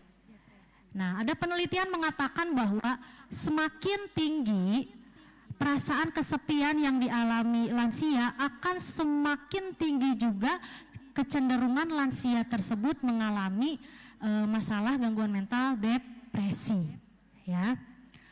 Kemudian depresi sendiri ada yang sudah pernah dengar depresi tadi belum ya? Mahasiswa tingkat tiga harusnya sudah dengar karena sudah praktik ke RSJMM ya, kemudian ke apa masyarakat dengan sasaran psikososial. Ya, depresi adalah gangguan alam perasaan atau mood yang berkepanjangan. Tapi Bu, saya sering kali bahasa anak sekarang itu adalah mood swing. Jadi sehari bisa happy, sehari kemudian dia sedih terus gitu ya. Itu termasuk depresi enggak Bu? Ingat, jangan early diagnosis. Depresi yang dimaksud di sini adalah gangguan mood yang sangat berkepanjangan itu sampai tidak bisa melakukan aktivitas. Contoh apa sih Bu? Biasa nih semisal e, bisa mengerjakan tugas, sini banyak mahasiswa e, mengerjakan tugas dua makalah itu bisa dikerjakan dalam seminggu. Tapi karena adanya gangguanmu tadi bisa-bisa itu satu makalah saja tidak bisa terkerjakan. Begitupun dengan lansia. Cuci piring aja bisa kan sebenarnya kalau lansia lututnya aman tadi tangannya juga tidak fraktur gitu ya. Bisa dia cuci piring sendiri gitu ya. Tapi lansia dengan depresi itu waktu dikunjungi sama anaknya nek kok di wastafel banyak banget ini piring kotor sampai berjamur atau bau busuk? gitu ya. Terus pas dilihat sama anaknya, kok diam terus di kamar, kok bau ini, bau pipis atau semisal BAB e, di tempat tidur. Nah, hati-hati. Berarti itu tanda-tanda dari depresi. Kenapa? Karena tidak bisa atau malas melakukan kegiatan yang biasanya bisa dilakukan sendiri. Kegiatan yang sangat mudah gitu ya. Oke, lanjut. Prevalensi depresi lansia. Jadi, sebenarnya depresi itu bisa terjadi di semua kalangan usia. Ya, pertama kali depresi bisa muncul itu di usia remaja. Lihat di sini, itu 15 sampai 24 tahun mencapai 6,2 persen prevalensi depresi di Indonesia remaja. Jadi awal mulanya ada dulu di situ, tapi e, tidak dihiraukan. Ya pokoknya mood swing aja deh gitu ya. Nah, e, menurut WHO depresi lansia itu ada 14 persen di dunia. Besar ya, besar banget. Tadi eh, teman-teman menjawab lansia yang terbanyak itu di mana sih? Di Jepang gitu ya. Nah, lalu usia 55 tah 55 sampai dengan 64 tahun itu memegang 6 persen, usia 65 sampai 74 tahun itu 8 persen dan tertinggi ternyata mencapai usia 75 tahun yaitu sebesar 8,9 persen. Tinggi banget ya. Oke lanjut. Dah? Ya ini adalah faktor-faktor penyebab depresi dari lansia. Satu jelas ya ada perubahan usia. Kemudian yang kedua ada perpisahan atau perceraian atau ditinggalkan oleh pasangannya. Ya perpisahan itu tadi ya. Lalu yang ketiga adalah penurunan fungsi kognitif. Fungsi kognitif yaitu fungsi pi pikirannya ya yang ketiga uh, yang keempat ada perubahan ekonomi ya next Lanjut lagi, penyebab depresi juga ada yang namanya motivasi dirinya rendah. Jadi karena sudah tidak bisa uh, bekerja lagi, dia bingung mau melakukan apa. Motivasi dirinya rendah, udahlah uh, bisa gini-gini aja, diam di rumah aja deh, males pengajian. Ibu-ibunya begini begitu. Padahal itu negatif thinking dari dirinya sendiri karena motivasinya rendah. Padahal teman-temannya sangat merangkul. Untuk ayo kita semakin banyak kegiatan biar siap menghadapi uh, panggilan. Begitu tuh panggilan bener ya. Panggilan siapa? Matikan dong panitia. Oke. okay. Uh, penyakit fisik yang berlangsung lama. Seringkali ada yang lansia itu sudah 10 tahun. Hipertensi 15 tahun. Penyakitnya DM nah itu bisa mengakibatkan depresi. Kenapa? Satu capek minum obat gini-gini aja nggak sembuh-sembuh tetap nggak ada perubahan gitu ya. Kurangnya dukungan sosial. Ya anak-anaknya tadi pada sibuk. Sibuk kerja sibuk berkegiatan segala rupa dan anggota keluarga yang memiliki gangguan mental. Jadi, bagi lansia yang ternyata genogramnya atau anggota keluarganya yang pernah atau memiliki penyakit gangguan mental itu sangat cenderung akan terkena depresi. Itu menjadi faktor apa? Faktor predisposisi Predisposisi adalah faktor yang terjadi yang dialami lebih dari jangka waktu berapa lama? 6 6 bulan. Dan di bagian komponen apa? Faktor biologis. Karena ada anggota keluarga yang mengalami gangguan mental gitu ya. Oke. Lanjut. Tanda dan gejala depresi ada dimensi fisik, dimensi emosi, kemudian ada dimensi sosial. Mari kita lihat di dimensi fisiknya. Lansia tersebut mulai mengalami gangguan tidur. Bu, ah yang namanya juga lansia gitu kan, suka kebangun itu Bu tengah malam tiba-tiba ke dapur, Nek lagi ngapain? Makan, ini kan udah subuh, sarapan semisal atau udah pagi gitu. Padahal belum, ini masih tengah malam.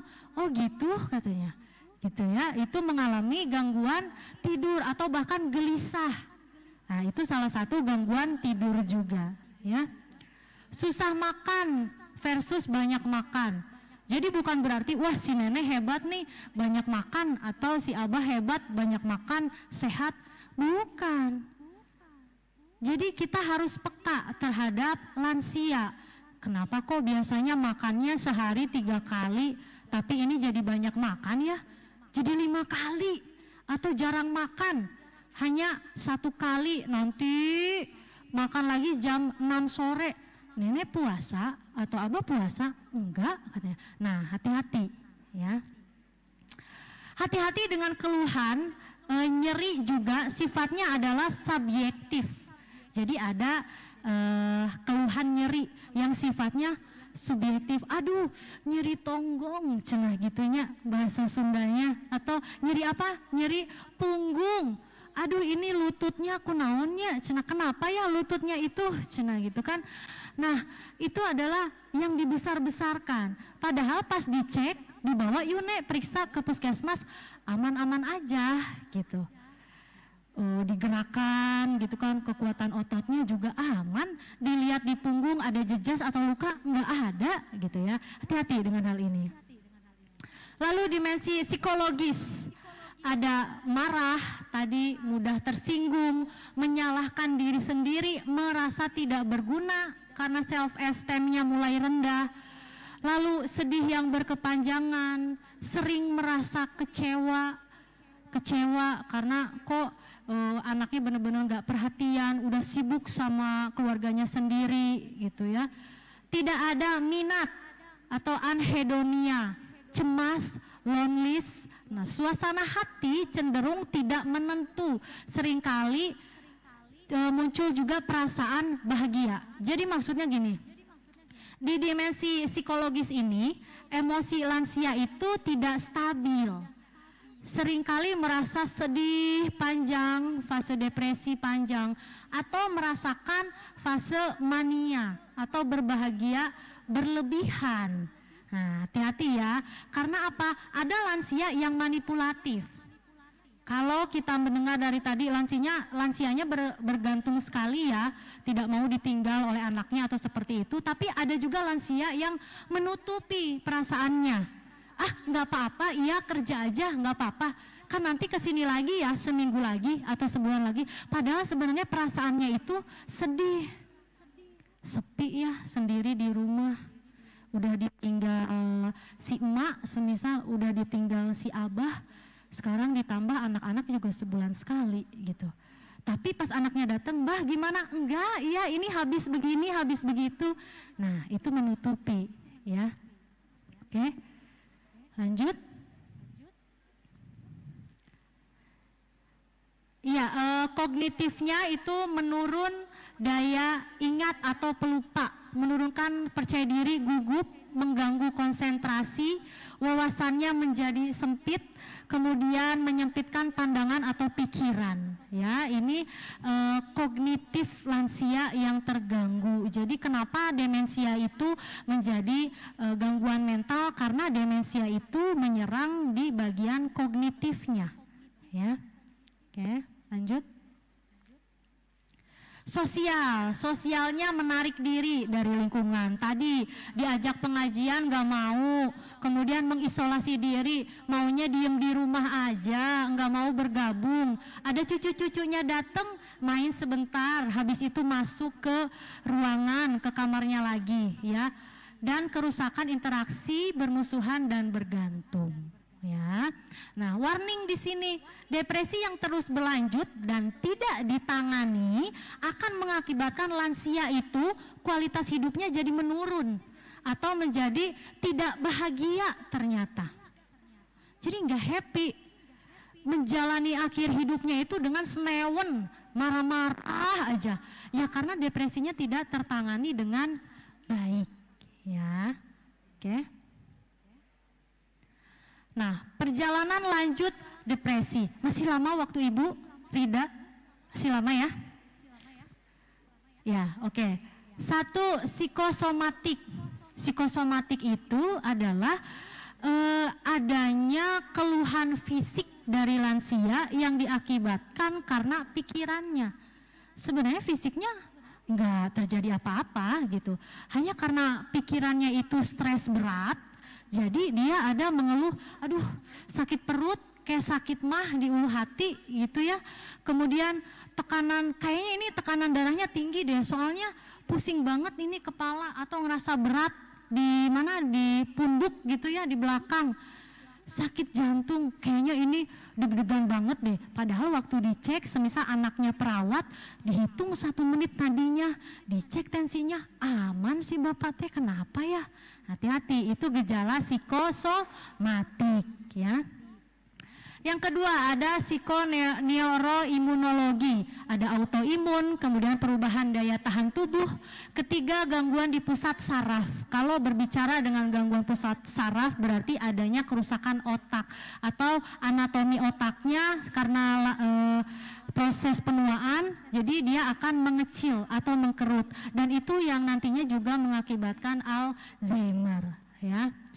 Yang keempat, gangguan emosi, penelantaran diri, tidak mau merawat diri, udahlah pakai baju teh sekena-kena nanu ayah di lemari aja, cina gitu ya. Pakai kaos, kaos, kemudian celana pendek warnanya beda lagi. Terus diajakin mau kegiatan di rumah Pak RT, kan nggak sopan gitu ya pan nanti e, anaknya juga nggak enak gitu ya. Nah itu adalah tipe yang e, lanjutan dari depresi penelantaran dirinya. Tidak berias gitu ya. Ini yang paling ditakuti tadi ibu menyinggung di awal. Dikhawatirkan lansia itu bunuh diri ya. Oke okay, next apa sih Bu upaya-upaya pencegahan depresi pada lansia itu? Yang pertama, komunikasi rutin dengan lansia. Jadi kalau kita orang muda, istilahnya orang dewasa, harus lebih banyak mendengarkan. Datang semisal uh, seorang perawat komunitas dari puskesmas, misal puskesmas Rangkas Bitung begitu ya, kunjungan kan ada ya Bu Lala, kunjungan e, lansia program geriatri gitu, itu kita datang screening semisal kesehatan e, jiwa atau kesehatan fisiknya, kita juga harus mau mendengarkan lansia. Jangan sebulan sekali, oh program itu senam lansia, tensi doang Padahal lansianya teneng, iya teh, abi teh nyeri dengkul, cina gitu. Ah ibu, ayo ibu itu yang lain belum ditensi, ayo ibu maju dulu. Nah enggak ya, tapi ada waktu untuk mendengarkan. Ya saya percaya pasti semuanya sudah melakukan ini gitu ya, karena lansia butuh sebenarnya untuk didengarkan. Yang kedua istirahat yang cukup pastikan, upayakan bahwa lansia tersebut memiliki waktu istirahat yang cukup.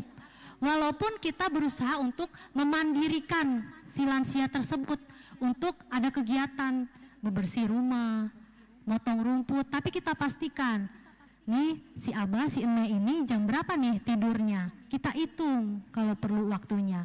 Begitupun perawat selalu menanyakan waktu tidurnya meremnya jam berapa bah? Habis maghrib atau setelah isya atau bagaimana? Bangunnya lagi sebelum subuh atau setelah subuh? Nah harus dikaji betul-betul ya.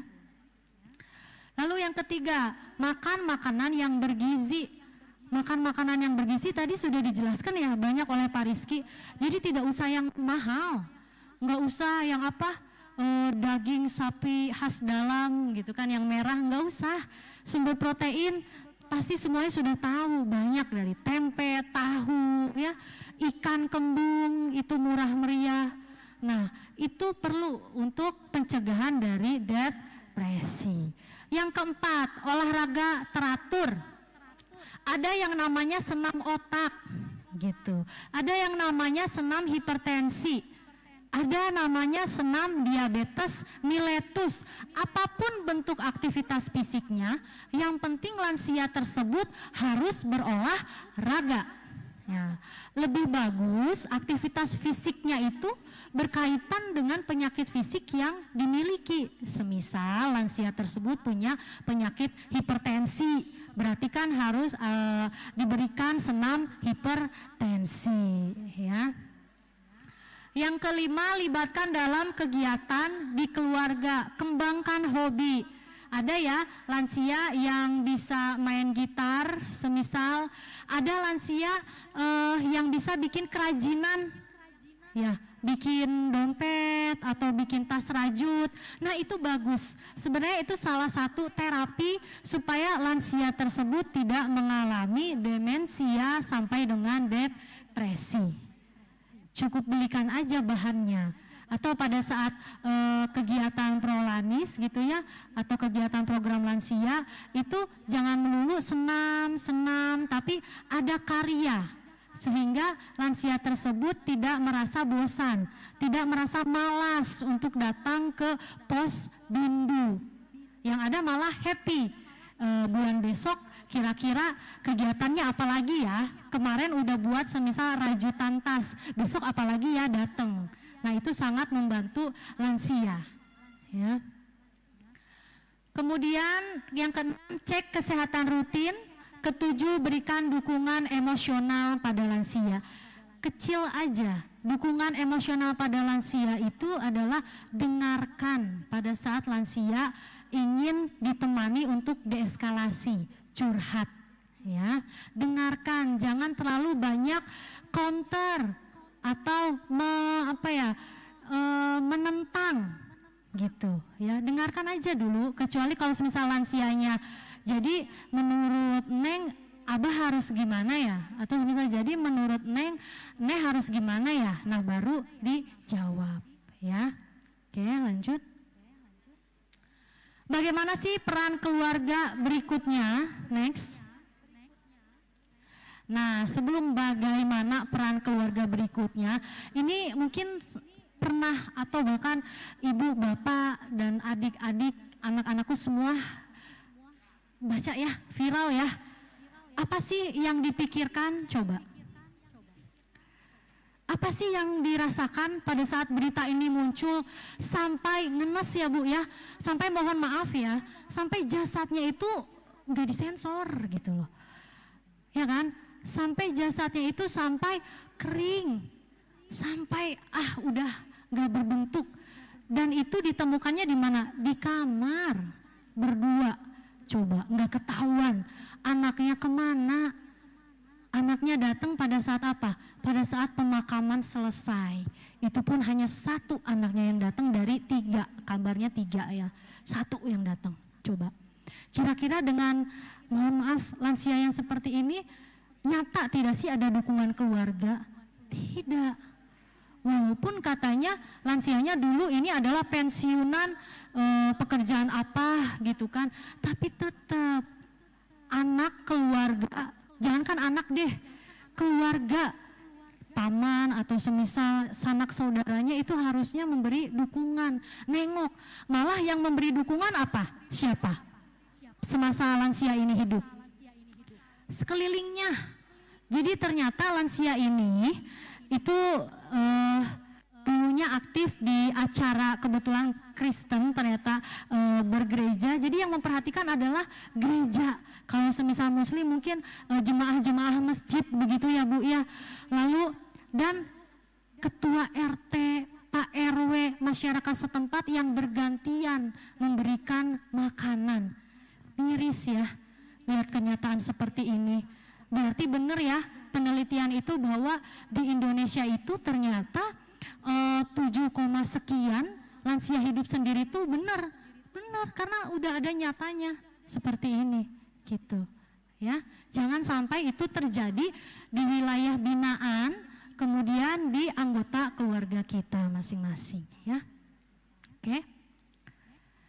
next ya uh, yang bisa dilakukan oleh keluarga itu adalah manajemen stres. Manajemen stres yang pertama ada validasi, kemudian ventilasi, regulasi dan konsultasi. Kita lihat yang pertama. Lanjut. Yang pertama validasi. Jadi sudah tidak asing lagi ya. E, kata validasi itu berarti memastikan karena kaitannya dengan mental, berarti memastikan apa yang dirasakan lansia. Yang merah kotak itu adalah perawat untuk perawat atau caregiver atau support system. Ya, validasi itu fokus pada keluhan pasien tanda dan gejala yang dialami pasien. Kita harus fokus jangan ke mana-mana dulu. Oke kita meriksa fisiknya tetapi kita melakukan screening kesehatan jiwanya. Kita fokus nih keluhannya apa. Tidak mengabaikan. Ah nih itu mah biasa. Kalau susah tidur mah namanya juga lansia. No tidak. Justru kita harus peduli di situ. Susah tidur mulai jarang keluar rumah nah, digali. Nanti ada alat ukurnya ada SRQ, kemudian uh, geri, geriatric depresi scale ada ya. Jangan cepat menghakimi, jangan cepat memberi masukan. Baru ngomong dua kalimat lansianya, terus udah dipotong sama perawatnya atau sama support sistemnya. Jangan ya, dengarkan dulu. Lalu untuk pasien, lansianya arahkan oleh kita. Apa sih yang dirasakan? Oke, ada yang nyata, valid, real dan dengarkan, jangan mengabaikan. Ini bagian di situ ya. Tapi si klien lansia ini harus uh, paham, harus bisa menyampaikan yang apa yang dirasakan ini, ya. Oke, lanjut. Kok kosong? Ya, uh, kita lihat manajemen stres ventilasi saja dulu yang perawat atau caregivernya ya menyediakan waktu untuk pasien. Jadi setelah kita validasi kita menyediakan waktu. Nggak cukup di hari itu tapi kita kontrak lagi kunjungan berikutnya. Ah maksudnya begitu ya. Memberikan pasien kepercayaan melakukan aktivitas kemudian saling terbuka apa yang dialami. Ini terkhusus untuk uh, keluarga dan pasien. Jadi terbuka keluarga itu mengalaminya bebannya apa sih selama merawat pasien, kemudian e, perawat juga apa sih kendalanya selama melakukan e, program lansia ini, kemudian yang dialami lansia itu apa sih kita harus sama-sama tahu di sini.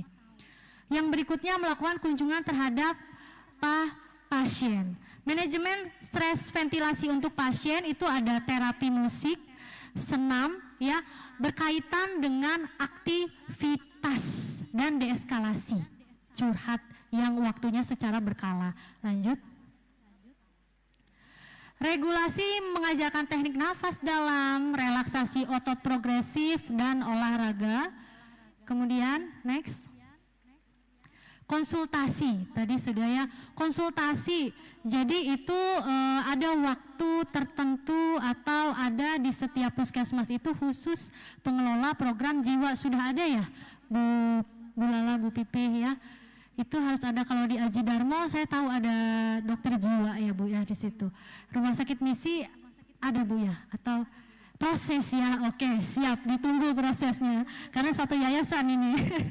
Oke next yang keempat, nah konsultasi itu ada screening uh, yang namanya self-reporting questionnaire. Jadi kalau semisal 20 pertanyaan ini ada tujuh jawaban ya, itu harus segera dirujuk ke pelayanan kesehatan jiwa atau ke psikologis, psikiater, atau ke perawat jiwa, spesialis jiwa. Karena nilainya sudah tujuh atau bahkan di atas tujuh.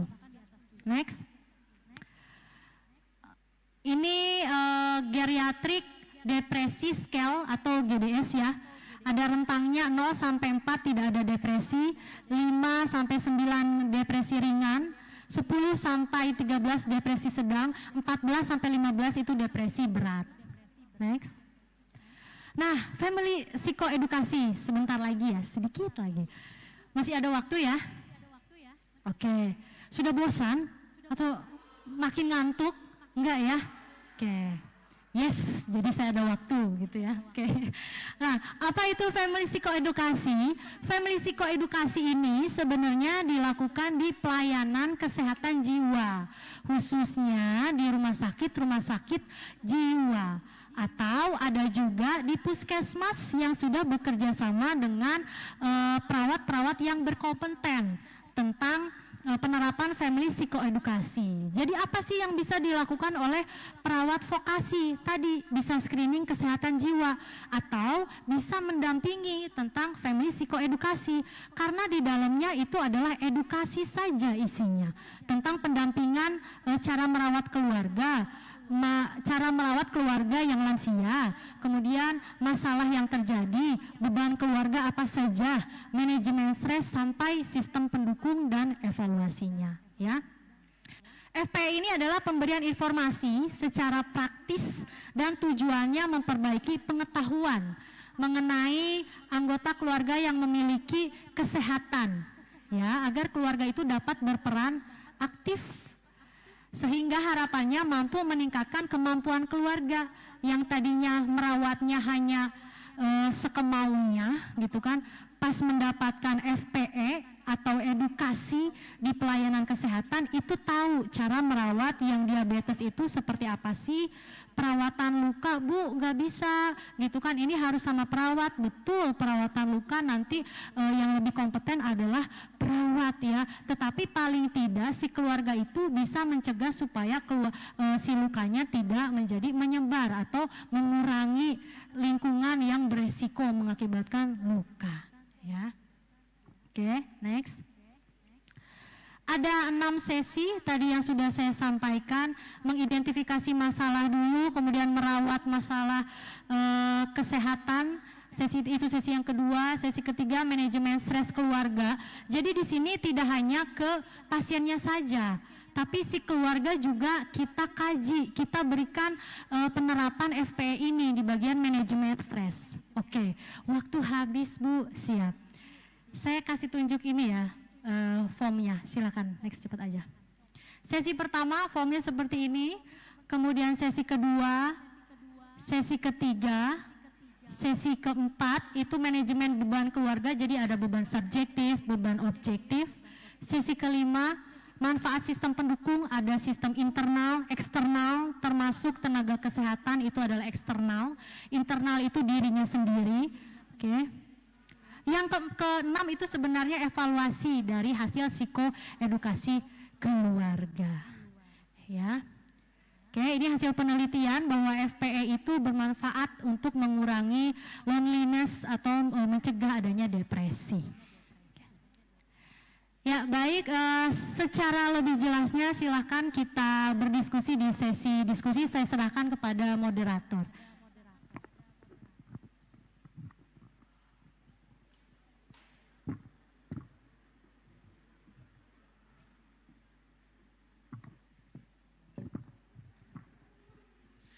Baik, terima kasih kepada Nurse Tiffany Elizabeth atas materi yang sangat luar biasa ini.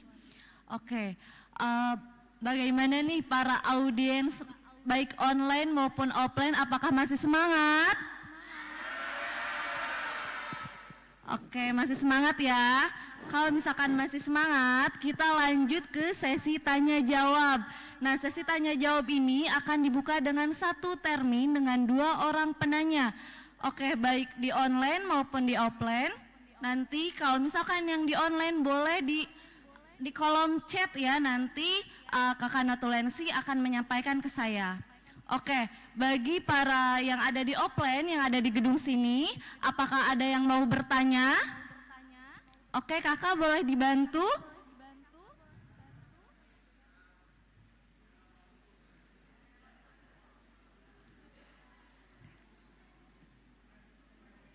baik Baik, boleh sebutkan namanya ya. Uh, izin memperkenalkan diri, nama saya Putri Amelia dari tingkat 2B. Izin ber Izin memperkenalkan diri, nama saya Putri Amelia dari tingkat 2B. Izin bertanya Ibu, bagaimana cara mengontrol lansia yang sudah terkena gangguan mental yang sulit untuk diatur? Jadi, strategi apa yang harus dilakukan pada lansia ini yang sulit diatur. Cukup jelas? Ya. Baik. Uh, terima kasih maaf, Ibu. Ya, baik. Terima kasih. Baik, Ibu mohon maaf apakah mau langsung dijawab? Saya izin langsung jawab ya. Pertanyaan bagus dari Putri ya. Gimana sih Bu uh, strateginya untuk lansia yang sulit diatur? Katanya kalau lansia itu seperti anak kecil lagi, bener nggak? Sulit banget diaturnya. Merasa dirinya yang paling tahu. Udah nenek yang paling tahu gitu kan. Nah strategi yang pertama adalah satu kuncinya sebagai kita yang masih sehat segar bugar sabar. Satu. Sabar. Mau tidak mau sabar. Strategi yang kedua adalah berbicara Ketika neneknya marah-marah atau susah diatur, berikan waktu dulu ventilasi, berikan waktu dulu. Setelahnya, setelah mulai reda, kelihat nih si neneknya diam di pojokan atau kakeknya diam di pojokan, kita mulai mendekat. Pada saat kita mendekat, satu, kosongkan pikiran kita. Maksudnya adalah jangan ada persepsi marah-marah lagi nih, nanti dideketin marah gitu kan, jangan. Tapi kita harus kosongkan dulu pikirannya. Ya bukan berarti kosong lalu oh, bukan minus ketawa gitu kan.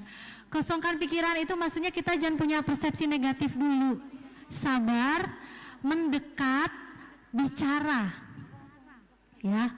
Dan kita ingatkan setelah berbicara tuh kan e, lansia tersebut tahu ya maunya seperti apa. Maunya nenek begini, maunya kamu seperti apa. Kita sampaikan komunikasi dua arah. Lalu kita buat komitmen, dicatat. Nah, dicatat gitu kan. Ya udah yuk sekalian kan terapi motoriknya dia kalau misal bisa nulis dicatat jam segini Nek harus ngapain jam segini Nek harus uh, berbuat apa gitu kan. Nah, itu harus ada komitmen. Setelahnya baru uh, kita biarkan atau mandirikan bisa nggak melakukan komitmen yang sudah kita sepakati. Tapi Bu, lansia itu kan demensia, ingatan jangka pendeknya uh, kacau, bener nggak? malah ingatan jangka panjangnya yang bagus kalau lansia gitu kan. Nah itu diulangi, diulangi, diulangi terus sampai lansianya ingat karena kan ingatan jangka pendek itu mungkin saja akan menjadi ingatan jangka panjang bukan mungkin kalau ternyata lansianya hidupnya lima tahun lagi nah itu jadi ingatan jangka panjang sehingga lansia akan ingat dan konsisten gitu ya Putri, apakah menjawab? Baik, sama-sama. Yang kedua ya, Mangga, moderator. Baik. Ada lagi yang ingin bertanya? Boleh dibantu, Kakak?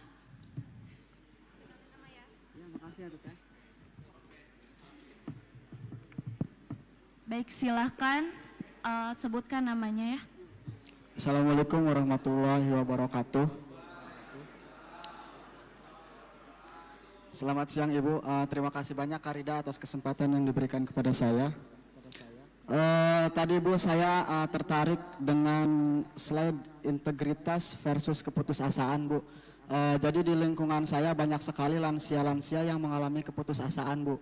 Seperti uh, contohnya ada ya Bu ya seorang nenek, uh, jadi itu anaknya teh nggak bekerja di rumah aja. Jadi dia ngerasa bahwa dirinya itu gagal menjadi orang tua bu. Terus uh, pertanyaannya, bagaimana uh, peran kita sebagai perawat untuk mengembalikan lansia itu yang mengalami keputusasaan? Uh, lalu jika lansia itu depresi, apakah akan mempengaruhi uh, pada kesehatan fisik lansia tersebut? Terima kasih banyak Ibu. Oke baik, saya langsung jawab ya, izin ya moderator. Baik, uh, terima kasih Asan. Asan tinggalnya di mana Asan? Tinggalnya di mana? Di Warung Gunung. Warung Gunung berarti puskesmas Warung Gunung ya? Iya ya, uh, ya. Iya puskesmas Warung Gunung. Puskesmas Warung Gunung ada sendiri ya. Iya. Bagaimana peran perawat yang pertama? Asan kan sekarang tingkat dua, betul ya. Nanti naik tingkat tiga. Kemudian nanti praktek di keperawatan keluarga. Walaupun Asan semisal prakteknya di wilayah PKM Rangkas Bitung, tetapi Asan kalau peduli dengan lansia tersebut yang ada di lingkungan Asan, coba Asan datangi puskesmasnya atau semisal ada kenalan atau Asan yang datang sendiri memperkenalkan diri. Asan sebagai apa? Asan sebagai orang sekitar yang peduli. Kalau ternyata Asan tahu nenek tersebut jarang dikunjungi dan bahkan tidak ada yang peduli gitu dan Asan juga gerakan apa? Ketua RT, ketua RW, kan kita sebagai peran perawat apa sih? Menjembatani, betul? Iya, gitu kan. Kita harus bisa membantu. Di situ Asan bisa bekerja sama dengan perawat setempat. Bagaimana sih kalau kita mengunjungi uh, kunjungan secara rutin? Oh, udah happy nih lansianya dikunjungi. Boleh nggak Bu minta nomor telepon keluarganya kita hubungin. Mulai kita dekati anggota keluarga gitu ya, Hasan. Terus satu lagi pertanyaannya apa tadi? Uh, uh, jika lansia itu depresi, Bu, hmm. apakah uh, depresi itu akan mempengaruhi pada kesehatan fisik lansia? Ya, uh, pernah mendengar kekuatan pikiran itu sangat berpengaruh, ya kan? Baik itu pada apa yang terjadi atau pada saat kita tidak uh, terselang penyakit tiba-tiba kita berpikir aduh kena ini takut ini takut itu bahkan terjadi. Dan itu jawaban ibu adalah sangat berpengaruh. Jadi uh, tidak bisa kita katakan bahwa penyakit fisik dulu yang terjadi baru gangguan mental. Bahkan bisa terjadi.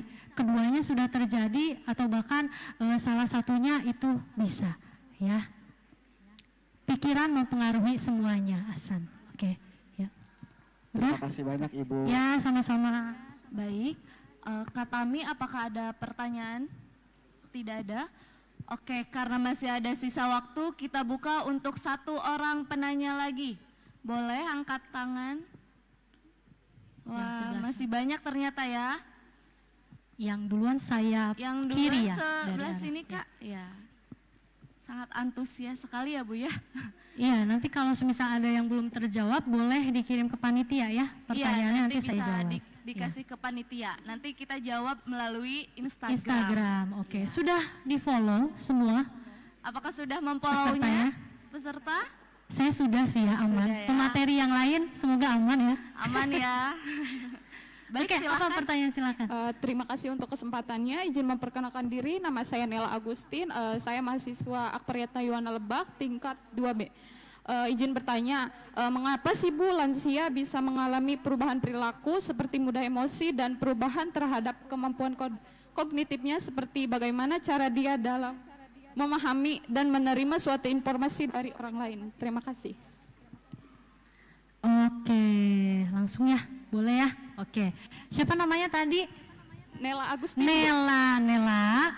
Uh, pertanyaan Nela tadi, kenapa lansia itu bisa uh, bisa mengalami perubahan mengalami, perilaku seperti mudah emosi dan perubahan terhadap kemampuan kognitifnya seperti uh, dia nggak bisa menerima uh, suatu informasi atau masukan dari orang sekitarnya. Oke, satu seorang yang berusia 60 tahun ke atas itu pasti mengalami aging, penuaan. Penuaan itu semua sistem juga menurun. Ya, ada yang namanya di otak itu sistem limbik. Ya, khas.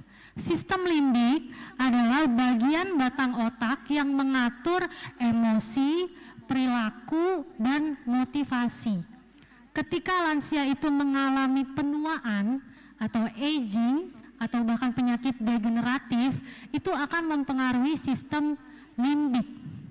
Sistem limbik yang seharusnya dopamin, kortisol itu seimbang, itu menjadi tidak seimbang. Kortisolnya dia lebih banyak. Kita tahu bahwa kortisol itu sangat mempengaruhi apa sih? Hormon dari kecemasan. Mudah marah jadinya Karenanya karena adanya hormon kortisol yang tinggi, dia akan cenderung ya tadi terganggu emosinya, mudah marah, mudah tersinggung, pesimistis gitu. Ya. Jadi bukan hanya tua, tua, tua, lansia, lansia, bukan. Karena memang ada gangguan juga. Bisa jadi di sistem limbiknya tersebut. Begitu. Cukup menjawab Nela? Oke, baik. Terima kasih Nela. Pertanyaannya bagus. Baik. Ibu ternyata dari Zoom ada yang ingin bertanya. Oh ya, boleh, boleh. Saya bacakan ya.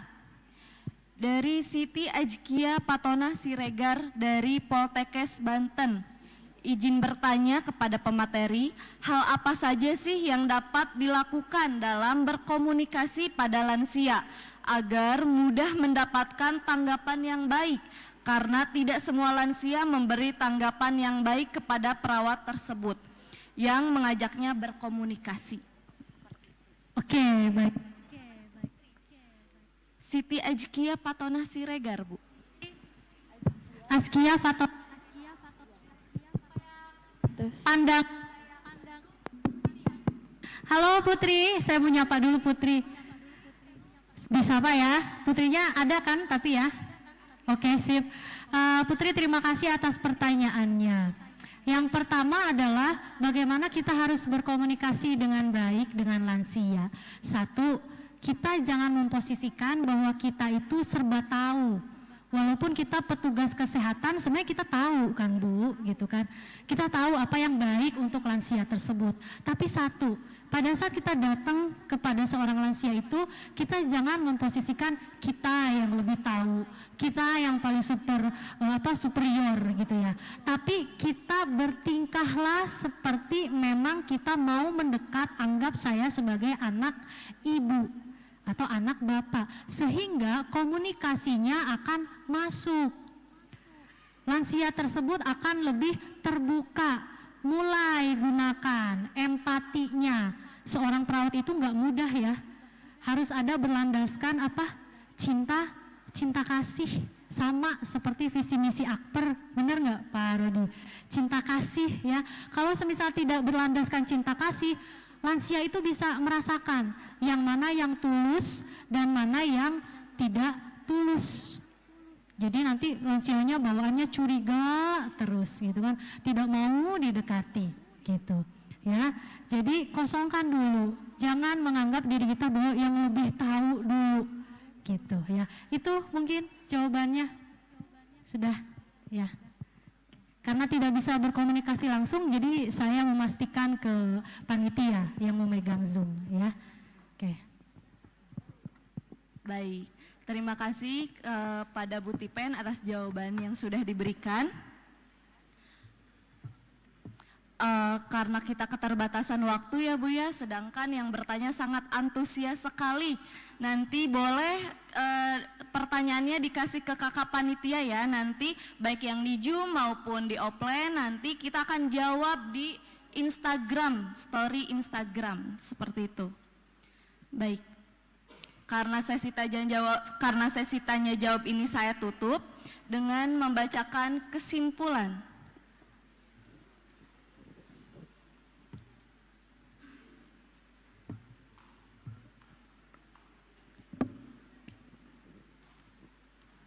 Baik, materi ini kita mulai pada jam 13.00 dan diakhiri dan selesai pada jam 14.09 dengan pemateri Nurse Tiffany Elizabeth Magister Keperawatan Spesialis Keperawatan Jiwa dengan judul Peran Keluarga dalam Mencegah Depresi pada Lansia dan Penerapan Family Psikoedukasi. Dengan kesimpulan lansia beresiko tinggi terhadap masalah kesehatan dan psiko, psikologis seperti demensia, kesepian, kecemasan, dan depresi. Nah, untuk mengatasi hal itu kita dengan cara menggunakan psikoedukasi keluarga dengan diperlukannya guna meningkatkan kualitas dalam merawat mereka. Dan tadi kita buka sesi tanya jawab, ada tiga orang penanya di offline dan dua dan satu orang penanya di Zoom dan semuanya terjawab dan semuanya terjawab maka materi yang ketiga ini kita sudah selesai ya Bu ya. Terima kasih kepada Nurse Tiffany Elizabeth Magister Keperawatan Spesialis Keperawatan Jiwa dan semoga materi yang sudah dijelaskan bisa dipahami oleh rekan-rekan semua dan dapat bermanfaat untuk di kehidupan kita sehari-hari Demikianlah pemaparan seminar keperawatan kita kali ini. Kami ucapkan terima kasih kepada para pemateri atas ilmu yang diberikan. Saya selaku moderator pamit undur diri. Mohon maaf atas segala kurang dan salah kata. Selamat siang dan terima kasih.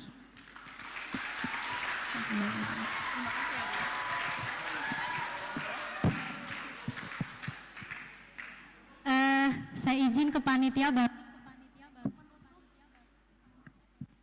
Dulu ya. Boleh ya. Boleh. Kalau semisal itu tanggapi saya ya. Siap. Cakep. Karena saya perempuan jadinya cantik boleh ya. Boleh. Apa sih yang nggak buat ibu? Okay. mulai nih. Belum belum. Ikan nila berputar-putar. Cantik. Pusing banget berputar-putar nilainya kan? Cantik berputarnya sampai ke perapatan. Cantik. Sampai mata terbelalak. Cantik. Cantik. Panjang Biar banyak cantiknya. Jarang-jarang. Oke. Mari kita ikut seminar keperawatan di Akper Yatna Yuwana Lebak.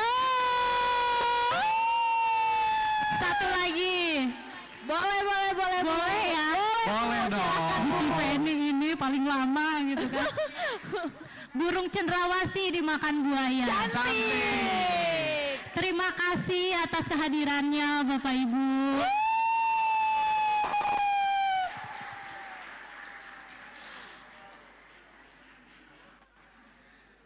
Terima kasih kepada Nus Stephanie Elizabeth yang telah memaparkan materinya.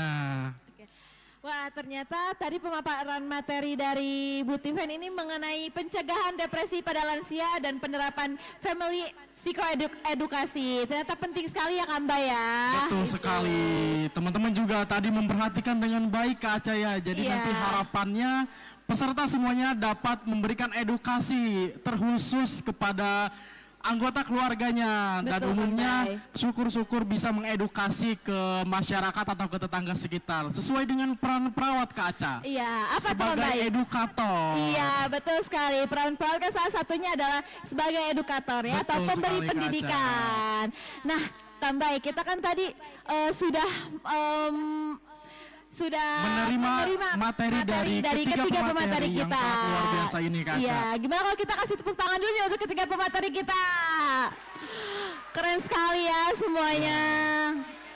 Nah, jadi Kaca, karena kita sudah menerima tiga materi ini, kita akan mengadakan post test lagi nih Kaca. Boleh tuh Kambai. Caranya masih sama? Masih sama. Jadi caranya nanti rekan-rekan semuanya silahkan untuk membuka akun LMS-nya atau pelataran sehatnya. Semuanya sudah melakukan mulai pembelajaran?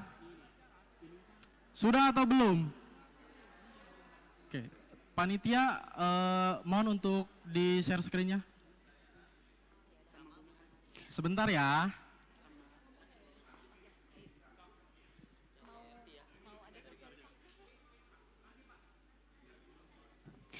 Oke teman-teman, karena ada kendala ya dari uh, LMS-nya itu, uh, sedangkan pe- peserta di kita itu ada 260 dan yang baru masuk itu 100 uh, seratusan itu. Jadi uh, sebelum kita masuk kuis, kita akan ada sosialisasi terlebih dulu nih dari IMT-nya kepada Mbak Mahari, disilakan. Oke. tes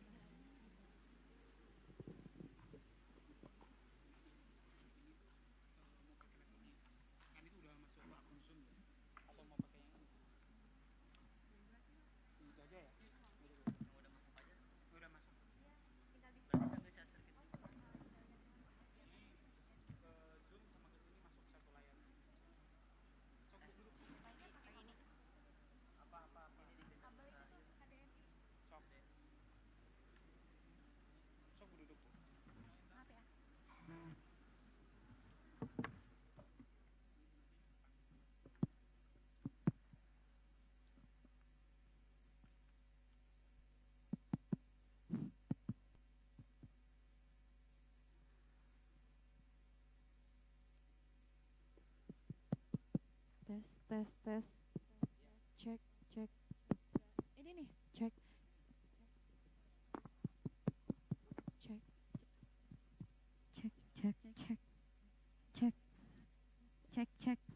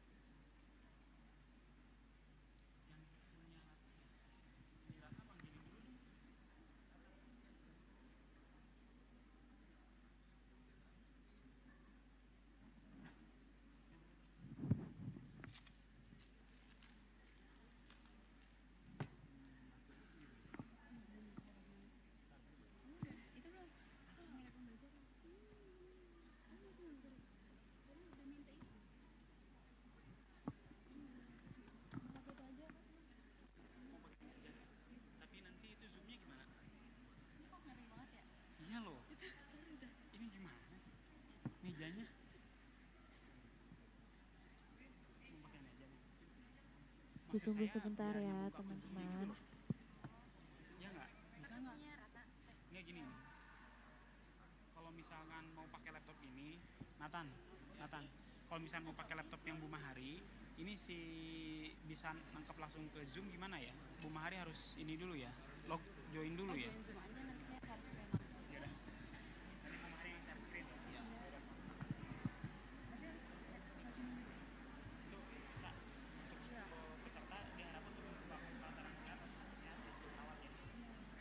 Ca, untuk peserta seminar diharapkan perawat membuka akun satu sehatnya untuk yang mahasiswa. Kalau yang ini apa mahasiswa pelataran buka sekarang.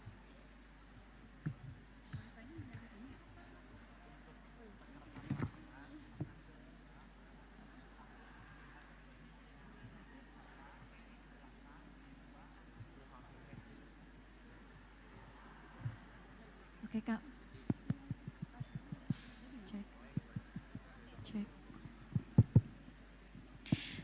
Oke, kami informasikan terlebih dahulu untuk peserta perawat bisa langsung dibuka akun Satu Sehat SDMK-nya. Lalu untuk peserta mahasiswa itu bisa langsung dibuka akun pelataran sehatnya.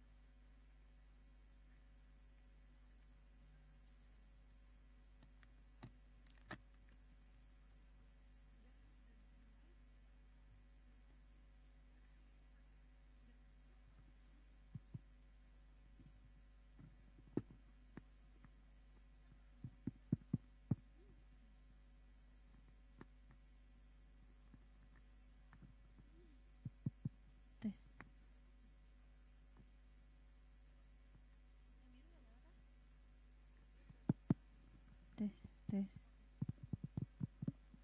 tes tes tes Tes. Tes, tes, tes, tes. Oke. Tes, tes. Udah ya? Oke. Oke, selamat siang Bapak Ibu sekalian dan teman-teman dari Akper Yatna Yohana Lebak ya. Oke. Eh, kita kan sudah di akhir acara ya untuk seminar ini. Nah, silakan Bapak Ibu dan teman-teman sekalian, silakan dibuka akun satu satu sehat SDMK-nya bagi nakes. Kemudian untuk mahasiswa silahkan dibuka akun pelataran sehatnya ya. Nah, ini contoh untuk mahasiswa, silakan bukanya melalui pelataran sehat ini harus lewat Google ya teman-teman ya. Jadi yang buka Safari silakan bukanya lewat Google juga.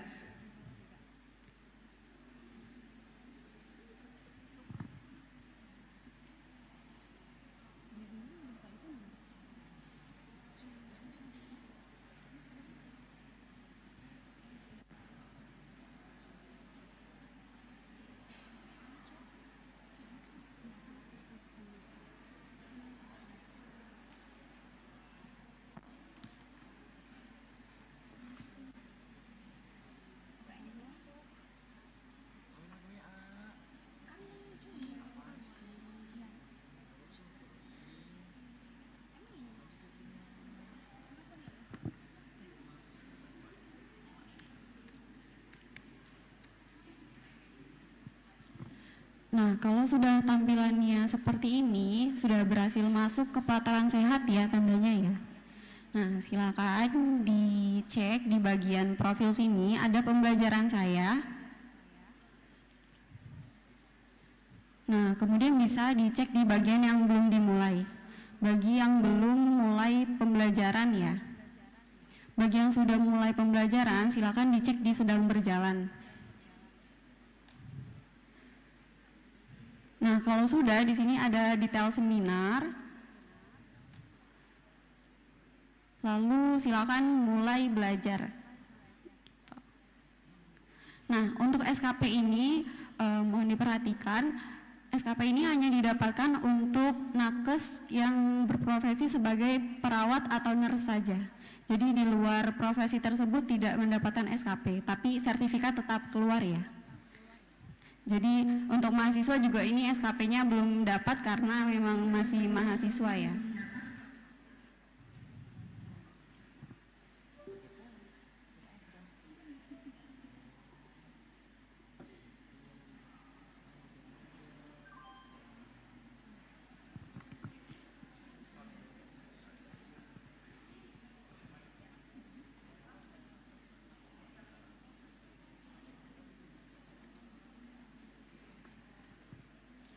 Nah, kalau sudah berhasil masuk ke kelas seminarnya, nanti tampilannya seperti ini ya, Bapak Ibu ya. Nah, di sini ada progres pembelajaran eh, harus sampai 100% agar sertifikat nantinya dapat diproses ya. Nah, di sini ada bagian selanjutnya, silakan diklik.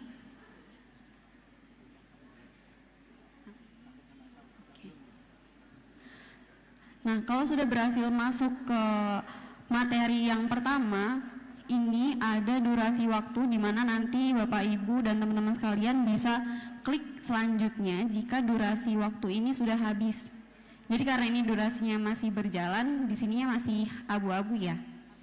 Nah, ini ada apa namanya?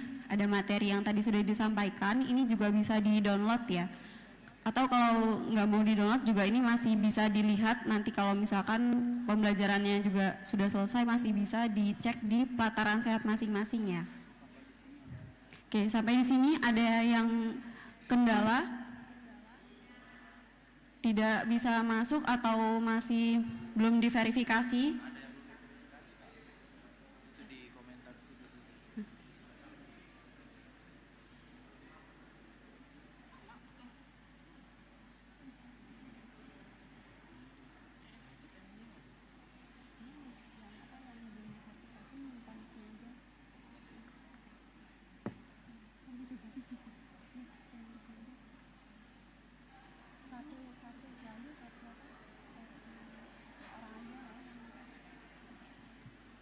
Nah, untuk yang sudah bisa mengerjakan kuis, silakan dikerjakan ya Bapak Ibu ya. Nah, ini karena waktunya sudah habis, jadi bisa diklik selanjutnya. Nah, begitupun untuk materi kedua dan ketiga ya. Jadi silakan diklik selanjutnya baru bisa mengerjakan kuisnya. Nah, untuk kuisnya ini ada minimal untuk kelulusannya itu eh, 80 ya. Jadi untuk yang nantinya setelah mengerjakan kuis nilainya kok di belum sampai 80 itu harus eh, diulang lagi kuisnya ya dan tidak ada batasan untuk pengulangan kuis yang penting nanti nilainya sudah di 80 atau lebih bi- baru bisa eh, lulus dari kelas seminar ini.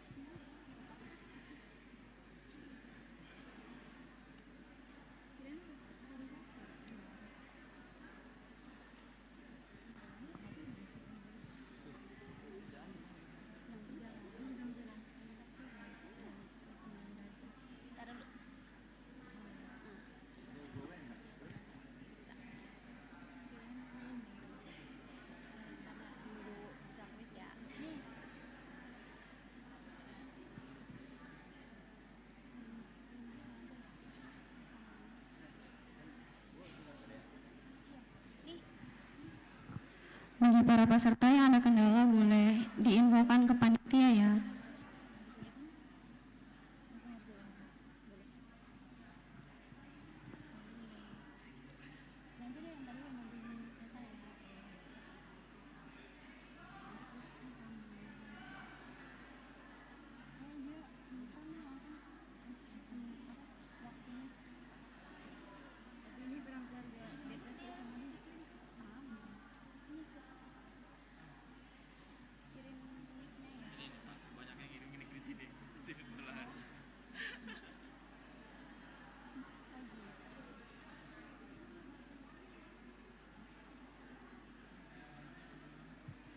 Oke, ini sudah ada 215 peserta yang eh, klik mulai belajar ya. Masih kurang sekitar 50 peserta yang belum klik mulai belajar. Silakan diinfokan jika ada kendala ya.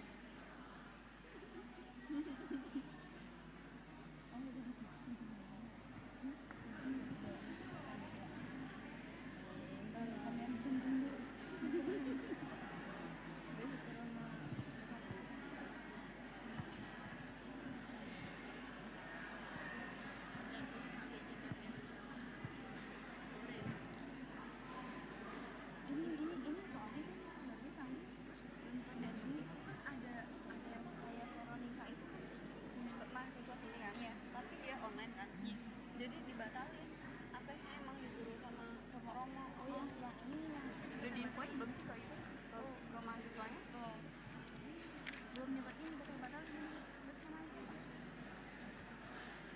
utang hilang Eh, si Rosa kan juga nilai 80 kasih Rosa kalau nilai lima itu apa? lima Nilai lima itu apa? Sangat baik ya? iya Nah, kalau sudah selesai untuk mengisi kuisnya, silakan diisi untuk evaluasi, kemudian ada rating dan ulasan ya, Bapak Ibu ya.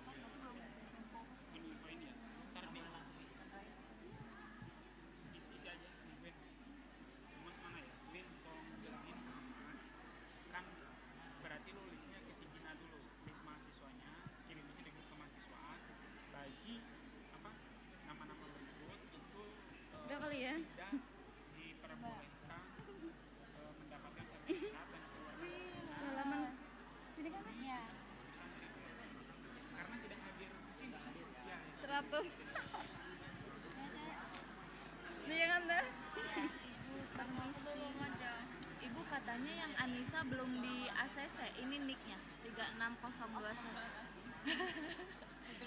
lupa gak bawa kertas bu. Selanjutnya kan deh oh, bentar ya saya jadi anjay 100 kan belum aku ngeiniin mereka dulu. Terus terus kah yang namanya Titi dia udah masukin sandi email terus emailnya capcanya juga sudah dimasukin tapi gak bisa bisa login gitu.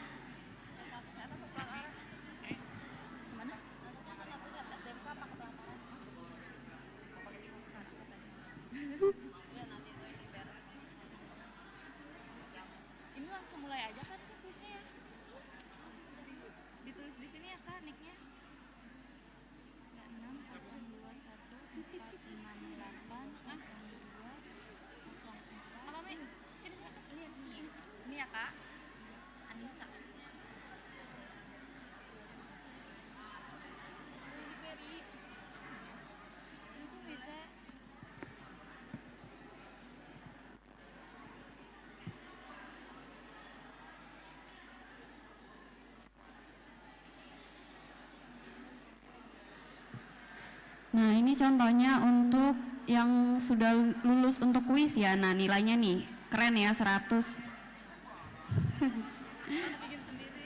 keren ya. Oke, nah kalau sudah diklik selanjutnya, lalu bisa isi evaluasi penyelenggaraan. Nah, ini ada beberapa yang harus diisi, harus diisi semua.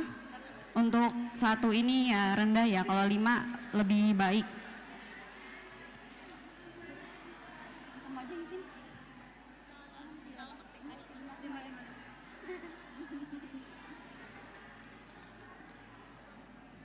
kamu yang buat soalnya ya verifikasi nggak ada ih mending bantuin teman-teman yang nggak bisa ya gue yang ada yuk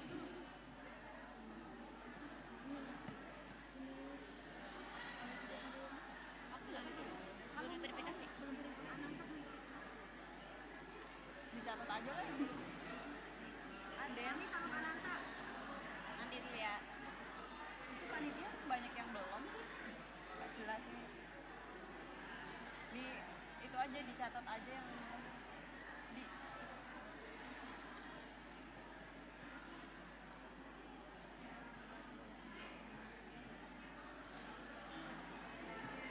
aku catatnya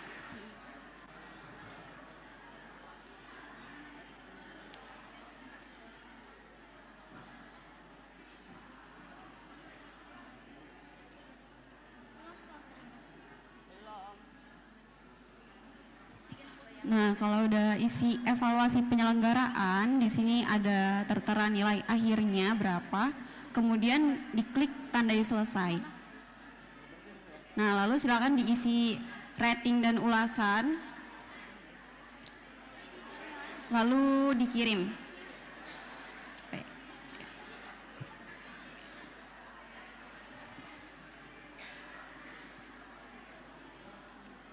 Kalau kayak gini tandanya Bapak Ibu dan teman-teman sekalian sudah selesai untuk eh, kelas seminar ini ya.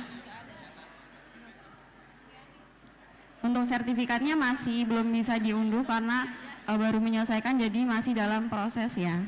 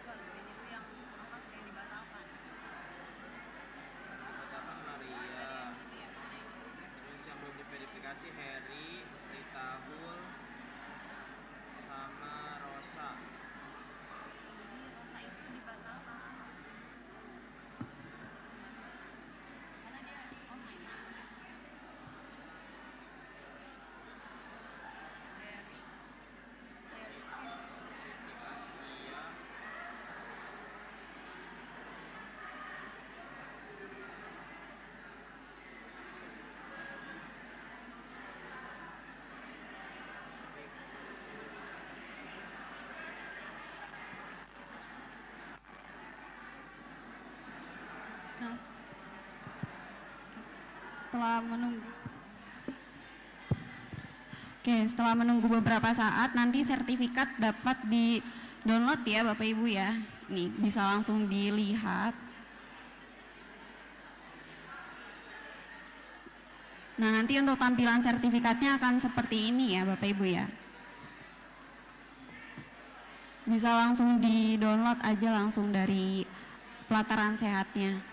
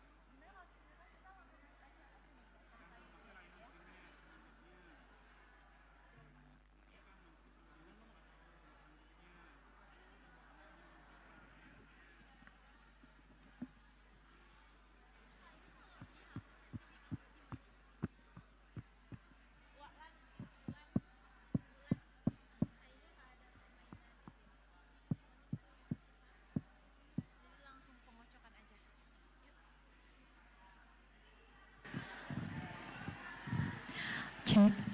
Oke nih teman-teman, sambil menunggu teman-teman yang lain bisa mengakses akun pelataran sehatnya, kayaknya kita langsung lanjut aja nih ke acara selanjutnya. Gimana Boleh Bay? Kaca, boleh. Iya. Acara selanjutnya apa nih Kaca nih kira-kira? Acara selanjutnya ini kita akan mengadakan pembagian door prize nih teman-teman. Oke. Karena kita masih banyak sekali nih hadiah yang Banyak sekali belum kita hadiahnya. bagi- belum kita Kita akan bagi-bagi hadiah nih. Betul, Kak Iya. Caranya itu kita mungkin eh, di sini akan eh, mengundi ya, mengundi teman-teman karena kan teman-teman tadi sudah dibagikan nomor undian ya eh, berbarengan dengan nomor voucher makan. Itu nanti kita akan mengundi. Sekarang teman-teman perhatikan nomor undiannya ya sambil kita eh, mengundi nih nomornya. Mana nih Kambay?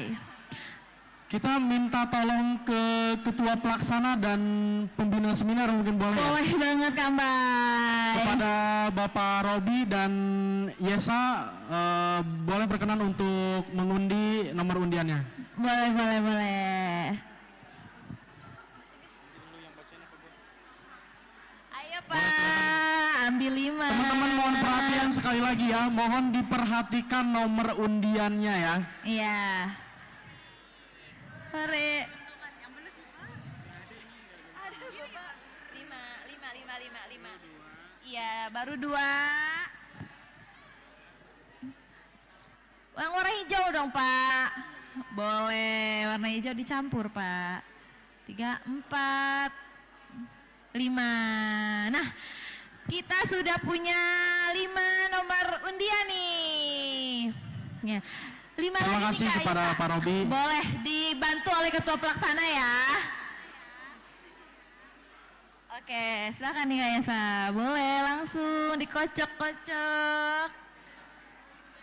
Diperhatikan ya teman-teman nomor undiannya. Dua.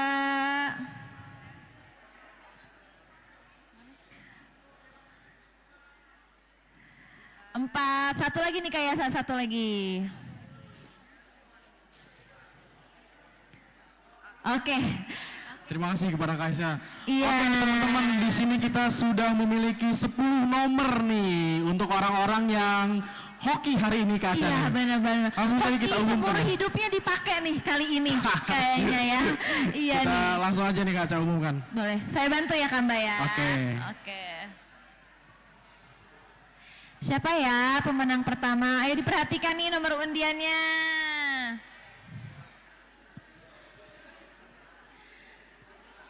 Oke, pemenang pertama undian dari door prize 21093. Siapa nih yang punya? Ada nggak? Ada nggak nih 21093? Pemilik undian 21093. Yang nomornya sudah sesuai silahkan maju ke depan dan memperlihatkan nomornya. Ada? Bisa dilihat dulu nomor undiannya. Bisa mungkin bisa diulangi kaca nomor undiannya? Nah, nomor undiannya itu diulangi ya, 21093. Mana ada nggak nih? Nggak ada. Enggak dong. Kalau nggak ada kita, Kita lanjut kali ya. ya. Oke, diskualifikasi aja kayak ya. Sobek aja sobek.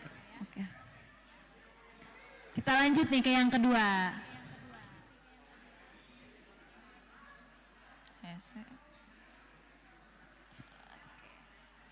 Siapa ya pemenang kedua? Sambil perhatikan teman-teman itunya un- nomor undiannya. Oke, nomor undian yang kedua 21156. Ada nggak nih? Suaranya doang mana mana? Ada. Boleh ibu silahkan maju. Oke diulangi ya Bu 21156 Iya Boleh boleh Boleh maju ibu.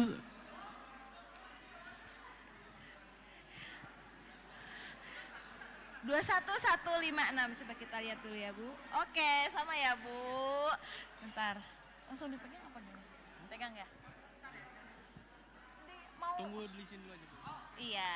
Kita sambil mengundi nih bu. Mau ibu Itu pe- dipegang aja sama ibu. oh maaf ibu.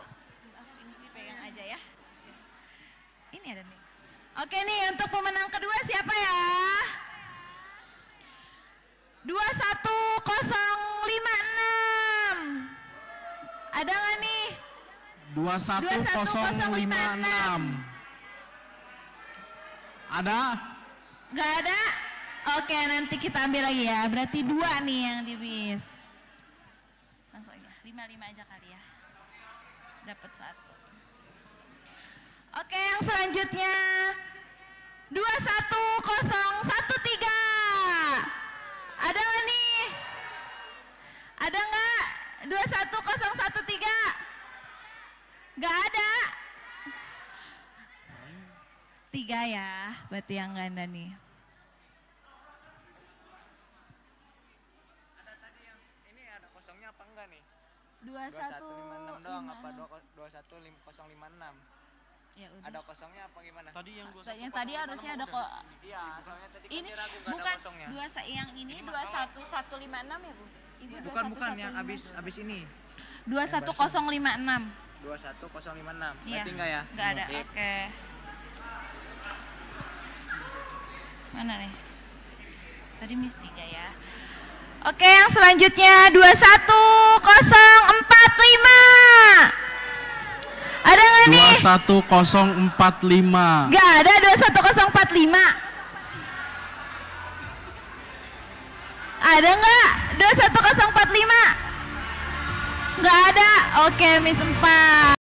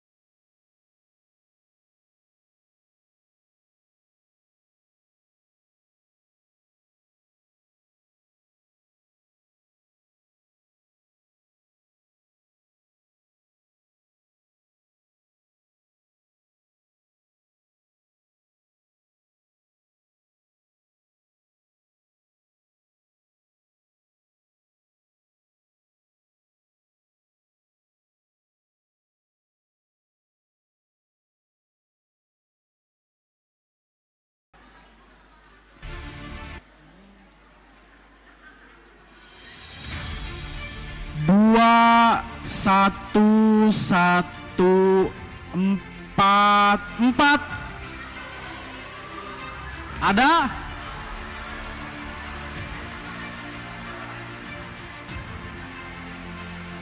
dua satu satu empat empat dua satu satu empat empat Iya, ada Pak Rodi. Oke, Gak lupa, bisa Pak Rodi ikut. beruntung sekali ini. Eh, boleh nunggu dulu. Oke. Karena tadi ini nomornya banyak yang miss, kita kocok lagi ya. Oke, sebelum itu kita umumkan satu lagi ya. Dua, satu, kosong, tiga, dua.